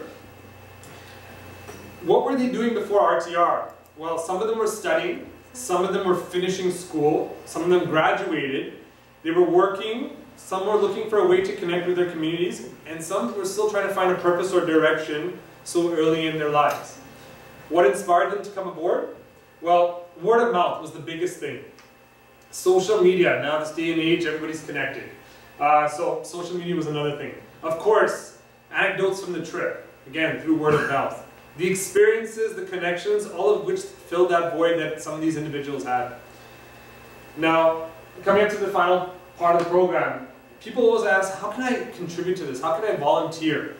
Um, we always encourage people that are interested in volunteering to participate in the program first. Um, because you need to be an attendee, you need to understand what the program is about before you can actually help execute the next one. Volunteering is never by obligation. People choose to return as volunteers on their own accord. There's various ways also of supporting the program, whether it be through social media, fundraising, recruitment, logistics, administrative work, medical support, outreach to local communities, and then of course there is donations.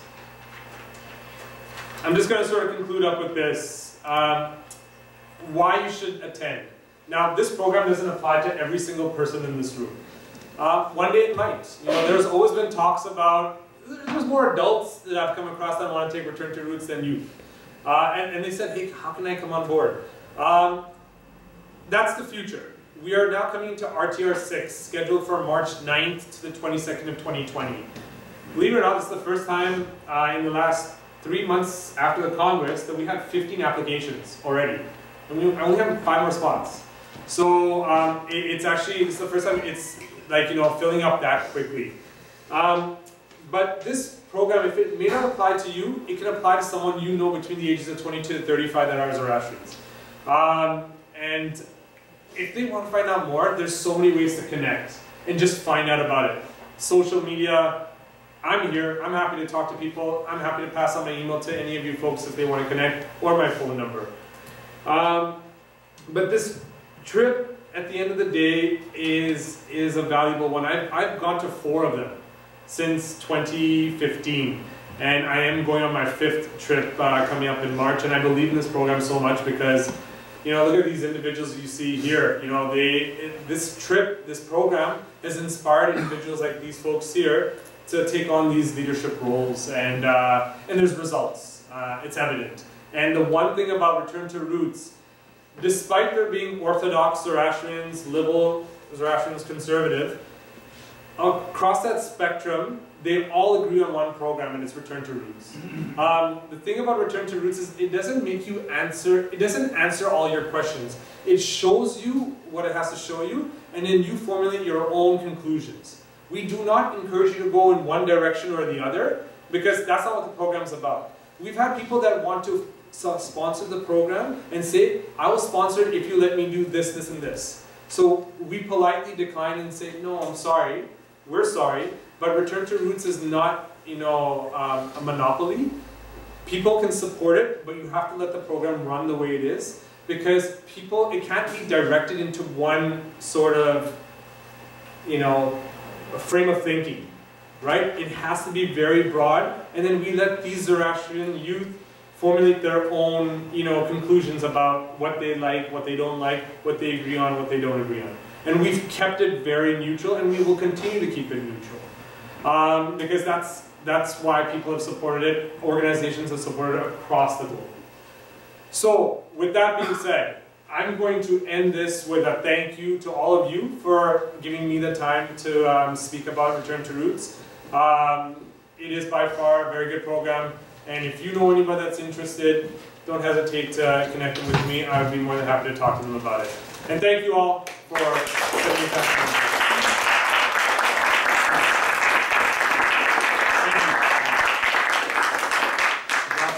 Yes. Thank you for your lecture. Um, in support and regarding your return to root, the reason I support this, uh, it starts with uh, supporting the orphan kids in India, Zoroastrian orphan kids, if you remember chaos. Yes. Uh, but what I want to say, we want to keep our celebrations and our traditions. And also we want to have connection for all around the world. People who are in India, orphan kids in Pakistan or anywhere else or any other Zoroastrian around the world should not think that they are alone.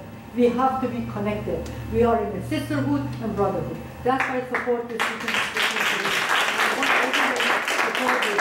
That every individual of Zoroastrian around the world should know that some organization, somebody is supporting them, and whenever and whatever they need help, we are there to help them.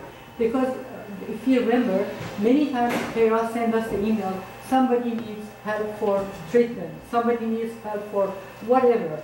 So we mm-hmm. have to show all the world, the Zoroastrian world, that we are not alone. That's why I strongly support return to root and, and advise everybody return to root. This is number one. If you don't mind, I want to return to your lecture in the morning time that you, you said, now close that chapter and open that chapter because I have few minutes to say. Nope. Uh, when you said about, I don't know about the history when Manekshaw Shah was, or, uh, you know, remember you said that in Bukhara history book, it says that Bukhara, Bukhara history book is 1,000 years. that has been written. And then in that book say, it's 3,000 that people are celebrating Siavash murder, Siavash's life, which is 3,000. If we have, if we add 3,000 years, plus 1,000 years of the Bukhara history book, it comes to 4,000 years. So based on that book and based on that history book, we know that Siavash was living on 4,000 years back from now. Well, I was pretty close. Yes, you were pretty close, of course, but it supports your... Thank you. Thank you, Sarah. Any more questions toward Kiras? No. Um, so I think uh, let's uh, one more time thanks Kiras and the whole panel. And uh, Shireen, thank you so much for coming and spending your time with us. Uh, uh, hopefully you wouldn't leave it like this. Uh, you know, at least Jasmine just uh, tell her what can you do for the community. Ask her some support. Uh, as a movement, I know all the movements in, in Vancouver, North Van, I can tell you, we are all supportive. Just let us know how we can be a help. So you should tell us like how we can help. This is come, and one thing I have to clarify like really from the beginning. You know, this religion is the matter of governing and religious is two separate things.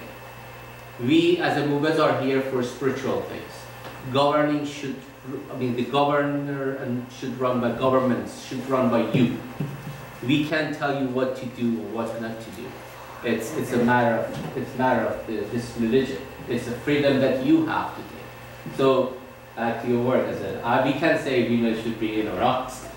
It's just a matter of like what, and if, if this not happening sometime, believe me, some restrictions that um, we, we put yourself towards. History, we just, as, as a religious person. He's a member of Azan. A lot of people know. Where is he a member of Azan? How many people question what is the need for us to be member of Azan? What do we get out of it? What is the benefit? Why are we members of Azan? How many of you ask that? Don't worry, you, you can say, it's a free country, you're allowed to raise your hand. How many people feel that we, what is the point in being member of Azan? Well, you know, we pay a lot of fees over the last seven years. Radha is more than 35 years old. And just a couple of years ago, we almost doubled the fees. And of course, uh, we as Canadians, we are not even part of we the people because we are kind of a little different from the Americans in the sense that they pay in US dollars and we also pay in US dollars, our fees. And Canadian dollar being 30% down, that's a lot of fees for us. So you may question, what is the benefit? Why are we putting so much money on something that we don't get any benefit of? Yeah, that's fine, that is fine. Paris, that is fine. Just leave it at that. Yeah, yeah, oh, I'm, leaving. I'm doing something else. So, just to give you an idea, with the three years, and I'm not talking about the years before I came to BC, just in the last three years that this is the third seminar that is put on, and the grant that Dr. Shroff, Farah Shroff has received for her program that you saw mentioned twice. Okay, just these four things, not including any other academic scholarships, performing arts scholarships, sports scholarships, excellence in sports, nothing like that. That's also on top of it. Just in these four items in the last three years. You want to take a guess how much money we got from FEZANA? More than $7,500. So our fees are bringing us good value. Please don't feel, I, I am of course a big promoter of FEZANA. I was part of it from day one, or I can say day minus one. And having been vice president, president, all that other thing in between with committees, etc. And that is what it was just mentioned today. At the smaller level of helping young children with the food, to a larger level of working. The first FEZANA account was started with $2,000 in the bank when we just took a hat, topi, and went around and collected. Today, FEZANA account runs to more than half a million dollars. So things can grow. And we as a community can grow only when we have organizations. We need to organize, just as ZSBC is one of the organizations of this world. So please understand, and that is why I am extremely thankful to FEZANA. And it is actually coming, this money is coming out of the Jamshed Pavri Fund. Where else do I know about a Jamshed Pavri than in Vancouver? Mm-hmm. Then with ZSBC. Our own person's fund has been set up through which we are getting this support. So please have a little small corner in your heart for FEZANA and as you go into it, with the young people especially, the youth congresses, a whole bunch of things that are happening out of FEZANA. And it is very, very awesome to see what they are doing nowadays. I also want to thank ZSBC, of course, our home association, and the trustees of the Arbab Rustam Guiv Trust for the use of this hall and for their continued support in many ways. I want to thank Mr. and Mrs. Nirambala for donating uh, this screen and also as our generous donors for that and other people like you have Mobed Dehi today who did the benediction and they performed the role of the moderator, our two speakers and the four panelists for the presentation, our team of volunteers which is essentially um, about three, four people. Rashna, Rashna, Rashna, and Rashna. No, no, of course there is Manu Chair, and there is Adeshi, and there is a whole bunch of other people. But that is why I want to share a thought with all men who have wives or have their significant others. Never doubt your wife's or your spouse's judgment. Look who she selected. Even at that, gets away Okay, so the good part of my day to say thank you to all these wonderful people. I'd like to invite Dalla Tata. Yeah. As one of our senior stalwart members of the community and the association. I know everybody talks about uh, Jamshed Pavri as the pioneer and the big person in our personality over here, but one man cannot do everything. And there are people like Dalla who are supported. Would you please give this thank you award to Eddie Edel? He has gone. No, he's there. No, he's right here.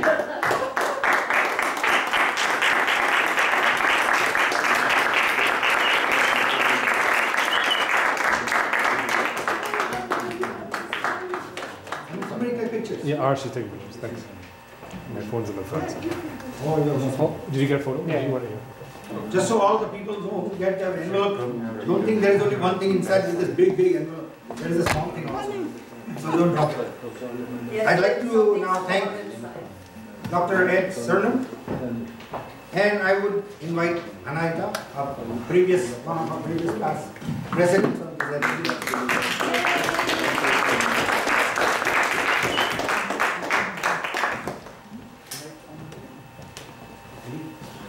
I'm just gonna turn off the screen. Uh, I, you guys can say that. Just take a photo, Eddie. If you don't mind, just going to the front for a photo. Sorry, and I'm just turning off the. I'm turning off the screen right now. All together, maybe. One sec, one sec. Oh, have it at the end. At At the the end. end, I think you'll leave a lot. Yes, okay. Want a picture?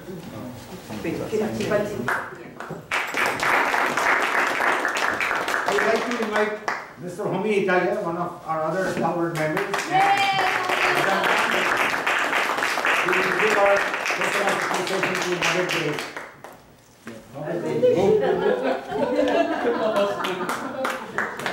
That's what we do, very Thank you. My pleasure. My pleasure. Yes. Oh. Thank you. Thank you so much. I, I didn't expect this. Thank you. If you want, if you want to have my picture, go to the post office, you can get. Uh, Sanaya Master. you're the. And of course, you better than the lady who likes you very much.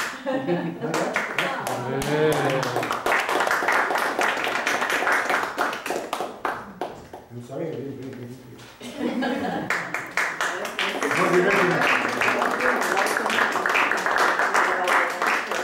Photo. Oh, you. Number was the. Okay. Post for this, la- post for this last one. Yeah, okay. Sorry, and then we'll get a We'll group get a photo of you. big one at the end. Sorry. The next lady I'd like to honor is Shirin Kiani.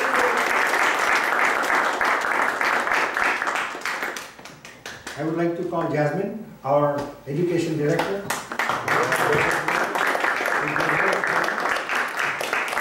There's one thing I want to say. I want to give Shirin all the encouragement in the world because in the beginning when I asked her for the first call, she almost said no. But, but she said, but even if I come, what am I going to say? you just told me you did wonderful things like doing this, that, going all around the world and helping people. Just come and talk about that. There's nothing wrong with that. So thank you, Shirin. so-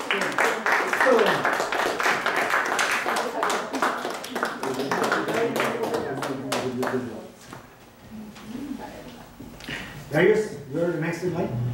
Very good.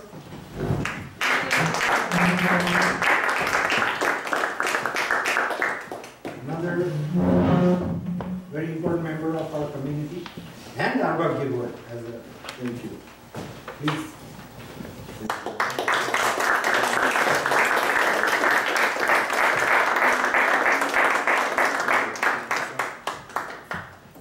And last but not the least, Keras, the young man who's going many places. And I'd like to, I'd like to invite Arash, who's also on our board. RCR 5 alumni.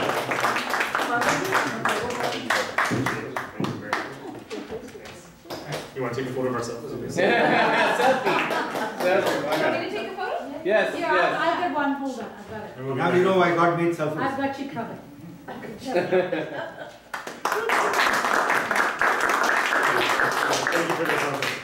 Thank you very much. Please give me all the feedback you can, good and bad, for next year. If we always kind of go through this soul searching, should we put up the seminar, should I not put up the seminar? It all starts with the first step, and that is to move a motion at the FEZANA AGM asking for the grant.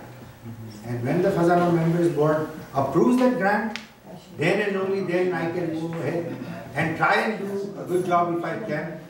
And people have asked me today that you must be raiding a bank or something. Where did you get this all the money to feed these people for five bucks?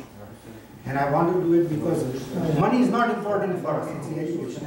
That's right. But I do have to put something because I don't make, want to make the value so less that people will not come for what it is to do, but just to come for other things. Of course, we socialize. Of course, we are very happy to be community members. So thank you very much. And please send me your feedback, phone, email. Catch me at the bus stop and give me crap. Not doing this and not doing that. Whatever, I need to learn too. Life is a constant learning curve. Thank you very much. Manager. And so does our. You can have All right, I take a photo. You are okay, Arash? No, I didn't do that. I didn't do that. Are we doing the women's in the front? No, no. Everybody's coming through. Can you see the faces? Aurash has to come in and. If you can come on. Uh, Manager, manager. Manager. That's okay.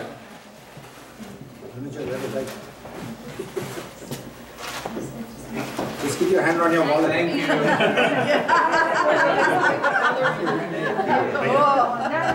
I was going to say, who's going to move? My frog just got out.